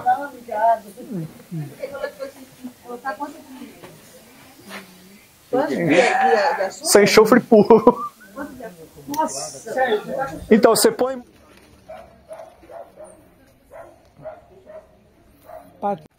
E aqui, Sérgio, você não pegou ainda as, as frutas não, porque ainda tá- aquele lado ali, o caqui eu deixei tá enorme, lá, ó. A goiaba também tá enorme. Eu deixei para futuras aulas, mas é... Aqui, ó, você viu o pêssego embaixo, ó. Deixei fazer aquela brotação. Por isso que eu falei que eu não tava querendo esperar para novembro. Setembro já, na verdade. Ó como é que tá, ó, de novo, ó.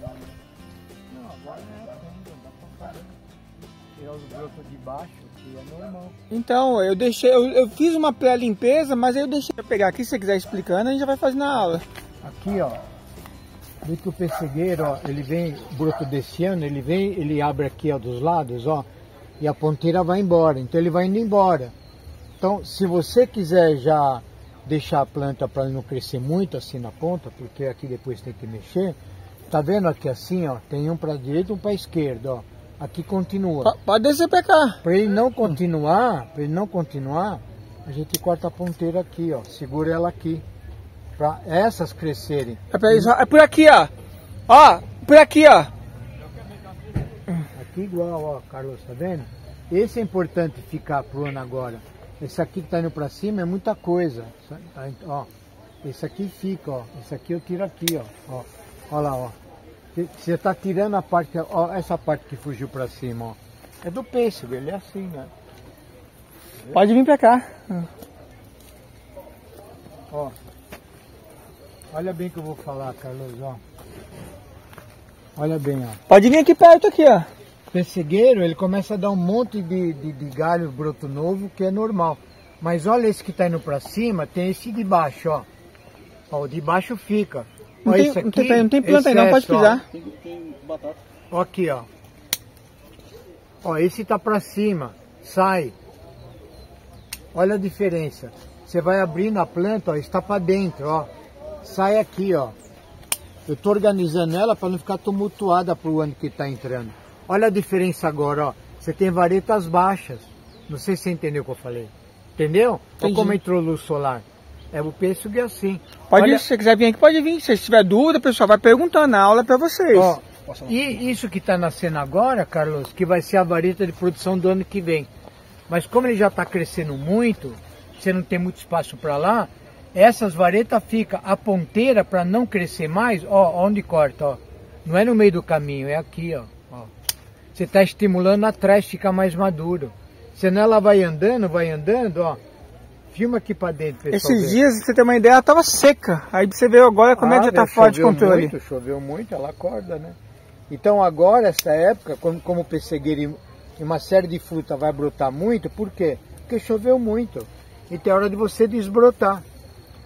Ó, que nem aqui, aqui nós temos algumas opções, ó. Aqui nasceu esse, olha. Aqui nasceu aqui, que pra mim tá muito perto, eu quero formar aqui, ó. Aqui tá muito atrás esse aqui, ó, ó. Ó o tumulto, ó. Esse aqui, ele tá no lugar errado, tá perto daqui, ó. Eu quero mais a formação do meu umbigo pra cima. Então isso aqui tá errado, ó. Antes que ele ficar grosso igual um cabo de enxada, eu já tiro ele agora. Porque quanto mais você tira agora, quando ele tá molinho, os galinhos, ele cicatriza melhor. Porque pessegueiro não gosta de cortar muito. A madeira é mole. Ó, você viu como abriu aqui um pouco? Não sei se você viu. Sim, é que nem Sérgio, a, ao, a gente tinha que ter pegado ali agosto, setembro, quando começou a brotação. É, Não, a- ainda era cedo desbrotar. Agora você está desbrotando, estamos no início de outubro. Não, tudo broto que vai tirar. Que agora, gente, agora, agora eu fiz muito isso na chácara ontem. Nos meus 20, 30 Ali, como, como ele podou ali. Bem embaixo, bem embaixo. Isso, a gente podou numa aula aqui. Você pode ver que tá sujo embaixo, Não, a gente tá- vai limpar aquele mato. E ali é onde ele podou que tava desregulado. Ó, tudo que tá Pode perguntar. dentro, ó, se você filmar de cima, como quando você mostrou o, o programa para alguém, olha como aqui abriu, ó. Não tem o tumulto aqui. Olha isso aqui, ó. Ó, pra vocês que estão aqui. Tenta filmar de onde ele vem. Isso aqui é o que chama vareta chupão. Ó. Eu tô tirando umas folhas para você filmar bem, ó. A guia dele é esse, ó. Esse é o certo, ó. Esse. Isso é ladrão. Ó, ó, ó como está crescendo. Se deixar isso até janeiro, fevereiro, tá com 4 metros de altura. Errado. Olha onde tem que tirar, ó. Se eu não tirar agora com a tesoura, se você deixar isso daqui a alguns meses, vai ter que meter o serrote aqui, de tão grosso que ele vai ficar. Abre mais ferida. Olha, olha como vou arrumar a planta. Olha o aspecto dela, ó. Olha, olha, olha bem, não se assusta, hein? Ó, ó, isso aqui é ladrão, isso aqui não, não, Praticamente um. não, não. Quase o tamanho ó. do pé. Tô abrindo a planta, eu não tô enxergando. Agora eu tô enxergando a planta. Temos que organizar direita para esquerda. E as pernadas pros lados, ó. Não adianta nenhuma o pessegueiro, não adianta dar vareta para cima. Ele tem esse hábito. Você tem que podar e deixar as laterais, ó, ó. Tá vendo a lateral? E, e não pa- em pé o, o, o broto indo para dentro assim, ó. Você acaba com o pessegueiro. Ó, ó isso aqui, tá vindo de onde? Não sei se Esse tá vindo lá de baixo. É, então nós vamos filmar. Deixei com calma. Tudo que tá para dentro, para cima eu tiro, ó. ó. Ontem eu fiz muito, ontem eu fiz em 20, 30 pés lá na chácara. Arrumei ela inteirinha. Mas é com a chuva ele isso Bem, decolou lógico, mesmo, chuva, a água da chuva tem nitrogênio, que é o nitrato. Bicho estoura mesmo. Por isso que a água da chuva as plantas ficam mais bonitas. Não é igual água de torneira. Lógico que não. Ó, veja que eu tô tirando, eu tiro rente, ó, rente. Eu não deixo o toquinho, tiro rente. Se quiser vir pra baixo, agora está bom. É, eu vou mexer agora. Agora eu tô começando a olhar aos pouquinhos e vou deixar o que tem que ser deixado. Ó, uma coisa que eu quero explicar, ó, Carlos, vem cá, ó. Aqui pra vocês verem. Deixa o povo ver do lado de lá. Olha, aqui nós temos essa guia que é dela, tá boa. Olha que aqui nós temos essa parte aqui, tá vindo para cima, mas aqui tem um embaixo, ó. Esse é o encompridamento da guia principal, ó. Isso aqui tá fora de posição. Ó, olha a diferença, ó. Não sei se você consegue dar um zoom. Ó. Ó como eu corrigi, ó. Então isso aqui agora vai prolongar por aqui, ó. E não por esse estava dobrando para dentro outra vez. Ó, esse aqui tá para dentro, eu quero que tá para fora. E não, o pessegueiro tem de tudo para dentro, tá errado, ó. Ó, tô tirando o que vai para dentro, virando o contrário. Não sei se eu tô conseguindo explicar direito. Olha aqui embaixo agora, ó. Olha quanto broto nasceu aqui embaixo, ó. Eu pensei que era mais perto embaixo. Isso aí foi de um corte que foi feito. Pra mostrar como que O negócio veio aqui. o negócio vem. Vou tirar a frente aqui. Porque vocês têm que entender, quando a planta está começando a ficar bem formada com dois, três anos, você tem que se preocupar em arrumar ela para começar a dar fruto acima do teu umbigo. Que? Tudo que está do teu umbigo para baixo, você tem que tirar fora. É o tronco e a abertura. Fica sem nada. Ali é enxerto embaixo ali? Não, vou tirar isso, isso tudo que você está vendo. Foi aqui, corte ó, que já foi é feito errado. aula, podando já. Aqui é tudo. Eu tô tirando, Ladrão. eu tô tirando broto ladrão. Ah, certo. Não, não é poda de julho, hein? Tô tirando broto ladrão. Que brota mesmo, é a tal da desbrota. Não choveu muito? Ele brotou, todo pomar brota muito, agora tem que virar desbrota. Se você não aliviar a planta agora, porque vai brotar muito, em julho do ano que vem, de vez de você podar com a tesoura, vai ter que usar serrote. Você vai abrir muita ferida nas árvores, errado.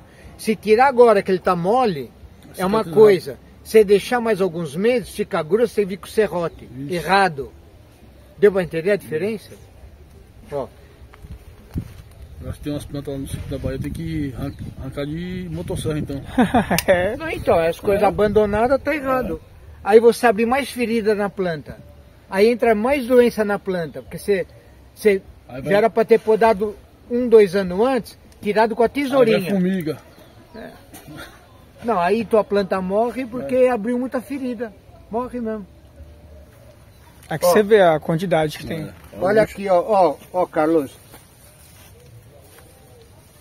Olha, ó, ó o brotão que tem aqui, ó. Ele tá mal posicionado.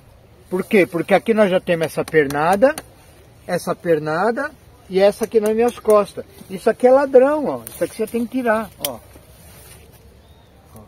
Ó, como, você, tá- ó, ó, tô come- ó, como a planta abriu. Você viu? Viu a diferença? Só porque eu tirei isso aqui, se eu tirei agora com a tesoura, tá molinho. Se eu deixasse isso mais seis meses, eu teria bico serrote. A ferida bem aqui na, no tronco, errado. Entra doença, né? É melhor tirar agora com a tesourinha. Aí cicatriza rápido. É, é, exatamente. Ó, quer ver você por gentileza, quer ver? Só pra vocês entenderem. Ó, por enquanto, ó, onde nasceu um broto. Carlos, filma aqui pro povo de lá ver, ó. Ó, olha aqui, ó, aqui. Isso não existe, eu quero a formação do meu umbigo pra cima. Isso aqui tem que tirar, porque brota com a chuva, ó. Rente, não deixa a ferida aberta, ó. Nem Rente. toco. E nem toco. Não, que toco. Ok, esse também tá errado aqui. Agora é época de tirar isso, outubro. Ó outro errado aqui, ó. Ó. Já vai aparecer na planta já. Ó, aí, ó, ó, olha aqui, ó. Olha aqui, ó. Ó, tá vendo que eu tô faz- fazendo com calma? Tô olhando, a mão vai na frente, fico olhando aonde que a tesoura vai entrar. Ó, o, o Carlos, olha, olha isso aqui, ó. Isso aqui não tem sentido, porque ela já tá formada. Se não tivesse esse lado, se essa planta tivesse preguiçosa e tivesse soltado isso agora, isso seria isso no futuro. Certo. Mas já tem ele. Podia pensar até numa renovação, né? Não, Caso não- precisasse. Não, ela é nova. Pudesse renovação se a planta tivesse mais de 10 anos. Mas ela é nova. Ó, presta atenção, não sei se o que você filmou, o pessoal, você tem, que- você tem que olhar o tronco, você tem que olhar. Tem que pulverizar aqui embaixo. Tem que pulverizar, tem que olhar o que tem aí. Ó, tem que tomar sol. Aqui tem que tomar sol. Vocês estão vendo que tá preto ali, é porque tá escondido mesmo. Tá escondido. Tá escondido, né? Muita matéria, o material grande. Errado, não pode ter no tronco das árvores. Matéria grande? Não pode jogar folhagem no tronco, ele tem que ficar um pouco afastado. Espalhado. Tem que bater sol no tronco, para não dar podridão. Você não está olhando o tronco, está cheio de folha, e se tiver podridão lá embaixo? Não dá pra ver, né? Você tá- aí a planta vai morrer. Então tem que abrir para você olhar, para bater sol, e você vai pulverizar até lá embaixo. Aí, aí, aí o sol bate aí agora. E seca. Agora você vê como é que ficou limpo agora. Ó, aí, você vê, a gente não, ó, fiz um pouquinho, não sei- você, você conseguiu entender a diferença da como a planta agora abriu? Olha, tá formada no meu umbigo para cima. Ó, pode ver. É. E tudo que é que é tá para dentro aqui, ó, toquinho, toquinho, ó. Eu tô limpando tudo. Então, olha, Carlos, você conseguiu, Carlos, entender? Você abriu a planta, tirou os brotos de excesso, tirou o ladrão, não abriu a planta, amanhã você pulveriza, que agora dá para enxergar. Se você fosse pulverizar antes, aquele tumulto, você ia pulverizar à toa. Agora você está pulverizando a planta aberta e organizada. Depois de podada. De, lógico, agora estou enxergando. Aquilo ali antes era um tumulto, você estava enxergando alguma coisa? Nem eu. Então primeiro você limpa a planta, organiza, no outro dia você pulveriza. Lá em cima não mostrou uma goiabeira? Tira as folhas da goiaba, tira as goiabinhas, abriu a planta, tá legal? Pulveriza depois? Porque aí o produto vai pegar onde tem que pegar. Isso aí é uma lição pro, pra pessoa ficar por resto da vida. Nossa, isso aí é... a gente por fala aqui, ó. Eu não esqueço mais nunca isso aí. Mas eu falo isso básico, nunca ensinaram isso no Brasil. Não se fala isso. Na Bahia tem aquele negócio de café velho, tem que arrancar. Não, não. Aí, corta, aí- aí você vai lá, corta o pé de café e bota todinho. Então, tudo tem jeito. É, e tem isso que é ter entendimento. Isso é verdade. Alguém que tem mais experiência de verdade tem que ensinar a turma nova que está Isso. chegando. Mas não se fala um monte de besteira que eu escuto por aí há 30, 40 O anos. pessoal arranca tudo, arranca tudo. Não, não Ada, é, não. na terra, esbagaça terra. Não é nada, não é assim, não é assim, não é. Você vê, você vê, olha, que ferramenta que eu usei aqui? Só um. Usei alguma bomba atômica? Não, só uma tesoura. Tesoura. E o conhecimento. Um treinamento que eu tive com os velhos, o pouco que eu dei, umas 10 tesouradas que eu tirei, o que era para tirar. Isso. A planta, você acha que ela agradeceu que ela está aberta ou ela vai chorar? Agradeceu. Eu bati com o facão em algum lugar? Lá na Bahia no facão. Ah, que eu brinquei e, com e- você. E sabe, e sabe essa, esse resto de. Pega e queima tudo. Faz fogueira, queima tudo. Então, tá tudo. Você vê que é hábito errado. É. Então, esse pouco que eu estou te mostrando, esse raciocínio de lógica, que é para não ter tumulto, é qualquer árvore de fruta. Goiaba nós vamos mexer, tudo é igual, não pode ter tumulto. Tem que ter o início da planta bem formado, o primeiro, segundo, terceiro ano, pernadas Eu abertas, esqueci isso nunca. entendeu? Eu só vou comentar. Esse aqui eu ainda fiquei na dúvida ainda. Por mais que ele tá espaçoso. Então, mas vai sair também, né? Então, Pêssego. pêssego. Ele está bem formado. Ele está no lugar que está bem, não está muito lá embaixo. Mas o que eu vou fazer com ele daqui mais um mês, não agora, você vai cortar a ponta dele. Que aqui, ano que vem, vai ser vara de produção. Aqui é vara de produção. Produção agora não, ano que vem. Ele vai madurar que vai virar brindila. Deu para entender? Tudo que, que eu deixei agora importante, ó, tudo isso ano que vem é vara de produção. Ano que vem esse pé, eh, o, o Carlos, sem exagero, esse pezinho aqui, ano que vem, você pode escorar ele aqui, que é 100, 150 pescos nesse pezinho. Já raleado. Aquele- Vai dar mais de 200, vai tirar 50, 80 fora. Pequenininho. Esse pequenininho tem três anos? Então no terceiro ano. É, vai entrar dois? terceiro, dois anos e meio. Dois e menos. meio. Ano que vem já vai dar muita fruta. Igual esse um que você ensacou, eu vou mostrar pro povo para quem nunca viu. Esse pouquinho como vocês, vocês entenderam? Sacou? Na goiaba, quando eu mexer, você vai ver que eu vou mexer mais ou menos igual. Mesmo raciocínio de não deixar tumulto de galho. Se você já não deixou tumulto, deixou a planta um pouquinho mais aberto, você já vai ter menos doença de ferrugem. Deixa eu mexer lá na... Pessoal, vocês que chegou agora, Agora dá muito galho de excesso. Quando agora? Outubro. Ele brota em, em agosto, setembro, outubro chove muito. Tudo isso aqui que eu, que eu tirei, estava tudo ali no meio, aqui no meio, ó, no meio, no meio, no meio. Bagunça. Eu quero que o pessegueiro tenha um hábito de crescer três ou quatro pernadas. Isso é pernada, ó. Isso é uma pernada. Ali outra pernada. Pernada aberta e, e galhos e galhos de produção, ó, ó. Pode ver que aqui está longe desse. Olha, olha bem, que nem estilinga aberta assim, ó. Olha isso onde está, olha isso onde está. Eles não estão assim. Que eu já vim podando certo dois anos atrás. Como é que você educa um ser humano? Com 40 anos de idade ou com um ano? Você educa uma planta já a partir do primeiro aninho de vida. É a mesma coisa que gente. Não tem diferença nenhuma. Primeira poda, altura de... É, é, ali 80. Eu já fiz 80. um programa um ano atrás que ali era um ladrão. Eu serrei, olha como eu serrei bem deitado. Não deixei toco. Então ele está cicatrizando. Se eu tivesse deixado toco, estava apodrecendo. É, vai passar outra vez, vai passar, vai passar. O que é?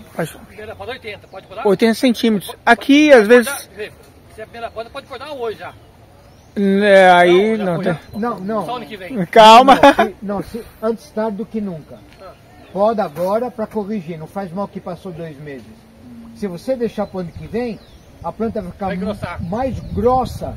Vai ficar tão grosso que ano que vem você não tira mais com tesoura a correção. Vai ter que ser com serrote. Aí você vai abrir mais ferida numa planta de dois anos. É para podar. Pra Ó, presta atenção, a poda, quando você fala, é a poda de julho de frutificação. Hoje eu não podei. São? Hoje eu tirei broto latrão.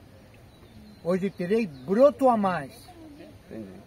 Eu não estou podando hoje, eu fiz a poda em julho, que é poda de, fez de- de fruta. Agora eu estou tirando ladrão, estou fazendo desbrota, estou tirando excesso de material e mal posicionados.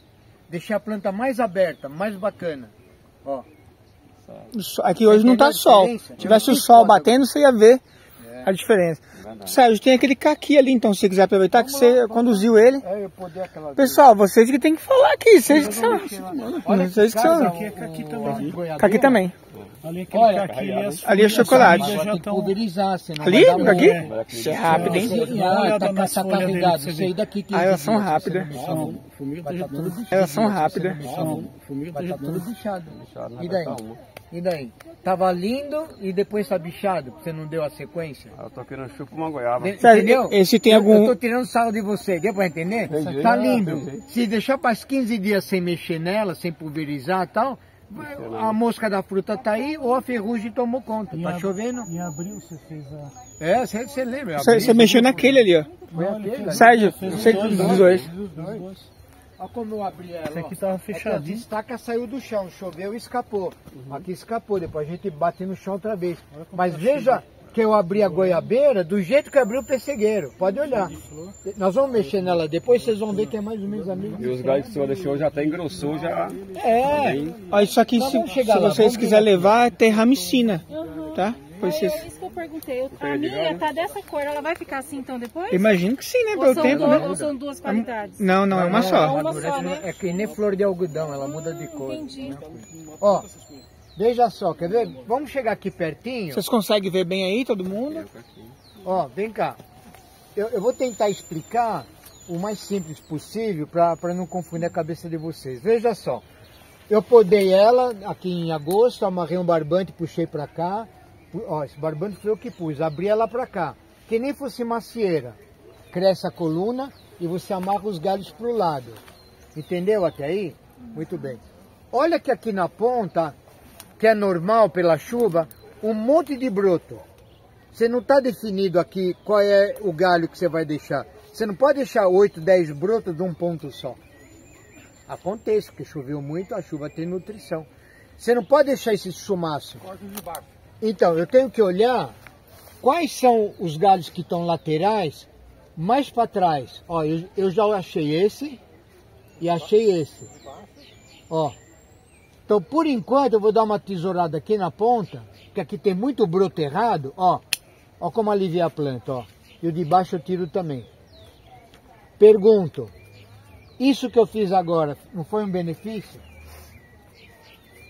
Um galho aqui, um aqui e um aqui, não oito na ponta. Ó, eu dei uma tesouradinha só. Já ela, isso não vai dar fruta agora. Ela vai, vou tô preparando ela para ano que vem. Se eu deixar tumulto ano que vem, não dá fruta, porque teve muito tumulto de galho, roubou muita energia para as pontas, muita folha. Então agora eu podei para essas galhas ficarem adultas nesse ano com menos competição. E ano que vem eles vão estar com mais nutrição para dar flor, para dar fruta.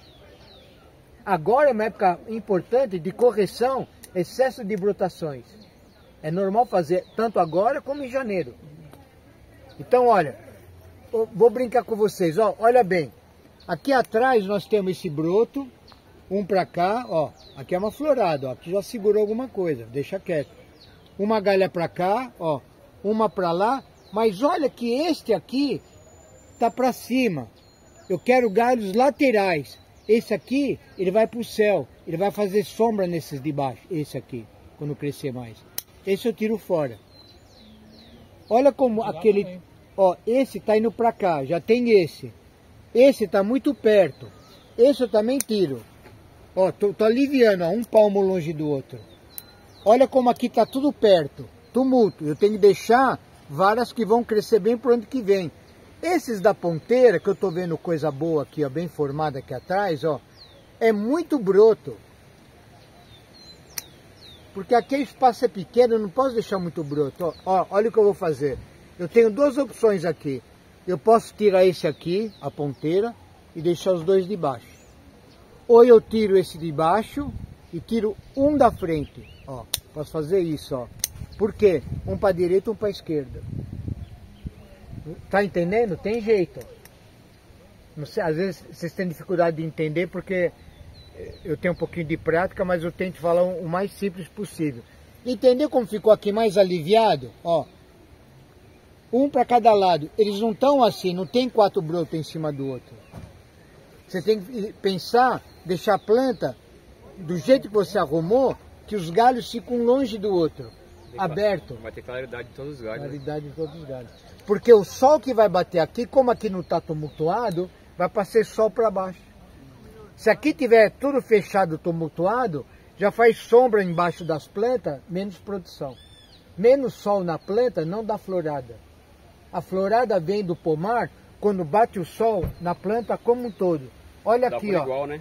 Por igual. Por igual, Por igual. Equilíbrio. Porque às vezes um pé de fr- fruta tem fruta de todos os tamanhos, desigual, pô, talvez seja Falta de sol e De porque sol. tem muito galho roubando energia. Você não equilibrou. É verdade. Ah, tô com dó de tirar uns galinhos. Não, você tem que tirar para melhorar a safra. Para você ter equilíbrio na planta. Ó, olha bem aqui, ó. Olha, ah, ah, Carlos, tu que chega aqui, ó. Eu só perguntar, você achou lá o. Já tirou já? Não, o senhor olhou chamar. Ah, o, o seu. Ele vai sair. Só a manobela. Nada. Depois você manda o Você pagou pra ele aí já ou não? Não, não Pix, é segredo, é segredo. Olha, olha essa cabeceira que é normal de uma planta nova, tumultuar a cabeceira quando a planta é nova, que ela está vigorosa. Ué, se ela está vigorosa, tumultuada, nós temos que aliviar broto a mais. Quantos brotos nós temos aqui em 5 centímetros? Em 5 centímetros nós temos 1, 2, 3, 4, 5, 6, 7, 8, 9 brotos em 5 centímetros. Tem que ter 3 brotinhos. Não pode ter 9. Não tem espaço. Está errado. Então aí a gente vai olhar e vamos analisar o que é menos ruim. Primeiro que eu tiro é o que está indo pro Pedro. céu. Ó, Mas tá indo embora também? tá indo? Vem cá tirar uma Falou, foto com o patrão aí também, ué. abraço. Esse aqui eu não sei se vocês chegaram a ver nos vídeos, o Sérgio ia muito na casa dele lá. Saiu dele lá. Aí, não me ah, mas, mas diz que agora ele passou o trator em tudo lá agora lá. Fiquei duro agora. Mais dinheiro. Ele era meu amigo, mandava pix pra mim. Como ele não tem mais dinheiro, agora ele é meu inimigo. Mas a casa dele tá Fazer excepcional. bem, viu? Bo- De Bote tudo. sempre? É um exemplo. Imagina, Como espera você aqui. lá, Aldeia da Serra, não é Aldeia isso? da Serra. É um condomínio, né? O que ele tem ali é um exemplo para o Brasil. Então, como ele está com a gente há alguns anos, todo mundo que andou com a gente, que a gente conversa, mostra, vai, ensina, todo mundo hoje é autoprodutor do seu al- alguma coisa do seu alimento na tua casa. Ele não é fazendeiro, é na casa dele. É o ou é no vaso ou não, ou é no mortinho ou não, ou é um pouco de tudo como ele tem. Que quantos mil tem lá? Tem 200 metros, 250 metros quadrados. Vai ver o que ele tem de produção de alimento lá. Tô tirando Mas- mas- sarro mas com tem que continuar pagando Pix É, aí, né, 20 não? por 10, 20 por 15. Veja, veja o que tem de Só, só não importante. tem mais porque a, a presidente não Não deixa, que a mulher quer bater nele, né? Mas você viu que funciona. Funciona. Funciona. E aí eu te pergunto, quanto você gastou de produto químico ou veneno para você produzir uma salsinha? Quanto você gastou no Banco do Brasil de, de empréstimo? Ah, zero milhão. Zero milhão. É, Não, não tem grana, meu. cara. Esse negócio de gastar dinheiro é conversa. Você tem que ter conhecimento e treinamento, porque a natureza te dá nutrição. Você tem que saber mexer e entender o que a natureza te mostra. Nós estamos destruindo o nosso meio ambiente. Olha, Aí você acha que o veneno vai resolver? Já pega pra vocês seguir junto com eles lá, é melhor. Vai com Deus, viu? Volte sempre aí. Parabéns. Um abraço. Aquele pix, hein, pra mim. Tá lá, mesmo número. Tá. Ó, veja só, não falei que tinha no- nove galhos? Não tinha nove galhos aqui? Nove brotos? O que sobrou? Três. De nove, tirei cinco. Você viu tirar cinco? Não foi uma tesouradinha? Foi bati facão? Lá na Bahia os caras adoram facão no Só Brasil facão. todo? Facão, motosserra. Você acha que a, a planta sentiu alguma brutalidade? Então, gente. É aqui em todos os andares da planta. É cirúrgico. É cirúrgico. E você vai aprendendo a mexer com a planta e ela vai respondendo Sem como? quem- dando fruta. Sem contar quem corta com facão, quem poda facão, vai lascar. Acaba com a planta, abre Acaba. ferida. Qual é a pele da árvore? Qual é a pele da árvore, igual a nossa pele? Se a gente corta aqui, não entra micróbio? Entra micróbio, não entra? Tem que fazer curativo. E se você bater facão, arrancar uma casca aqui? Abriu ferida. Vai começar a entrar ferida na tua árvore. Em dois, três anos, vai andando. Dá bloca, né? Não pode machucar casca, não pode bater facão, não existe. É tesourinha, um serrotinho bem afiado. Tá? Então, essa, essa brincadeira de uma pontinha que eu fiz e a outra pontinha. Deu para entender o, o, o sentido da coisa? E é assim na planta toda. Ó, vou fazer uma brincadeira aqui. Olha essa pontinha aqui. Um, dois, três, quatro, cinco brotinhos. Por favor, Em só três acompanha aqui, deixa eu explicar pra eles o caminho ali. Vou aliviar ela. Olha o que eu vou fazer. Olha bem, filma bem aqui, ó. Olha, olha. Olha aqui, ó. ó. Olha lá. Resolveu. Resolveu. Esses galhos que ficou já vai ser de produção. No ano que vem ele vai ficar adulto agora, de- novembro, dezembro, janeiro, fe... Ano que vem ele está pronto para dar caqui na ponta. Está mais aliviado.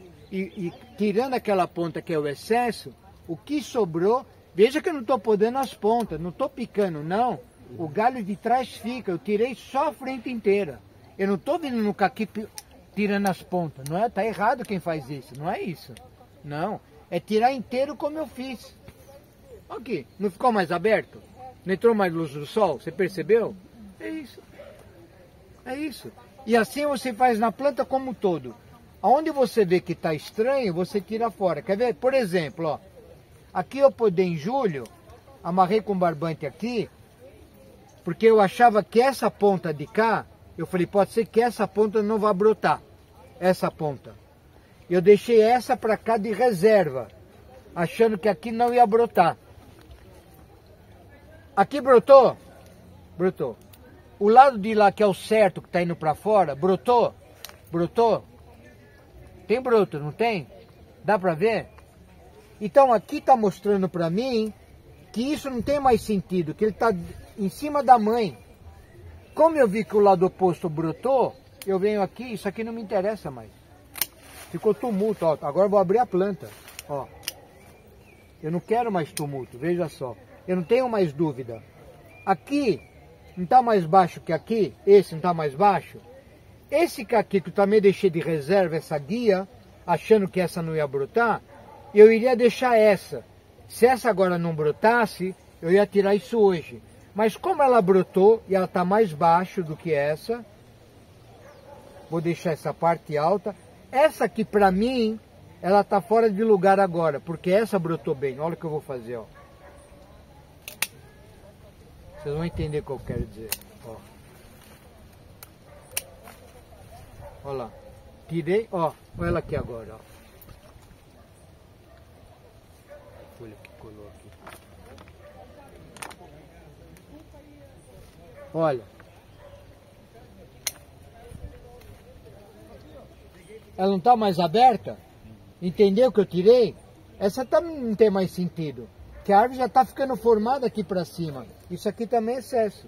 Eu deixei em julho só para ver o que ia brotar. Olha como estou abrindo a planta, ó. Não sei se vocês estão entendendo o que eu estou dizendo. Então, o que eu acho que ainda está errado para mim, que é excesso, excesso, excesso, seria essa pernada aqui de trás, ó. Seria excesso. Mas como aqui é uma chácara, é uma brincadeira, eu posso deixar esse aqui e vou deixar esse aqui também. Talvez ano que vem, quando eu voltar aqui para podar, conforme ela estiver crescendo, que ela vai estar bonita, esta parte, essa parte vai estar bonita, eu venho com o serrote e tiro esse aqui de trás. Então eu estou na dúvida, eu vou esperar mais um ano, já que aqui é demonstração para quem vem aqui. Vocês viram que três tesouradas que eu dei, como abrir a planta? Estou preparando ela para o ano que vem, porque ela tem dois aninhos só. Novo, hein? Novo, novo. Eu não quero fruta. Primeiro que ela não vai dar fruta com dois anos. Dois, eu quero arrumar o esqueleto dela. Estrutura. A estrutura dela, os dois primeiros anos, é o que se chama de poda de formação. Estou formando ela. Como aqui é um lugar que ele recebe visita, a gente está fazendo uma brincadeira de demonstração. Senão eu já tirava a pernada de trás agora. Mas não, vou tirando que vem.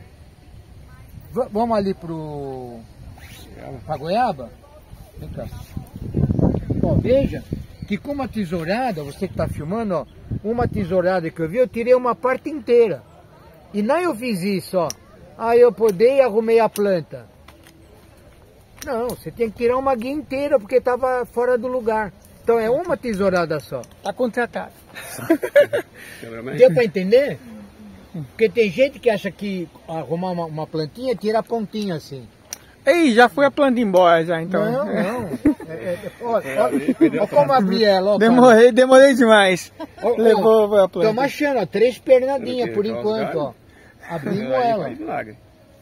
É isso. Vamos, vamos lá pra Pessoal, é, como eu falei, tem sítios, tem goiaba. Goiaba Vê o que, que é interessante pra vocês. Essa podia tirar fora também. Olha, já vem os outros ainda dando palpite pra arrancar mais. Isso aqui. Eu acho legal esses palpites que quando é na casa dos outros ninguém dá. Não, te incomodou, não incomodou? Você incomodou, né? Você, você falou tudo, ó. Teu olho já andou, ó. É bom. Você vê? Não Tá faz, os incomoda, na pitaia? incomoda? Oi? Tem, é, tem que começar a arrumar. É. Capuchinha? Pode chegar, poxa, eu acho que tá, pode pegar. Como essa terra alastrou? É, o pessoal leva pra galinha. Sério? Leva É, pra a galinha. minha galinha tava, Terra tava medicina. ruim. A raiz em cima, Meu né? marido É. socou e botou na, na seringa com água pra ela, ficou muito bom.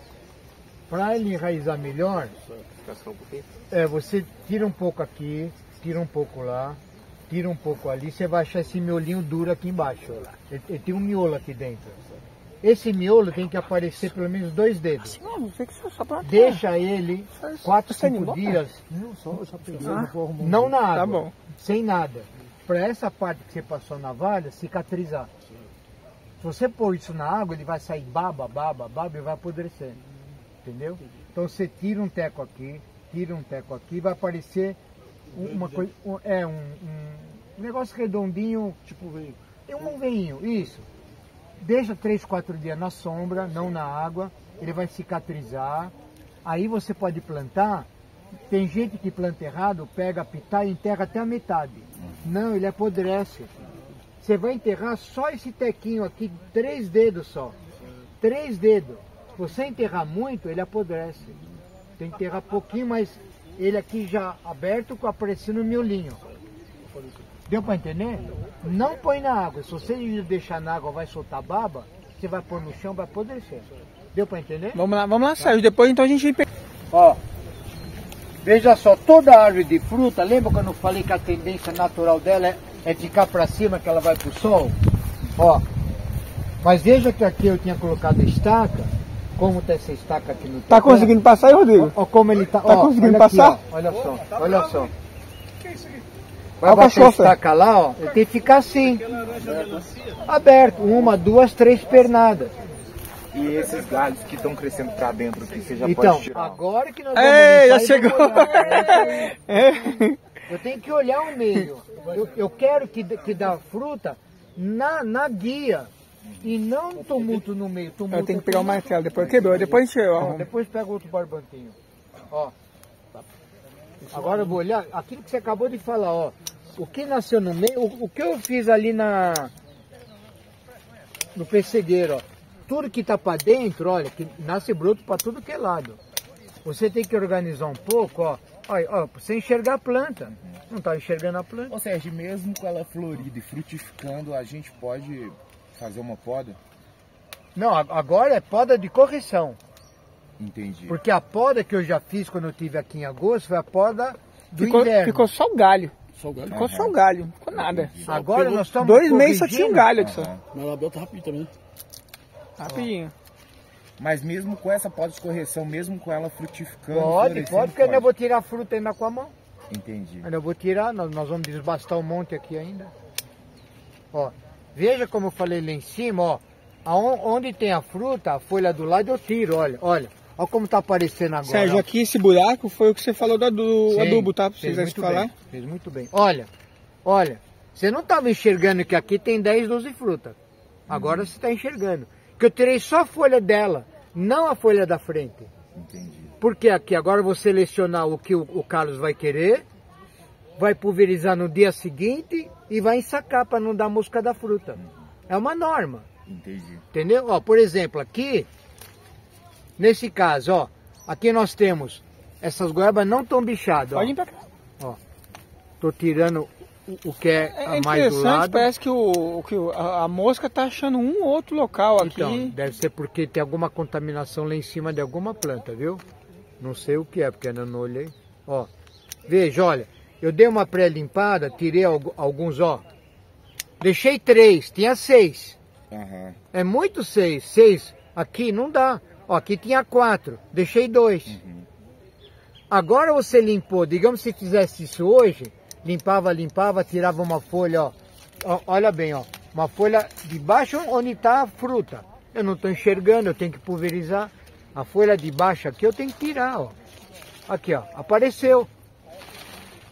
Não sei se vocês entendem o que eu quero dizer, o que é aparecer. é tirar a folha do lado só. Ah, o Sérgio falou que é para pelar o galho todo. Não, meu amigo. É a folha do lado onde está a fruta. É uma folha daqui, uma folha daqui. Para você pulverizar, examinar e conseguir ensacar. E desbastar, né? Tá, tá entendendo o raciocínio? Aqui essa distância que você deixou tá boa, né? Um palmo aqui tá, Então, tá aqui, ótimo. ó, tá vendo que aqui, Carlos, nasceu um aqui do lado, ó. Aqui pra cá tem um palmo, palmo e pouco. Tá tudo bem, mas isso aqui já tá errado. Então agora tem arrumação de excesso de galho, tirar algumas folhas do lado das frutas e deixar ela pronta para receber a pulverização. Então nós vamos limpar alguma coisa, ó, aqui, ó, nasceu aqui para dentro, ó. Eu não quero. Porque já está bem formado lá para frente. Olha lá para frente quanta goiaba tem. Aqui tem mais de 80 goiabas só nessa pernada. Olha aqui, ó, ó. Ó. Eu tenho que enxergar aqui, ó.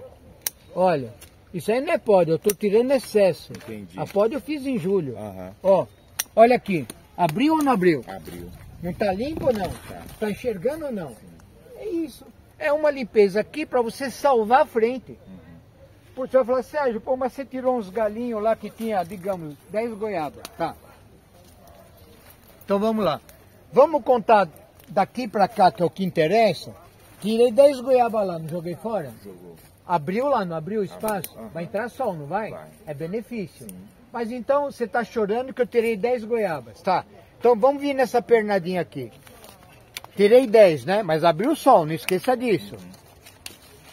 Então vamos contar aqui, se você está chorando por causa de 10 goiabas, vamos ver aqui essa pernadinha aqui, ó. Que é uma coisa pequenininha. Quantas goiabas nós vamos ter aqui, ó?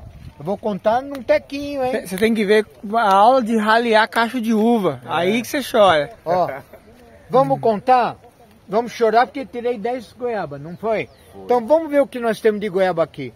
1, 2, 3, 4, 5, 6, 7, 8, 9, 10. 11, 12, 13, 14, 15, 16, 17, 18, 19, 20, 21, 22, 23, 24, 25, 26, 27, 28, 29, 30, 31, 32, 33, 34, mais 4, 38, 40, 44. Ó, só aqui, só aqui tem 50, 55 goiabas. Metade eu vou ralear. Então conta 25. Aqui tem 25 goiaba que eu vou ensacar. Quantos 25 você tem aqui, olhando a planta, olha o tamanho dela. Quantos 25 goiaba você tem ao, ao entorno dela? Bem mais. Quanta, quantos você acha que vai ter de goiaba aqui já pronta para ensacar? Aqui 25, é 50. Metade eu tirei. Conta 25. Umas 200? 200 frutas bonitas, vai dar 400, você vai tirar 200. Fez mal eu tirar 10 aí do meio para entrar sol na planta? Não. E essa poda também, ela ajuda o fruto a crescer mais? Lógico, mais força lógico, não é a poda, é o ralhamento. Além de você Ralhamento, tirar é. material que está de excesso, como cada lugar tem 6, 7 goiabas, eu vou deixar 3. esse mais que você tirou, sobrou menos fruta, vai dar fruta mais bonita. Por quê? Menos competição. Olha lá. Ó, pe- pe- com gentileza, sem brutalidade, pega na ponta desse galho, você que é alto, puxa um pouquinho para você, mais um pouquinho. Pode abaixar, ele não quebra não. Olha, olha a altura dela. Olha que planta bem aberta. Aqui é 250 goiaba de qualidade. Se Se você quiser, mudinha. pulverizar e dar andamento, senão vai ter só bicho nela. Aham, sim. Então pra você entender, ó. Olha, você, isso que tá indo pra cima, ó, esse sai, ó. O do lado fica, porque tá baixo pra você. Mas esses daqui também Tudo- vão sair, né? Tudo Essa que vai pra. aqui. Isso, isso, isso, exatamente. Tudo que vai pra, pra ponteira sai, fica dos lateral. Porque ó, pega mais sol, tá mais Aham, equilibrado. Entendeu? E quando você alivia a planta assim, você acaba tendo mais insolação, e mais insolação é menos. Ó, aqui tá errado, não tá pra você cima. Eu não quero, eu quero os dos lados. Esse que vai pra cá, tá errado, eu já tiro. Ó, mais um aqui, ó. ó. Essa parte de entrar sol no meio da frutífera, aprendi com você é, Toda- podando o pé de goiaba. Toda fruta tem que, ser, tem que estar um pouco de, De luz goiaba solar não, dentro dela. jabuticaba. É. Ó, veja que aqui, ó, vou fazer um exemplo. Aqui, ó, você não está enxergando nada. Então agora eu vou começar a arrumar. Você vai ver o que eu vou achar ela, quer ver? Ó. Então esses brotos que forem crescendo mais pra cima aqui, Ó. consta tirar, né? Esses daqui, ó. Que estão crescendo pra cima. Não, e- esse tá crescendo para cima, mas ele é de fruta. Você vai ver que muitos nascem para cima e não tem fruta. Entendi. É só vegetativo. Uhum. Deu para entender? Entendi, entendi. Então, o que a gente faz, como esse broto daqui um mês e meio, ele vai estar com um metro e meio, daqui no fim de novembro, você corta a ponta dele. Ele pare e a fruta cresce. E não deixar ele crescer 3, 4 metros de altura. Quando ele crescer mais um pouco, você corta a ponta dele, que aí a fruta fica mais, ela, ela cresce mais. Porque a vitamina não está indo embora para a ponta. Você parou, não tem mais para onde crescer, a vitamina vem para a fruta. E dá menos sombra. Porque se isso tudo crescer um metro e meio, dois metros, imagine se em dezembro vai estar uma escuridão aqui, se tudo isso crescer dois metros. Então aí a ponta você corta para deixar ela entrar mais sol. Entendeu? Você vê que é uma norma? Deu para entender? É uma norma. Ó, aqui eu não estou enxergando nada. Olha agora como eu achei a planta, ó. Tem dia que você faz isso direto no pomar. Você tem que fazer para você abrir, para preparar a planta para ser eh, tratada ou ser pulverizada. Ó, olha que estou fazendo exemplo, hein? Ó, por enquanto tá muito tumulto aqui, não dá para enxergar nada. Olha o que eu estou fazendo agora, tirando a- as folhinhas de trás. Olha bem, você lembra que aqui não dava para enxergar nada? Você lembra? Você lembra agora há pouquinho? Apareceu ou não apareceu? Apareceu. Agora você vai pulverizar, ralear e começar a ensacar na hora correta. Você vê que é uma norma semanal o teu pomar? É uma norma. Não adianta fugir da norma. Então a gente olha o que tem folha a mais, tira. Ó, aqui tinha dois galhos fora de posição. O que eu fiz? Deixei dois, um para a direita e um para a esquerda. Porque aqui tinha tumulto. Não podia ter aqui quatro galhos produzindo, ó. Agora tem dois. Olha lá. Não vai bater sol? Em cima, se tiver tumulto, ó, esse pouco que você mexe um pouquinho na folha, quando você vê muita folhagem, além de melhorar a fruta, o sol entra aqui e pega embaixo. Porque se abrir um pouquinho aqui, presta atenção. Não adianta que tá todo fechado, porque aqui a parte de baixo vai ficar mais na sombra ainda. Então você ajuda a planta como um todo, a, a, a luz do sol. Olha, você viu como a planta apareceu? Olha, eu vou no outro lado lá, eu gosto de mostrar quando eu falo, viu? Ó, aqui só para comentar com vocês, isso aqui chama limonete. Ah, nossa, Aí já- depois, se você quiser, pode um galinho para levar. peixe. É, só o galinho, É. fincou o galinho e pegou. Essa aí tá muito grande. Lá em Tem- casa não cresce tanto assim não. Ixi, né? Porque o É, pessoal mas vem aqui poda é- direto quando vem. A terra tá ficando boa aqui, patrão. É, lógico, Tá, tá ficando boa. lógico. Hum. Tá vendo a goiaba aí, o bicho tá começando a ficar bom. Essa estacazinha aqui de, de capuchinha, será que pega? Você- eu acho que você tem que tirar um pouquinho de raiz dela, viu? Eu vou voltar ali depois. Um pouquinho de raiz. Mas pegar, acho que pega sim, mas é um pouquinho de Olha. raiz é mais garantido. Deem uma olhada, eu tô mexendo aqui só num lado para vocês verem, que aqui não dava para enxergar direito, porque tinha muito galho, tinha muito broto fora do lugar. Uma coisa também, Sérgio, nela, que eu vou mostrar pra você, é a parte de baixo também, né? Que tá brotando pra todo lado. Tirar o ladrão igual toda, toda planta nasce broto embaixo, tem que tirar. Nos sítios ali a gente tem bons exemplos, que sobe ali até o pote enxerto mesmo. Sérgio, essa aqui, você acredita? Que o, que o tempo tá ruim hoje? É, porque veio uma vizinha aqui. Ah, Você é? acredita? Primeira vez apareceu um vizinho Ah, aqui. daqui, é. Que tava preocupado. Ó, veja só, aqui estava tudo fechado. Olha o pouquinho que eu tirei, excesso de folha e galhos mal posicionados. Ó. Ó. Vê se você a planta apareceu ou não. É uma limpeza. Olha bem. Eu tiraria essa aqui, ó. É, eu também acho que ela tá bem, bem pra dentro, né? Tem razão, pode tirar. Porque tem um bom aqui, ó. Tem um bom aqui, ó. Esse já, você falou tudo, ó. Olha lá. Tá, o olho tá ficando bom, tá vendo? Ó, um pouquinho que a gente mexeu, agora você olha Entendeu? onde não mexeu, você fala, Tocou? pera aí, ali Depois tem que muita- marcar onde, muita mas- folha, um pouquinho tem que mexer. Te marcar onde? Esse é o raciocínio qualquer Esse cara aqui que a gente tenta arrumar e sempre reclama a gente. Aquele é difícil, hein? Tem que pegar pesado. É a variedade. Mas tem uns aqui que você precisa estar... Se sobrar aqui já é lucro. É, é. E porque- fora que vai tirar ainda, né? Não, e ainda o que sobrar que você vai mexer, você vai ter fruta com mais qualidade. Porque você tirou o tumulto aqui de dentro. Não vai ter 50 frutas brigando. Tudo podre. Não, pequenininho, Uhum. fraquinho. Porque tem briga de fruta. Então você tem que aliviar. Olha como atrás eu limpei tá mais bonita essas frutas. Agora ali é hora de tirar mais algumas frutas. Sério, mas deixa aí, vamos pôr um pa- Tudo depende de vocês. É que o. Você tem que começar a pulverizar e sacar, Sim. viu? Não perde isso aí, que você vai ter que umas 150 goiaba de primeira, viu? Não, não, não perde tempo, não. Dá um jeito aí. Poxa, é. Aqui eu vou tirar uma parte. Quer levar pra você, Sérgio? Não, não, obrigado. Acho que eu vou levar um galinho assim. Ó. Olha que esses dias, pessoal, eu fui tomar um suco no restaurante chique. Aí o cara. Pega tira um pouquinho. Posso plantar lá as nativas, né? Eu vou. É, pode ser o Vamos ver se vai. Ah, vai sair. Vai sair. O que mais tem é uva, pô. Vai sair bastante. Olha como aquele a gente mexeu nele, olha como tá bonito. Sim, faz um favor. Pega a filmadora pra mim lá em cima, tem como? Por favor. Pode falar, Ó, Agora tem uns buraquinhos aqui, tá? tá- Mexi em agosto para setembro, ela estava mal posicionada, puxamos com cordinha, porque como aqui é barranco, o peso dela estava caindo para cá. Então eu deixei uma pernada virada para lá e uma para lá para equilibrar a pronta. Mas olha o que brotou aí embaixo. Ladrão. Vem vigoroso, vem, só tem que Cuidado, tirar. tem uns buracos cuidado, eu só. vi agora. Tem que tirar isso aí. E broto vem, todo normal, ainda mais em setembro, outubro e novembro. Vem o broto e você tem que desbrotar, ó, o que vem lá de baixo, ó. Tá errado.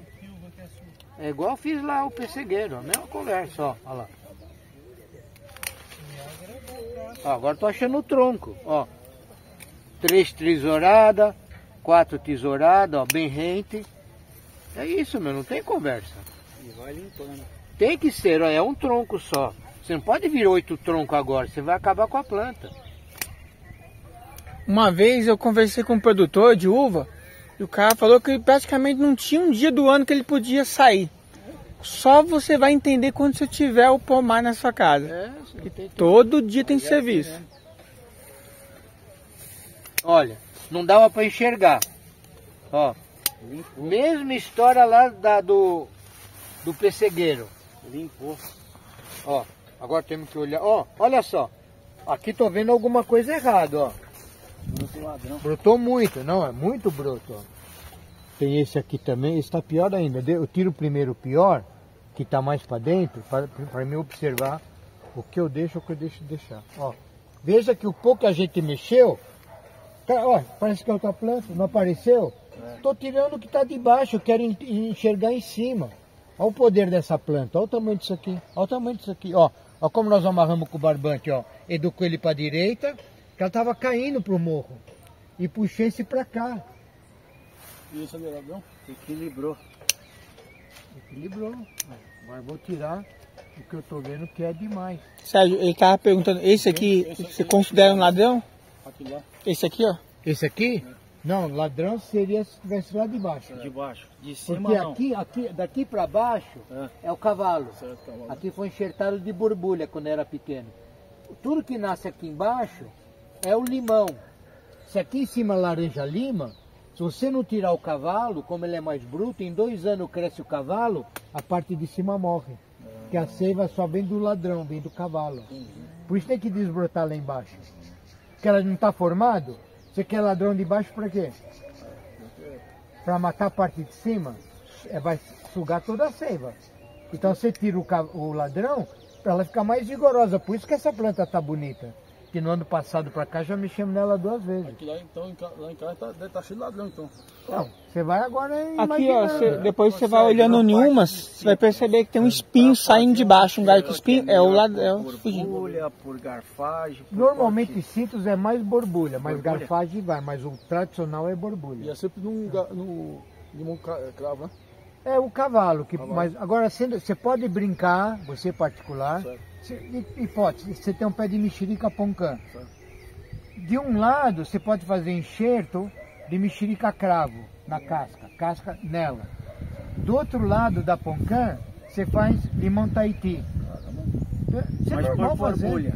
Borbulha, borbulha, borbulha. É normal. Você brinca com a planta como você quiser quando você tem um pouco de prática. E fica útil para ter colocar uma estaca. Tá. Aí para abrir mais ela, colocaria uma estaca, a borrachinha e mesma desceria para cá. Isso, tá faltando isso nessa Tá. planta. Falta um aqui. Para fazer a condição dela. Ó, pega esse aqui, por favor. Ó. Põe Tá. pra você um pouquinho. Aí, um pouquinho, não muito. Já abriu tudo. É, um pouquinho. É. Abriu tudo. Então eu vou agora do lado de lá. Tá. Sabe a- uma goiabinha pequena? Lá tem um pedaço aqui, do- lá, isso aqui nasce no mato lá. É, é nativo. Cuidado aí com a perna aí. Ó, Sérgio, essa aqui é a. Essa aqui eu acho que é uma tome.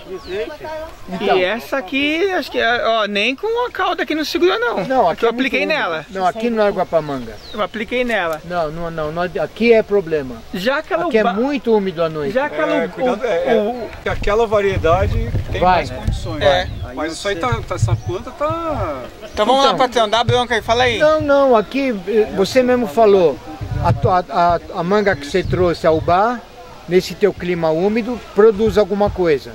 E essa tua outra manga tá toda doente por causa da umidade da noite, não é?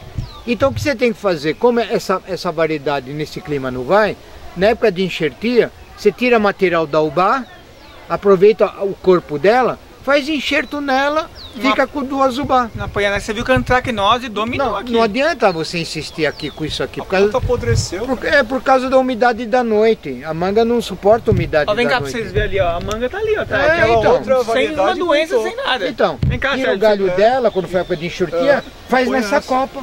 Muda a copa, não arranca a planta fora. É, aí eu acho que vai. Lógico que vai. Não, mas é legal o pessoal fala às vezes que, que aquela ela ali não foi- vai. Eu queria dizer assim que a variedade também conta, ó. Você pode vir ver aqui, ó. Lógico que variedade muda, lógico que muda. Ela tá assim. Mas aqui, Sérgio, você não faria uma, desbro... uma, uma Ah, formação nela? Sim, sim. Amor, mas ela tá bem mais formada, né? Bem mais. É, mas ela tá. Você vê que de um ponto aqui, ó, que a gente fala. Ó, olha aqui. Olha, olha como de um ponto nasceu um monte de broto pra, pra dentro, ó. Olha. Olha como ela tá tumultuada. Você tem que aliviar esses aqui, ó. ó. Não adianta tumultuar, ó. Ou seja, que aqui, pessoal, seria uma continuação. Teve o corte com 80 centímetros, formou, escolhemos os três brotos, e aí agora já teria que dar continuidade em cima. A planta tinha mais de um metro e meio, cortou 80 centímetros Foi. e ficou prateado. Ó, É? três galhos que eu tirei, olha como ela abriu. Mas deu certo, né? Ó, quem quiser levar o lá pro Nobis, pode levar também, ó. Cuidado com os espinhos. Pode podar tudo. Esse aqui é o quê? Pepininho? Pepino não. Aí, Ó, tô Sérgio, tirando explica que é aí. excesso, que tem às vezes 1.8, 10 broto, ó. Tirei um pouco agora. Você não exagera, né? Você agora tem que tirar um pouco ela abrir. Ó, ó, como abriu um pouquinho ela, como ela melhorou. Tudo é tirar tumulto e galhos fora de posição. Tudo é isso, ó. Você pensa que o tá fazendo não é muita coisa? Ou se é. Ajuda é muito, ó. Olha só. Não sei se vocês conseguem ver de lá. Ó. Por enquanto é isso. Daqui mais Sérgio, alguns se meses, pra falar, a esse, gente pode aqui, ó. esse grande subindo aí, não, não, Não, seria... pode tirar, pode, pode, pode abaixar aqui, ó, se você quiser, ó. Você pode tirar isso aqui, ó. Cortar a ponteira, no caso. É, ne- essa- isso, é, em cima desse nó aqui, ó. Você segura ela um pouco e ela abre um pouco para os lados. Então, como a gente fala, tudo é, é controlar, tirar tumulto. Ó, olha aqui, ó. Você consegue perceber, Toquinho, como ela melhorou um pouquinho? Ó, não é de uma vez. Não é de uma vez. Ó, aqui tem uma, uma bela. Ó, quem quiser comer uma Ó, já manda o pessoal aí já, ó. Quem quer aí? Quem quer o quê? Acho que ninguém quer, não. Quero, dá uma mão pra mim. Você percebeu então o que você pode fazer com essa planta que ela segura um pouco de fruta? Você tira o material dela daqui a alguns meses e faz a, Tira toda se- essa tá nas tuas costas. Vocês que chegaram agora, não sei se vocês entenderam a conversa. A gente tem aquela manga ali, acho que é, acho que é tome, e não aguentou. Essa aqui a gente não cuidou de nenhuma. Não, Já o bar aqui, bem mais resistente. Tá bonita, segurou Essa é o fruto. bar. o bar. Aquela que você trouxe do interior. Essa aqui é do norte de Minas. Norte de Minas.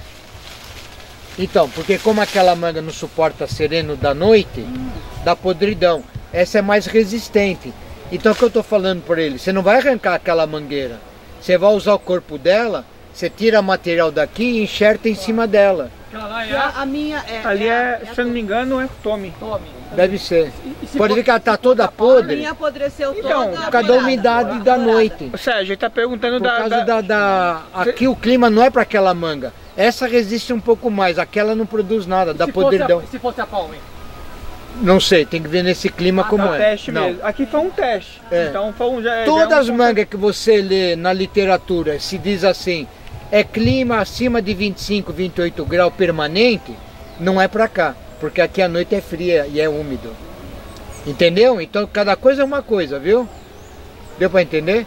Então, ó, esse pouquinho que a gente mexeu vai, vai ajudar ela a abrir e depois a gente pode fazer um, um- um encontro quando você quiser, mudar a copa daquela ali, tirando o material daqui e pondo lá. Legal. Dá pra enxertar Ela isso? deu. Ah, Ela, acho que dá. Tá. Quando dá antracnose desse Como ela já jeito tá aí é porque é dando- muita umidade. É, à noite, né? Uma Como ela já coisa tá, assim. já tá.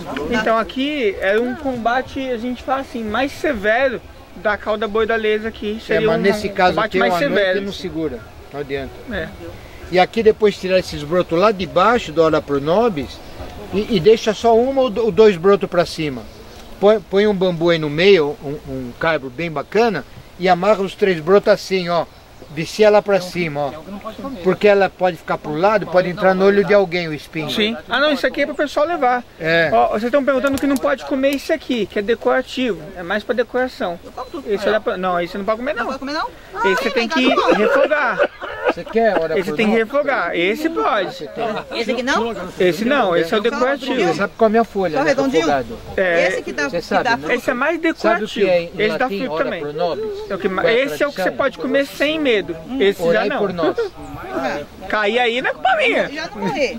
Morrer não morre não. Pessoal, vocês querem levar aqui, pode. é- é- Isso aqui é pra levar tudo. Vocês entendem a folha, comer. É. Aqui eu posso comprar.